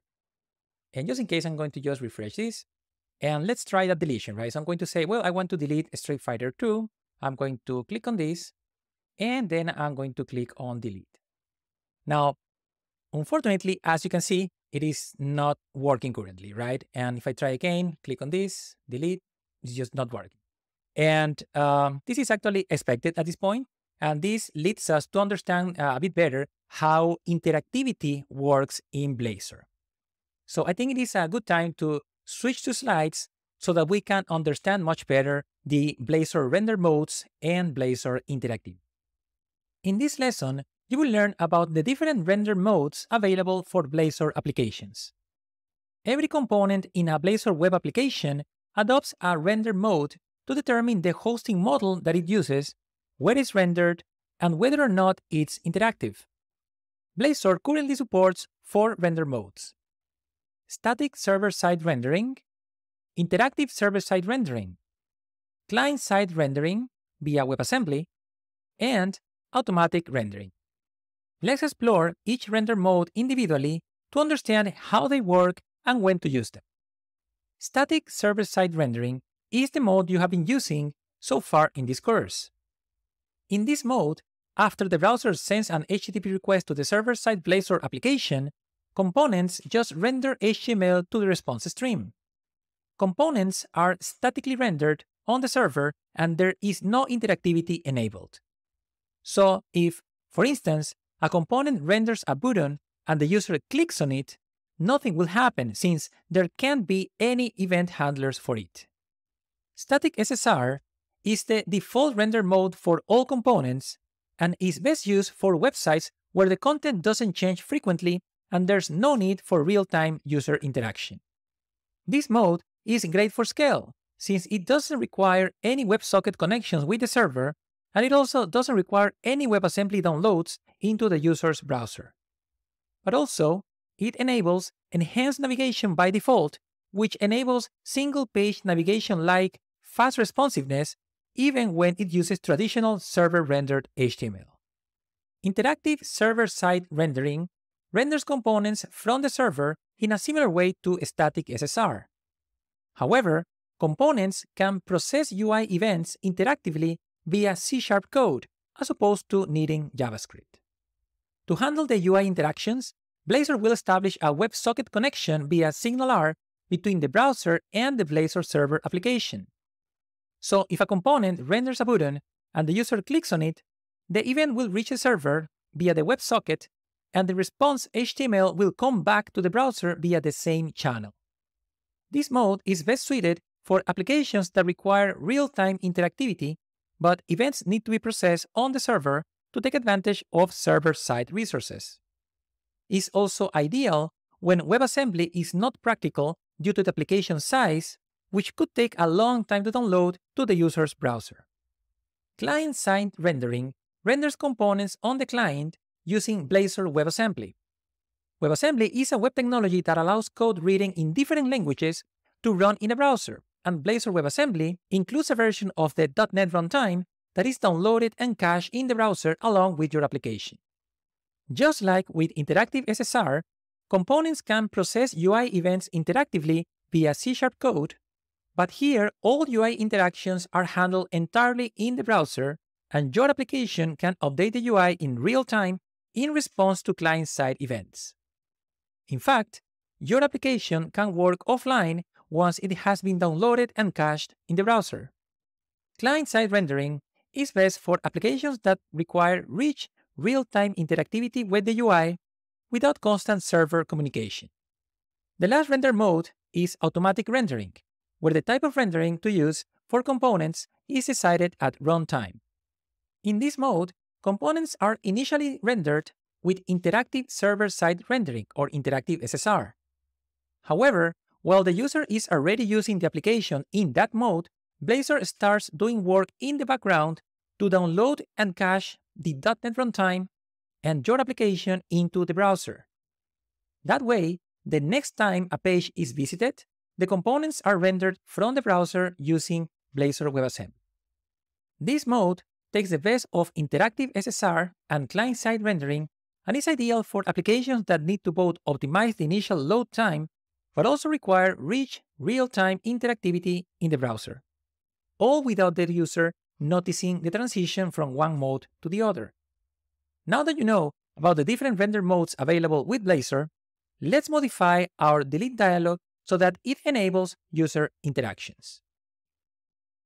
The reason why our delete dialog is not working properly is because we have been using the default static server-side rendering mode of Blazor. So when we go ahead and open the dialog, and then when we click on the delete button, there is not really any C-sharp code that can handle that event, that click event. So what we have to do is to enable a different render mode that allows us to have some sort of interactivity. And in this case, what we're going to do is to enable interactive server-side rendering. So let's see how to do that. Let's go back to Visual Studio Code. And the first thing that we have to do to enable this is to register the required services in Program.cs. So let's go back into Explorer and let's go into program.cs. Remember that this is the file where we register all of the services that are required by the application. And to enable interactive server-side rendering, we need to add two things to this file. The first thing is, well, in this line 7, after our call to add Razor components, we're going to have to add one more call, which is going to be dot add interactive server components, add interactive server components. So this is a service that is in charge of enabling all of the Razor components where we have enabled interactive server-side rendering. But also, we're going to have to go a little bit down here, all the way to, in this case, line 25, where we have map Razor components. We have to add one more call that is going to be add interactive server render mode, which is the line that is going to actually enable these, uh, these different uh, interactivity mode, right? Interactive server-side render.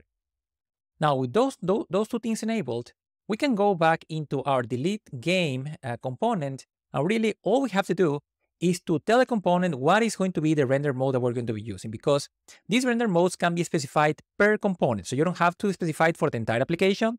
You can if you wanted to, but ideally you just specify render modes that are specific for each component. In this case, we do need lead game to be interactive, so we're going to say add render mode.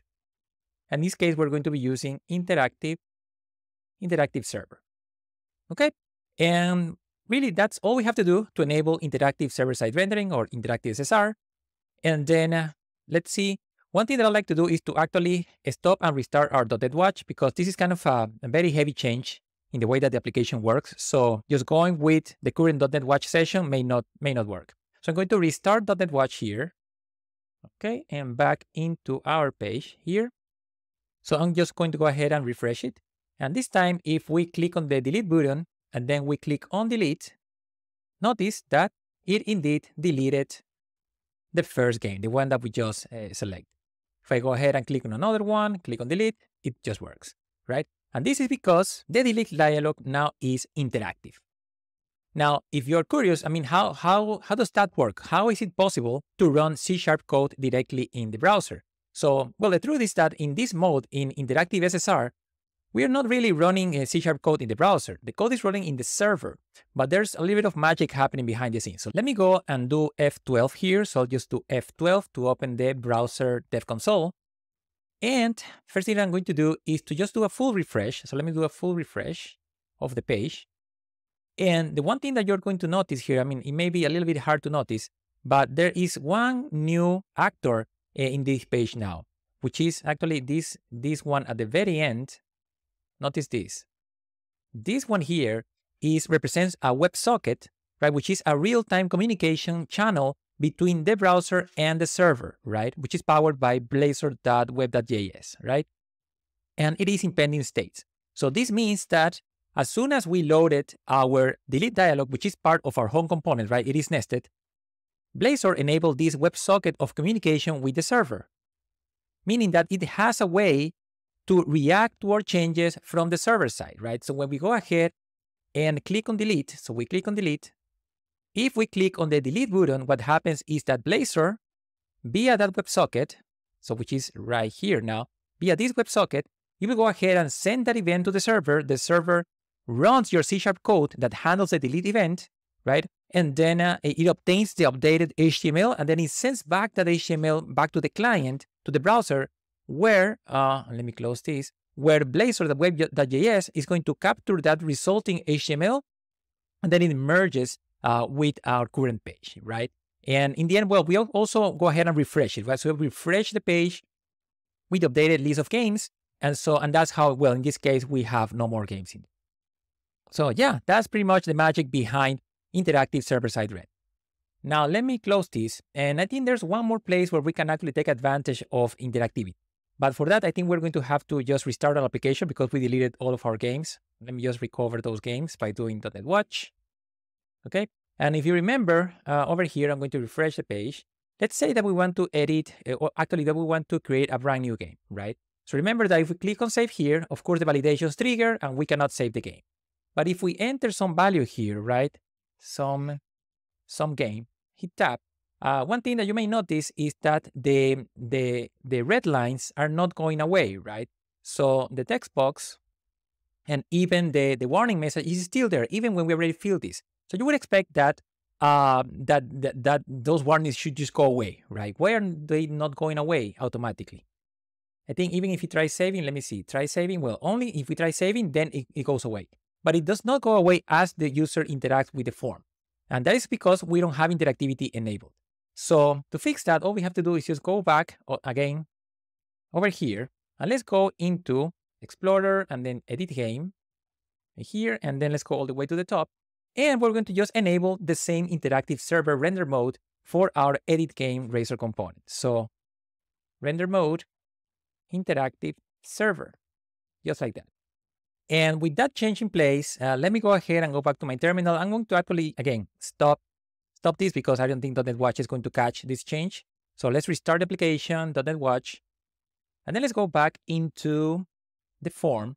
Uh, we may want to just out and get back in there. I'm going to even refresh this. So I'll try to save this. And of course, all the warnings kick in.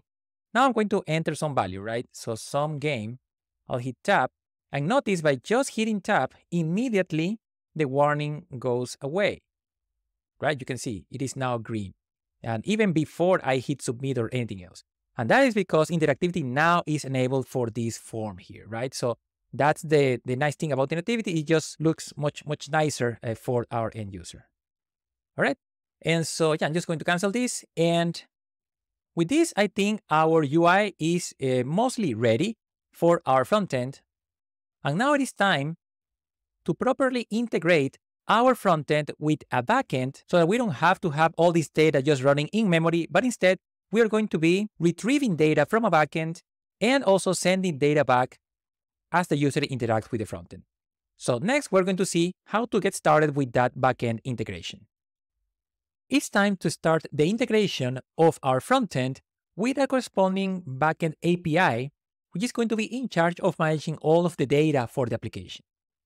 Now, where is the backend application that we're going to be using for this? Well, just under this video, you should be able to find a link to a zip file that contains the backend API that we're going to be using for this integration. Now, I explained everything about how to create that backend in a different course, which I have uh, also uh, linked under this video. So you can go ahead and check out that course if you want to know how exactly that backend was created. But at this point, all we're going to do is just to go ahead and run that backend in our box so we can start integration with the frontend. So in my case, I already downloaded and extracted uh, that backend into my box. So let me go ahead and open that backend in this new Visual Studio Code instance that I have just opened here. So let me go into File, Open Folder, and I'm going to go into this directory. So I extracted the backend here, and I'm just going to click on Select Folder. And if we open up our Explorer, we're going to see that here is our, uh, our backend code, right? So it's a very standard ASP.NET Core backend API. And before we start integration with the frontend, perhaps we want to just quickly uh, run it and see how it works so we can understand better what it can offer to our frontend.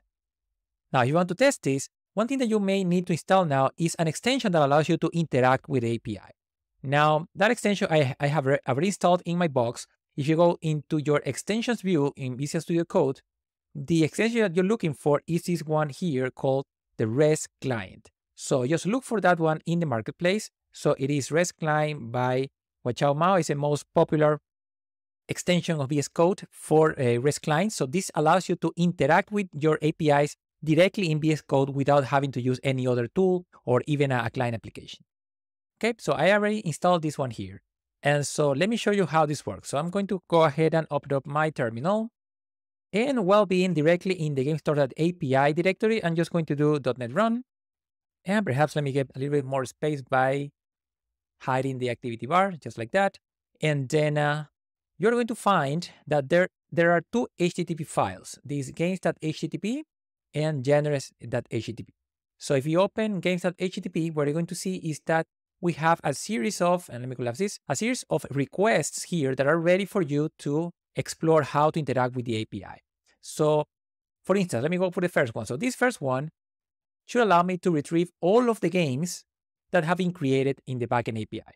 So I can just go ahead and right click on this and then say send request, right? And what you're going to see on the right side is a response from the backend API saying that, yeah, so this was a success, 200 OK. And then down here, you're going to see the list uh, in JSON format of all of the games that have been registered uh, in the backend API. As you can see, we have four games right now. Okay. And you can also click on this send request, uh, send request link over here. Although this one is a little bit unreliable, sometimes it doesn't work. So that's why I prefer to just right click and send a request. Okay, so you can also use this one here. For instance, if you wanted to just retrieve one game, so game with ID one, this will be the request to, to use. So I'll right click on this, send request, and as you can see on the right side, we get just one game, right? Final Fantasy XIV in this case. And well, just like that, you can see that we have uh, more requests for doing a post. If you wanted to post a new game into the backend API, put if you wanted to update or replace a game in the backend API, and finally a delete. And then uh, if you go back on the left side, you're going to also find genres.http. So this one here uh, is just to interact with the Genres API, because of course, remember that we need to also have the list of Genres for the application. So if we right click on this one, we should be able to get uh, our list of genres. So right now we have one, two, three, four, five genres, which should match what we have been doing in the client right now. Uh, so these are the actual genres we're going to be using. And there are relationships in the backend, right? To make sure that anytime we use a genre, it has to come from this list. Otherwise, the database is not going to accept it. All right. So yeah, so this is the backend API. And I guess for now, we're going to just to leave it running. So it is running right there, but we're not going to be doing much more over here. We're going to be actually switching back into our Visual Studio Code instance where we have our frontend. And now we have to explore, well, how we're going to get our frontend to start sending those requests into the backend. And to get started, what we're going to do is just start going to program.cs. Okay, program.cs. Remember that this is the this is the place where we register all of the services for the application. And the key service that we are going to need now is this one known as the HTTP client. So the HTTP client is a standard class in ASP.NET Core and in Blazor applications that allows you to send requests outside of your, of your application and into any other external service. Okay, and so to do that, we're going to do the following. The first thing, perhaps just before declaring our games client and genres client over here, we're going to be declaring a variable that represents the location or the URL of our backend. So what is that, that URL? So let me go briefly back into our API. And if you see down here, in the console, we can see what is the location where the backend is listening. So it is listening in HTTP localhost 5274, right? So let me go ahead and copy this So just copy that. And let me go back into my frontend. So I'm going to just declare a variable here that says game store API URL. It's going to be, and then we're going to paste that URL that we just copied. Now, the next thing that we're going to do is to use uh, the dependency injection uh, pattern in, uh, in Blazor applications to actually inject or actually to register an instance of the, of the HTTP client uh, object for each of our clients. Remember that right now we have these two clients, right? So Games Client and Genres Client. And let me actually do F12 in Games Client so we remember what's going on here. So this is the class that today we are using to just manage all of the games in this in-memory list, right? What we want to do now is to update this class so that it can use an HTTP client instance, right, to interact with the backend instead, all right? So to do that, let's first register our HTTP client instance. And for that, there's actually a very handy uh, method in Blazor applications that you can use for that purpose. What you can do is the following. Builder.services.add HTTP client.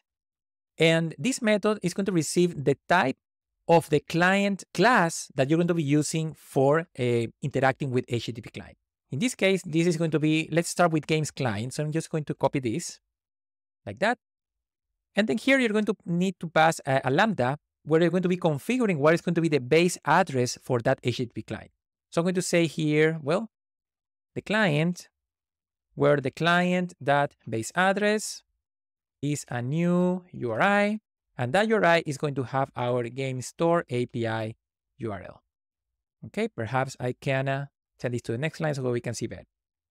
So by doing this, we are registering an instance of an HTTP client object that is pre-configured with the game store API URL as the base address. Plus also we are registering a games client instance just like we're doing down here, but that is also going to be done uh, directly by this add HTTP client method over here, right? So both the HTTP client and the games client are getting registered here for dependency injection. Now, one, one thing to keep in mind is the, that the lifetime of both games client and the HTTP client is going to be scoped to the lifetime of that, of that WebSocket connection that is created between the browser and the server. So as long as you keep your browser opened in the address of our Blazor application, you will keep using the same Games client and HTTP client instances. But as soon as you close that browser and you open a brand new one, then a new WebSocket or what is also known as a new circuit is created between the browser and the server. And that means that you're going to get a brand new instance of the client, the HTTP client and the Games client, okay? And just like we did this, we should also register our genres client, right? So I'm going to just copy this and I'm going to send this down here. And in this case, it's going to be our genres client, which also needs to be configured with that, same base address. And now that we have done this, we can actually get rid of these two lines, 18 and 19. We don't need this because like I said, add HTTP client is going to register both game client and genres client with the corresponding HTTP client. Now, since this is getting uh, the HTTP client registered, we can now go into games client and actually receive that HTTP client via dependency injection, right? So now we can just say here, actually like this, HTTP client, let's just name it HTTP client. So by doing this, we are receiving that injected HTTP client via dependency injection. And we should probably do the same in our genres client. So let's go into genres client. Over here, let's do that same thing, right? So let's open up parentheses like that. Now, if we do this, uh, of course, Games Client is going to complain because, well, we are creating an instance uh, over here, uh, which we're going to remove this line very soon. But for now, let's just pass in that HTTP client so that we don't get a build uh, warning. Now, let's see if we can add perhaps a breakpoint, uh, perhaps in Games Client, just to see that we're actually receiving that instance over there, right? So I'm going to add some breakpoints here. Hopefully we can catch that. Uh, let's go ahead and start debugging the application. Right now, I do have .NET Watch, so I'm going to do Control C in my terminal, like that. Okay, so stopped. And I'm going to do F5 to start my application. So I'll do just F5.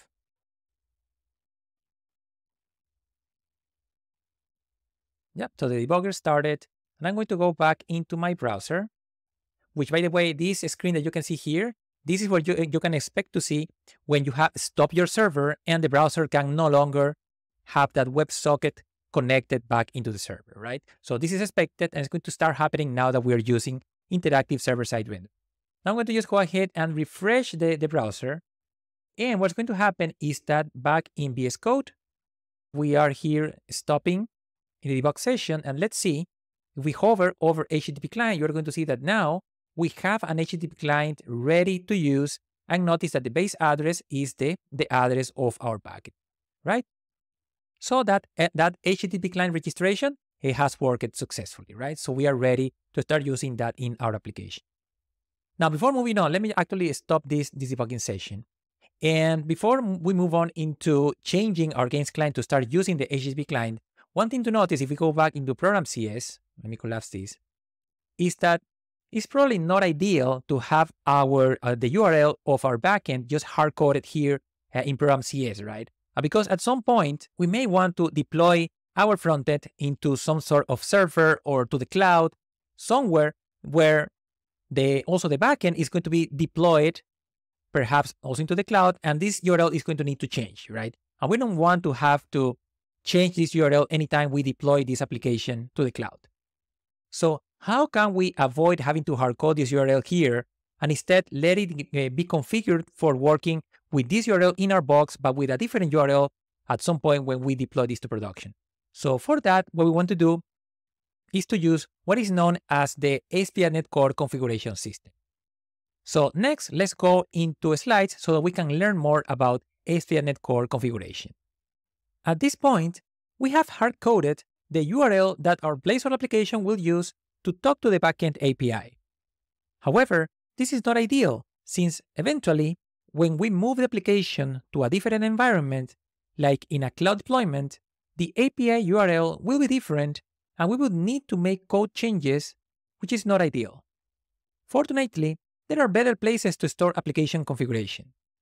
One of the most popular options in ASP.NET Core, especially for local development, is the appsettings.json file, which can store all sorts of configuration information in JSON format.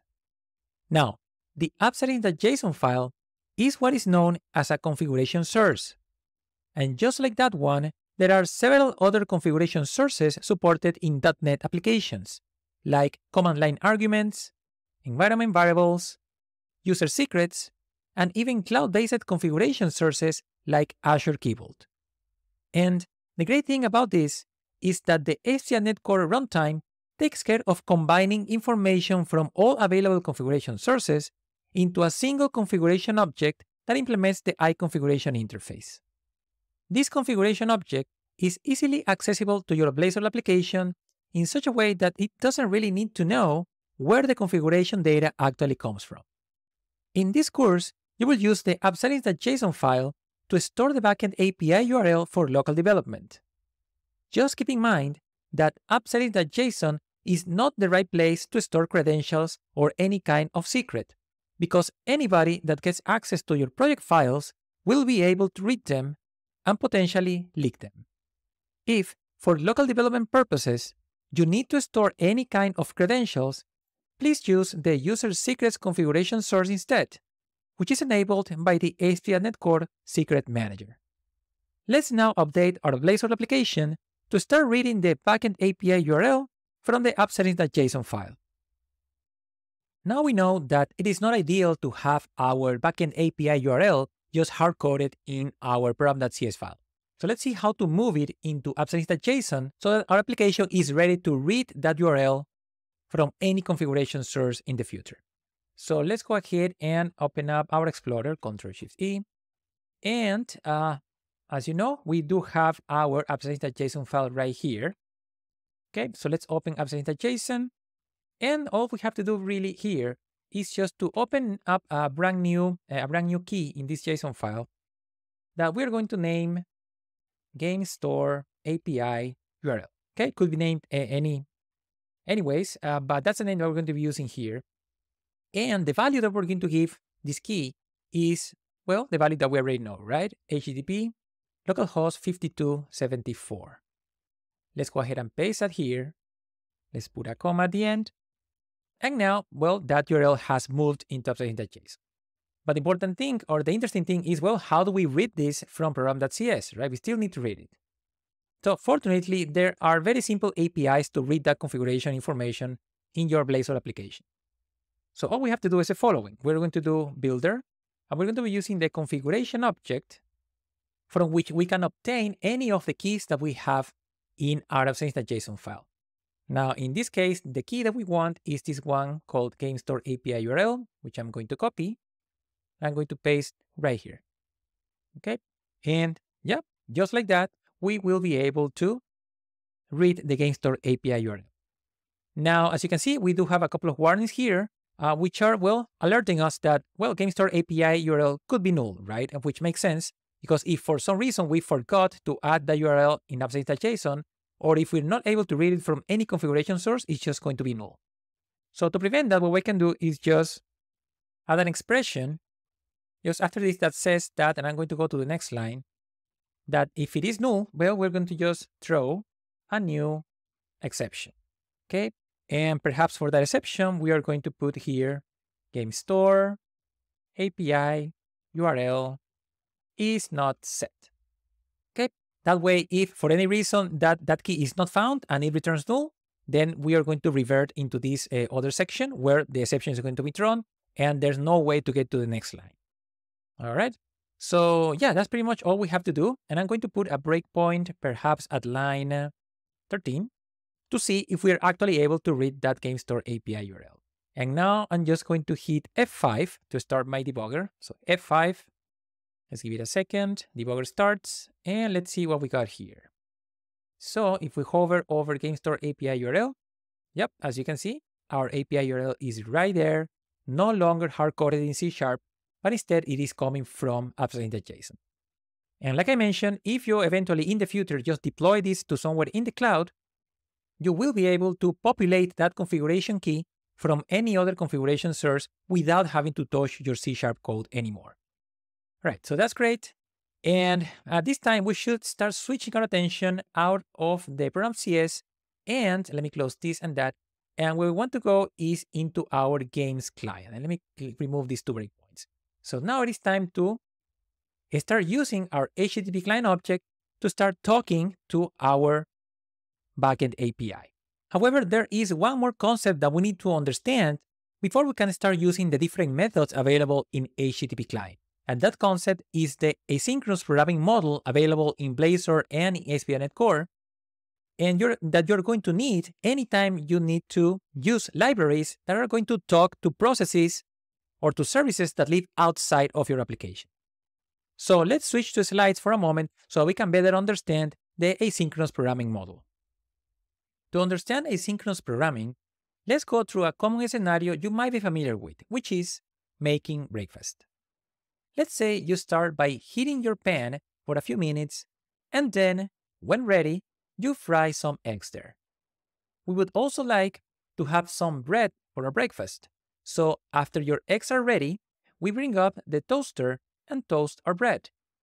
Then, when the bread is ready, we add some jam on peanut butter on it. Finally, our breakfast would not be complete without some juice. So let's pour in some orange juice. In total, it took us about 30 minutes to complete our breakfast. But is that really how you would go about preparing your breakfast? If it is a weekday, when you are usually in a rush, perhaps you would like to do something like this instead. You start by heating your pan.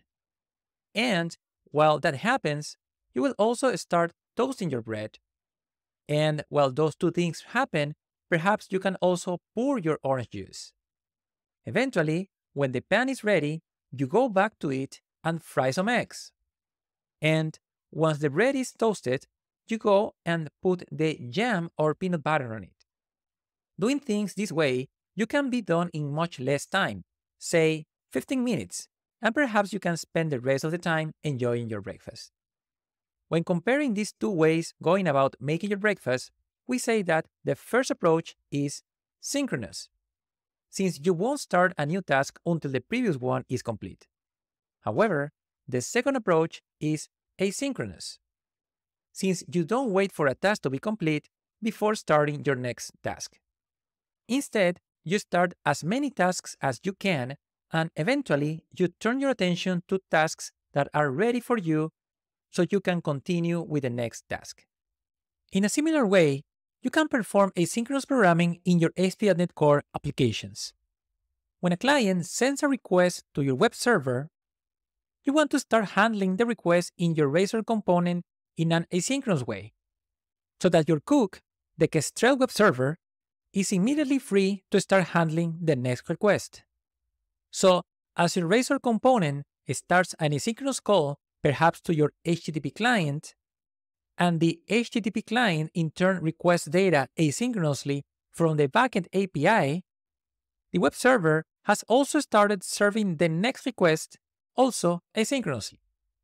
When the backend API eventually returns the requested data, the HTTP client will resume work and send the data back to the Razor component, which in turn resumes work, prepares the HTML to render, and sends the data back to the web server, who in turn responds to the original client request.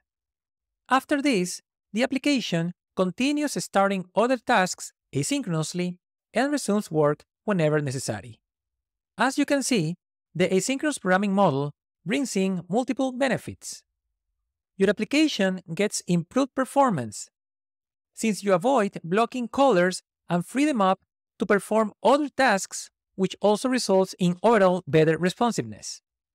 You are able to scale your application better because it can handle more requests and users simultaneously without getting bogged down by waiting for I.O. operations to complete. And also, the use of task objects in combination with the async and await keywords provide a simple and intuitive way of writing asynchronous code as opposed to having to deal with threads and callbacks directly. Now that you understand the asynchronous programming model and its benefits, let's see how to put it to work in our Blazor application. Let's see how to use the HTTP client object to start sending requests to our backend API. So here we are in our games client where we have already injected our HTTP client instance. And we're going to start by using it to retrieve the full list of games from the backend. So for that, we're going to scroll down until we have our uh, get games method right now. So in order to retrieve that data or to send a request actually to the backend, what we're going to do is first let's just send this to the next line so that it fits better into the screen. And then we're going to use HTTP client dot get from JSON async. And here we're going to be providing the type that we want to use to deserialize that JSON that's going to be coming back from the backend. And of course, that type here is going to be game summary. Okay, and not just game summary, but a game summary array. Okay, now the parameter for this method is going to be the route in the backend that we have to reach. Now, if we go back into the backend very quickly, over here, we're going to remember that as we saw when we use games.http, and collapse this for a moment, really all of our requests are going to go into slash games, at least for the games endpoints, right? So it's just slash games. So let's go ahead and use games back in our front end. That is going to be the parameter that we're going to be passing in into get from JSON async. Right, and let's close this semicolon. Now the reason why we get these red squiggles here is because get from JSON async is not going to just return that uh, game summary array. All of these async methods actually return tasks, right? So as you can see, it does return a task of game summary array. And that is expected because as we just talked about, the idea of asynchronous programming is that we go ahead and invoke this asynchronous method and we're going to be handing over a task back to ASP.NET Core or Blazor so that it can keep performing other tasks and eventually just go back to our task to continue the work. Now, there are several ways to work with tasks in ASP.NET Core and in C Sharp in general. But really, the simplest way to deal with these tasks without having to complicate too much our code is by using the async and await combination of keywords. So let me show you how that works. So the first thing we're going to do is to actually change this, this method to not just return the game summary, but actually return a task of game summary array. Okay, that's the first thing. The next thing we're going to do is to introduce async here as, the, as part of the return. And also we're going to be using await over here. Now, all that async and await are doing here is just adding a little bit of syntactic sugar so that it is easier to deal with the task that is going to come back from get from JSON async. And in general, it just makes it easier to work with asynchronous programming. Now, in this specific case where you have one method, one asynchronous method, that is going to just invoke immediately another asynchronous method, this is a case where you might get away with not using async and await at all, and that should work just fine. However, since we are new to the use of async and await, I recommend that to start with just use, always use it, right? Async and await if you are going to have this situation. And only later on, when you get more familiar with all the implications of async and await, you can decide if you just don't want to use them in some situations, okay? Now, the reason why we're getting here uh, this warning is, well, once again, because of nullables. Like get from JSON async is going to return a nullable collection of game summary array, while we're trying to return here uh, an actual just game summary array with, not, with non-nullables. So what we want to do here is to decide what's going to happen, what we're going to do, or what we're going to return if the, this returns a, a null. So in this case, what we can do, just to keep things simple, is to return an empty array like this. Okay, if for some reason get from JSON async just returns null, we're just going to return an empty array, which uh, the Razor component is going to be able to handle just fine. And then lastly, since this method is now an asynchronous method, getGames is asynchronous, the convention across uh, C Sharp is to add the async suffix.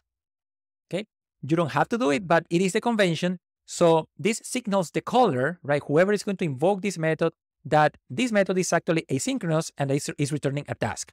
That just makes it easier for whoever consumes your method to understand the implications of invoking it. All right. And so now we changed that. Uh, let's go back into our home component, components, pages, home.razor. Okay, and let's see what kind of change we have to make to uh, account for the for the change that we made in Games Client, right? And really, it, the change that we have to make is very simple. So here we are in OnInitialized, right? And well, of course, now we are invoking, we don't, we're not invoking get games, but get games async, right? So let's change that, get games async. But as you start moving into using an asynchronous method, just like we had to uh, accommodate things in games client, right? So that the method is async and returns task, we have to do something similar over here, right? This is what is known as async all the way, right? So you can't just have some methods that are not async and some methods that are async in your call chain. You have to turn everything into async.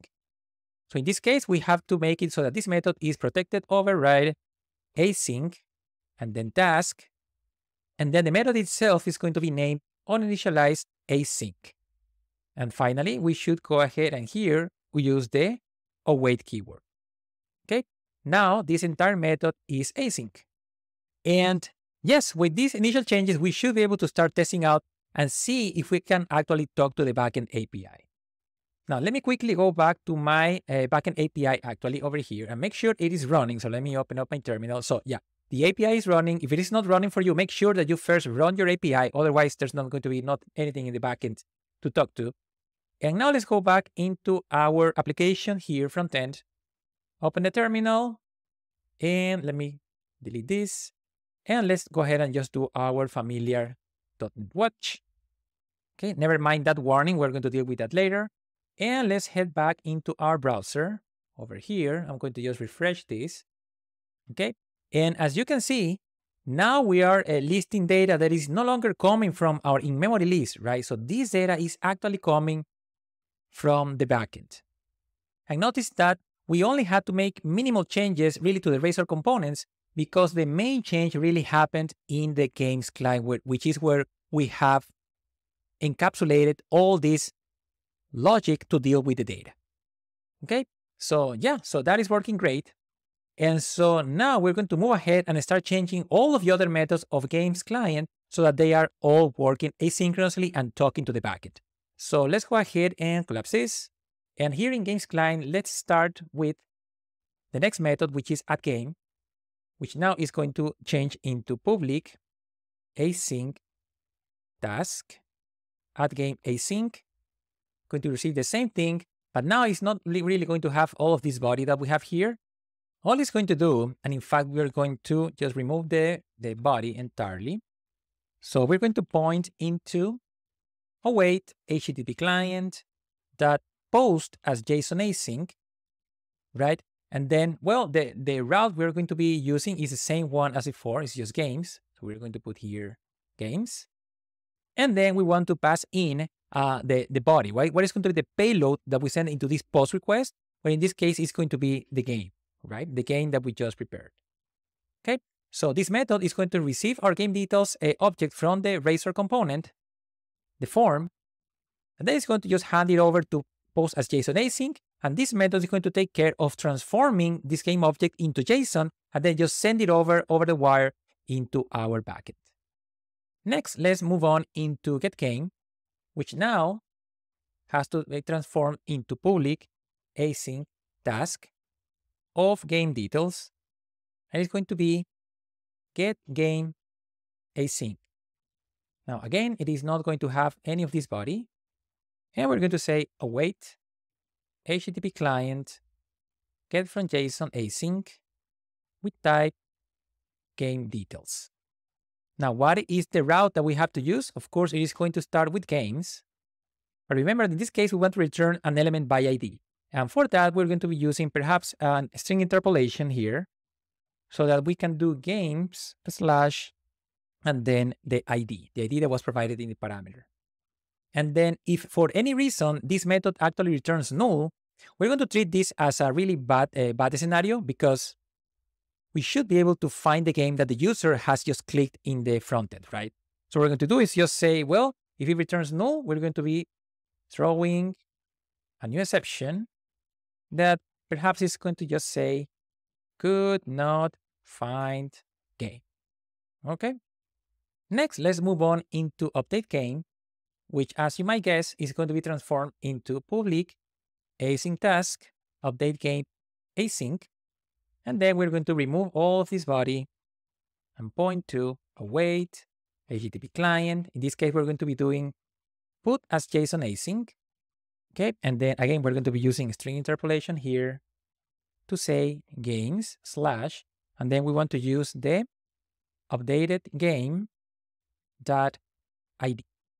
Okay, so that is the route. And then we actually need to send the payload, right? And the payload for this is just going to be our updated game.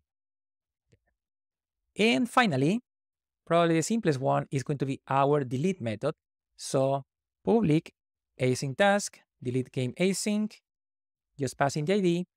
And then we're going to be sending this over to await HTTP client, delete async, and then once again, string interpolation, we're going to go into games slash ID, and that will do it.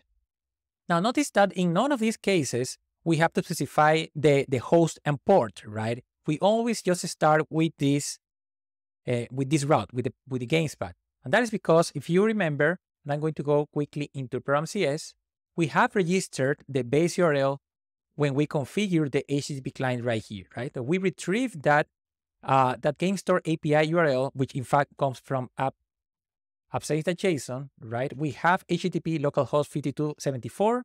We read it from here. We configure it when we register the HTTP client into Games Client. And then Games Client just receives the HTTP client. It already knows the base address. And all it has to do is just to append the games path. Okay?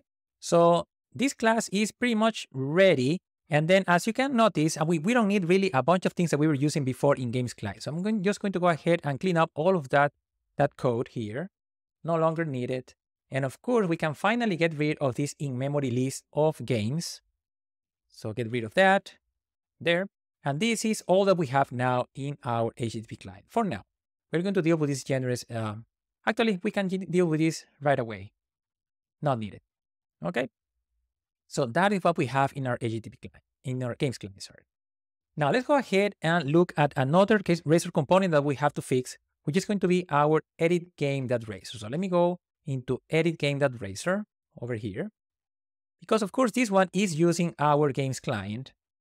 And we're going to need to make a few changes. So first thing is that on parameters set is going to have to change into an, an asynchronous method. So pull protected override async task on parameters set async, which by the way, will present a warning if we are not doing the corresponding await operator, right?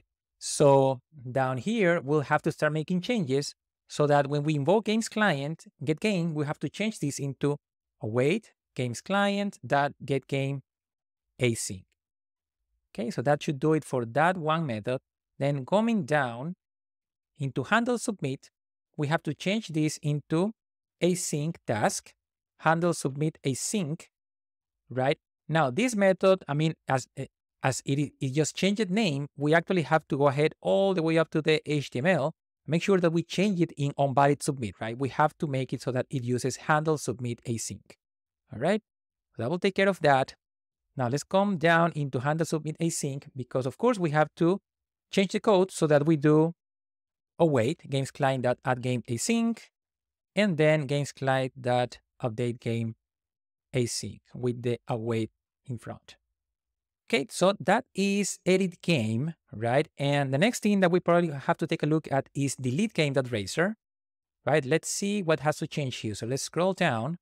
And of course, this is where we do our confirm, where we are going to delete the game. So we're going to have to do private async task, confirm async, and we're going to do await client.delete game async. Now this confirm async method is being used in our HTML razors. Make sure that we replace that here. All right. So yeah, so that should do it eh, for the uh, for all of our ga uh, game data information. Now the only thing though to finish off here is to uh, also update our genres client, right? Because that should also retrieve the data from the backend. So let's do that quickly by going into genres client over here, where we have our HTTP client. And really all we have to do is just change this method here, get genres, is going to be a public async task of genre array. It's going to be named get genres async.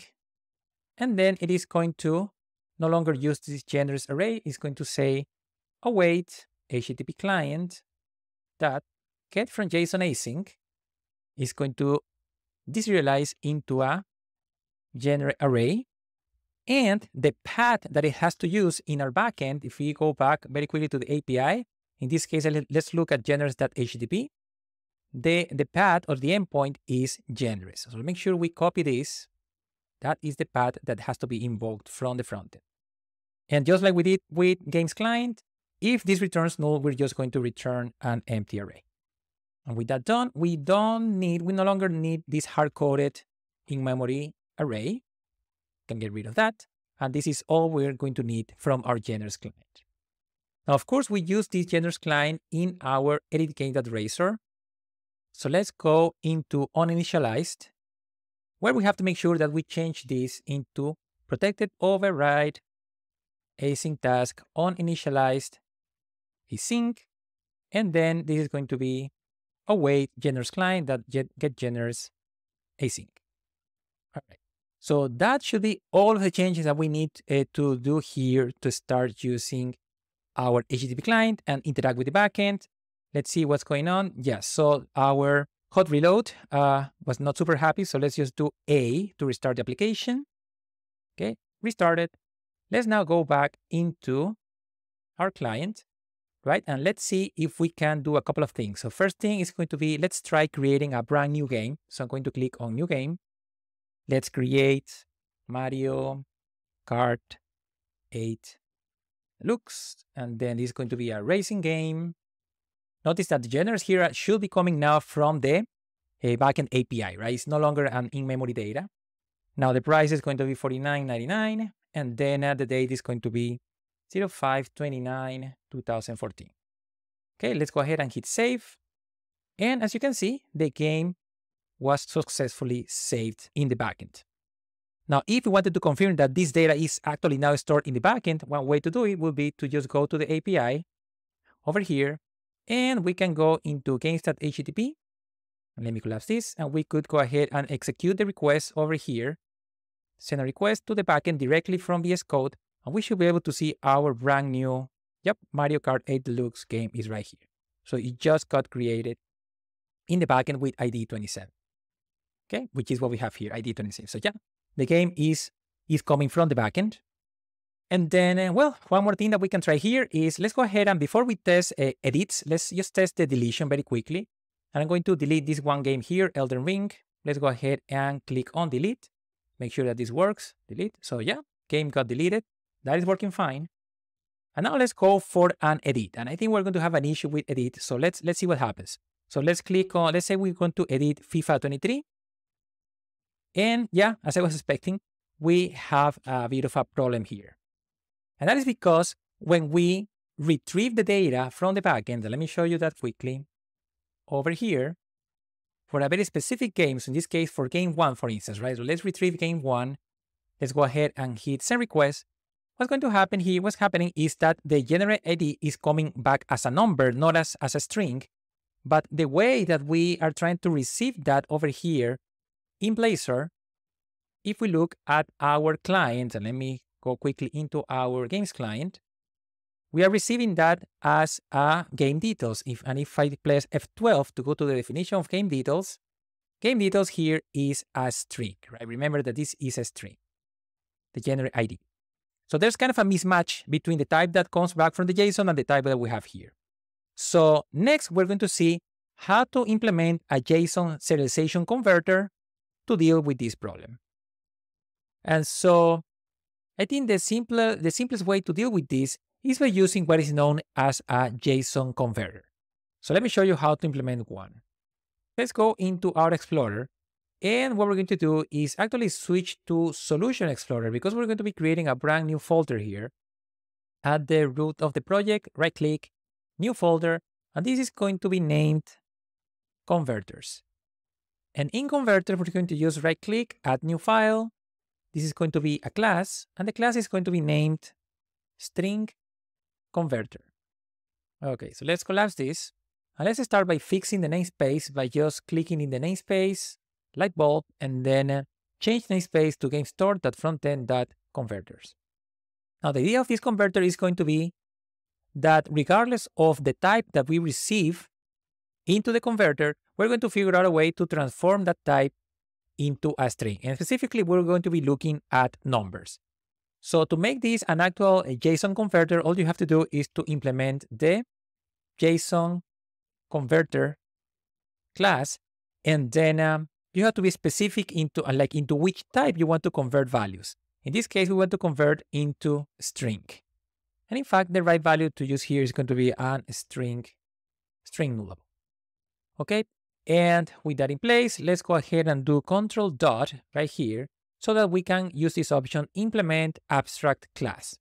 Okay, so we impl are implementing the JSON converter abstract class. And as you can see, we have the two methods that we need to implement right now. Now implementing these methods is very straightforward. So all we're going to do here is to first just check that the type of the token that we are uh, reading from our JSON is an actual number. So we're going to say if reader dot token type equals JSON token type dot number. If that is the case, we're going to go ahead and uh, return reader. And from that reader, we have to read that number. And we're going to be reading it as an integer. So get int 32. And from that number, we can go ahead and turn that into a string. So to string. Otherwise, if the if the token is not a number, we're just going to go ahead and, and return reader that get string, right? We're not going to be dealing with any other case than the number. Now this converter is going to deal both with the with reading values from the JSON and into our deserialized class, but also it's going to take care of writing values back, right? But really, we don't really care about the write case. It's really the reading that is causing us trouble right now. So for write, all we're going to do is just say writer dot write string value, and then we just put here the value that we received in the parameter. And that's pretty much it. That's all you have to do to implement your string converter. And now let's see, well, how can we use this converter in our uh, in our class? So let's go back into our models. So let me get out of Solution Explorer and into our game details model over here. And back into our genre ID, what we can do now is use this attribute right here. So we're going to use our JSON converter which is going to be of type, so type, type of string converter, right? So that is the the type that of the that the class that we just created. Now let me do control dot here. So make sure that we use our game store that front end that converters namespace. Let's use that. And I think we're missing one parenthesis right.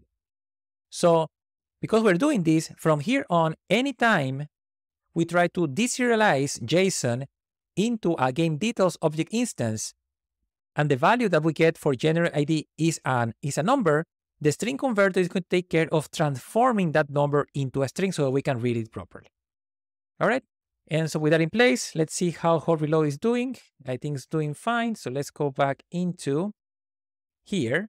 Let me go back into our homepage over here. Perhaps I'll reload this. And then let's see if we can now edit one of the games. So let's go ahead and do FIFA 23. I'll click on edit. And sure enough, now the genre ID was properly loaded so it is sports in this case, right? So that's great. And that's all because we use the right converter, right? And so, yeah, let's make one small change here. So let's say that FIFA 23 is kind of on sale. So it's now going to be 59.99 for a few days. So let's go ahead and hit on save. And sure enough, that worked. We can see that the value was updated, which means that the value, the correct value was sent back to the backend and our update logic is working as expected. And with that, I mean, uh, the, our entire front end is now working properly with full integration uh, with the backend. So technically, the application is complete at this point. The front end that we wanted to achieve uh, is working as expected. Now, one thing that we have not really uh, explored too much so far is what happens in our front end when the backend is behaving a little bit slowly, right? So how would this data load here if the backend is taking time to respond? So that is something I want to explore quickly here.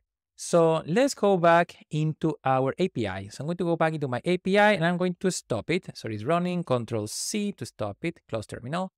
And what I'm going to do is just go to my endpoints, games endpoints, and it's going to make a temporal change, kind of to simulate what happens if the API is too slow. So this endpoint here is the endpoint that is in charge of returning all of the games, right? When which is the API that's invoked uh, by the home page on our front end.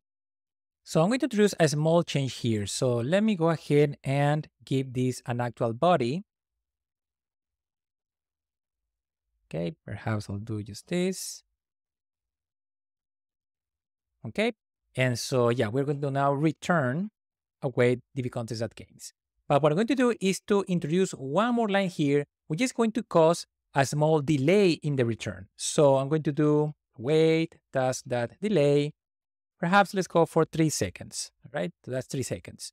So anytime this endpoint is invoked, it's going to take three seconds first, going to wait for three seconds, and then it's going to go ahead and actually return the data uh, from the database.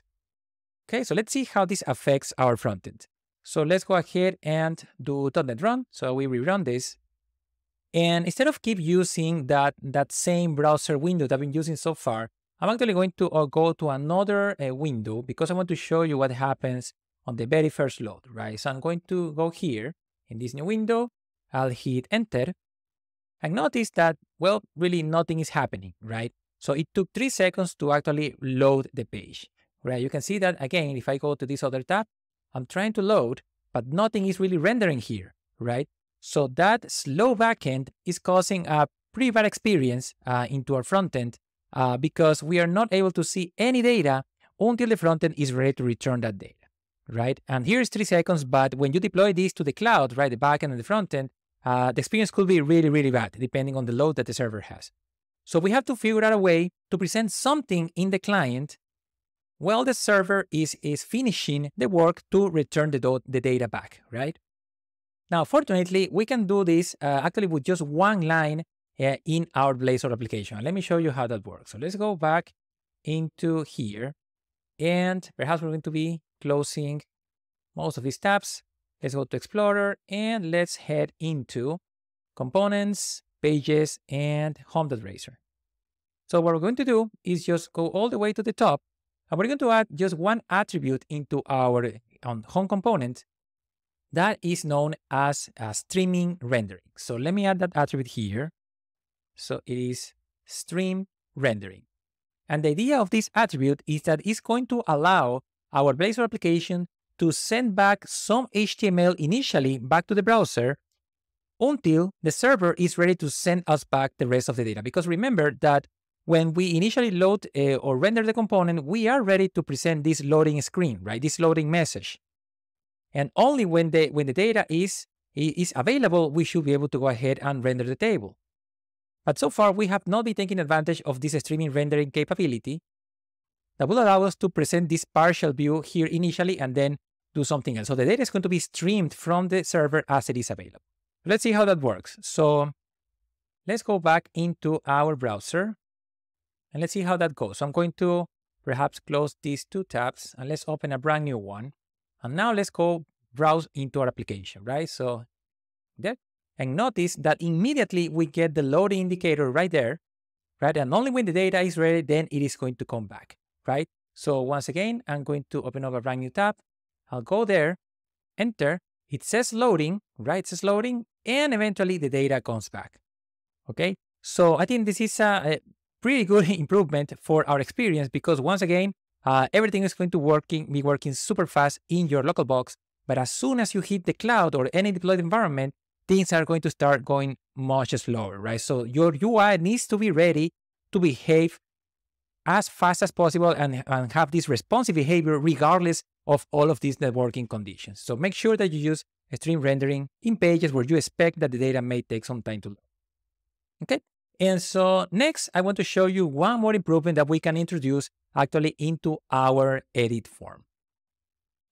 This next improvement that I'm going to show you mainly applies to forms where you have not enabled any sort of interactivity. So static server-side rendering. But I still want to show it to you because you may have to deal with forms that have no interactivity and this improvement is, is very essential. So to start with, what I'm going to do is first, let's go just go back to the backend. This is our uh, Game Store API. And I just want to stop the server. And I'm going to remove this, uh, this slowliness that we introduced it a few minutes ago. So I'm just going to do, just do Control C. So now the backend should be as, uh, as fast as possible. So I'm going to rerun the backend. Okay, and now let's go back into our VS Code instance where we have our Blazor application. So we're going to do Ctrl Shift E, let's close home.razor and let's go into edit game.razor. Now remember that we have enabled interactivity here via the interactive server render mode here. So let's go ahead and temporarily remove this. Let's just remove it so that the form becomes uh, static. So let's see our .NET Watch, the application, I think just restarted. Okay, and so let's go back into VS Code over here. Let's do, let's refresh it. And then let's go ahead and try to edit one of the games. So I'm going to click on edit and let's go ahead now and open our browser console F12. Let's open up. And if you go into the elements tab over here, and now we click on save, uh, you're going to see that uh, some elements of the page have changed and perhaps it's not very evident in this tab here. So let me actually switch into the network tab. Let's go to network and then let's click on edit and I'm going to clear this for now. Okay, so it's clear. And now I'm going to hit on save and notice how, how all of the files of our home component or of our application really have been reloaded, right? Pretty much the entire page got reloaded here, right?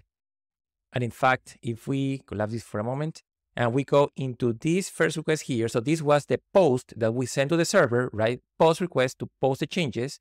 And then we go into this next request, which is a get to retrieve all of the data for the home component.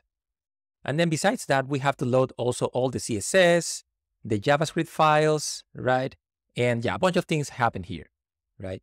Now, this doesn't look too bad in our local box, but in a, a deployed application, this is not going to look very nice. You, you may have to uh, end up with a page that you're going to see that it is loading and it's taking time to load with, with all the files that are involved. So in a static form, uh, there is a nice way to not have to deal with this kind of experience. So let me show you that. So let's go back into VS Code over here. And what we're going to do is just scroll down here into our edit form on the right side of this, of the declaration of the edit form. What we're going to do, and perhaps what I'm going to do is just send this to the next line so we can see better, like this. And what we're going to do is just to add one more attribute here which is known as enhance.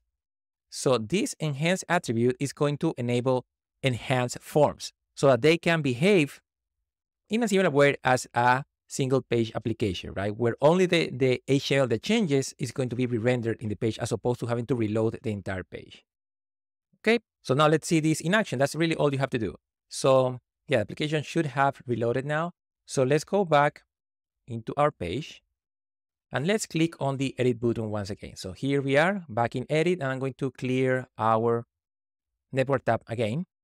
And let's hit on save now, hit on save and notice that we don't see, we don't see anymore all of those requests, right?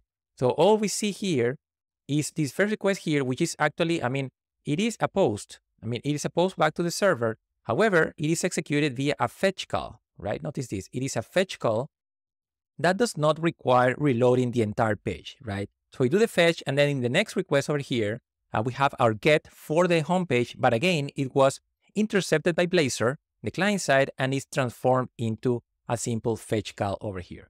And because of that, there is no need to reload the entire set of uh, elements for the page, but only we will go ahead and reconstruct the pieces of HTML that change it when we move back into the home uh, component. Now, this is the same behavior that you would observe if you have interactive uh, enabled for the form, but if you have a static form, you want to make sure that you enable this enhanced behavior because as you can see, it's going to uh, end up uh, producing a very, a very interactive and nicely loading uh, component over here. All right. And yeah, with that said, let's just go back into edit game. And we're going to, perhaps we're just going to leave enhance over there. And let's bring back our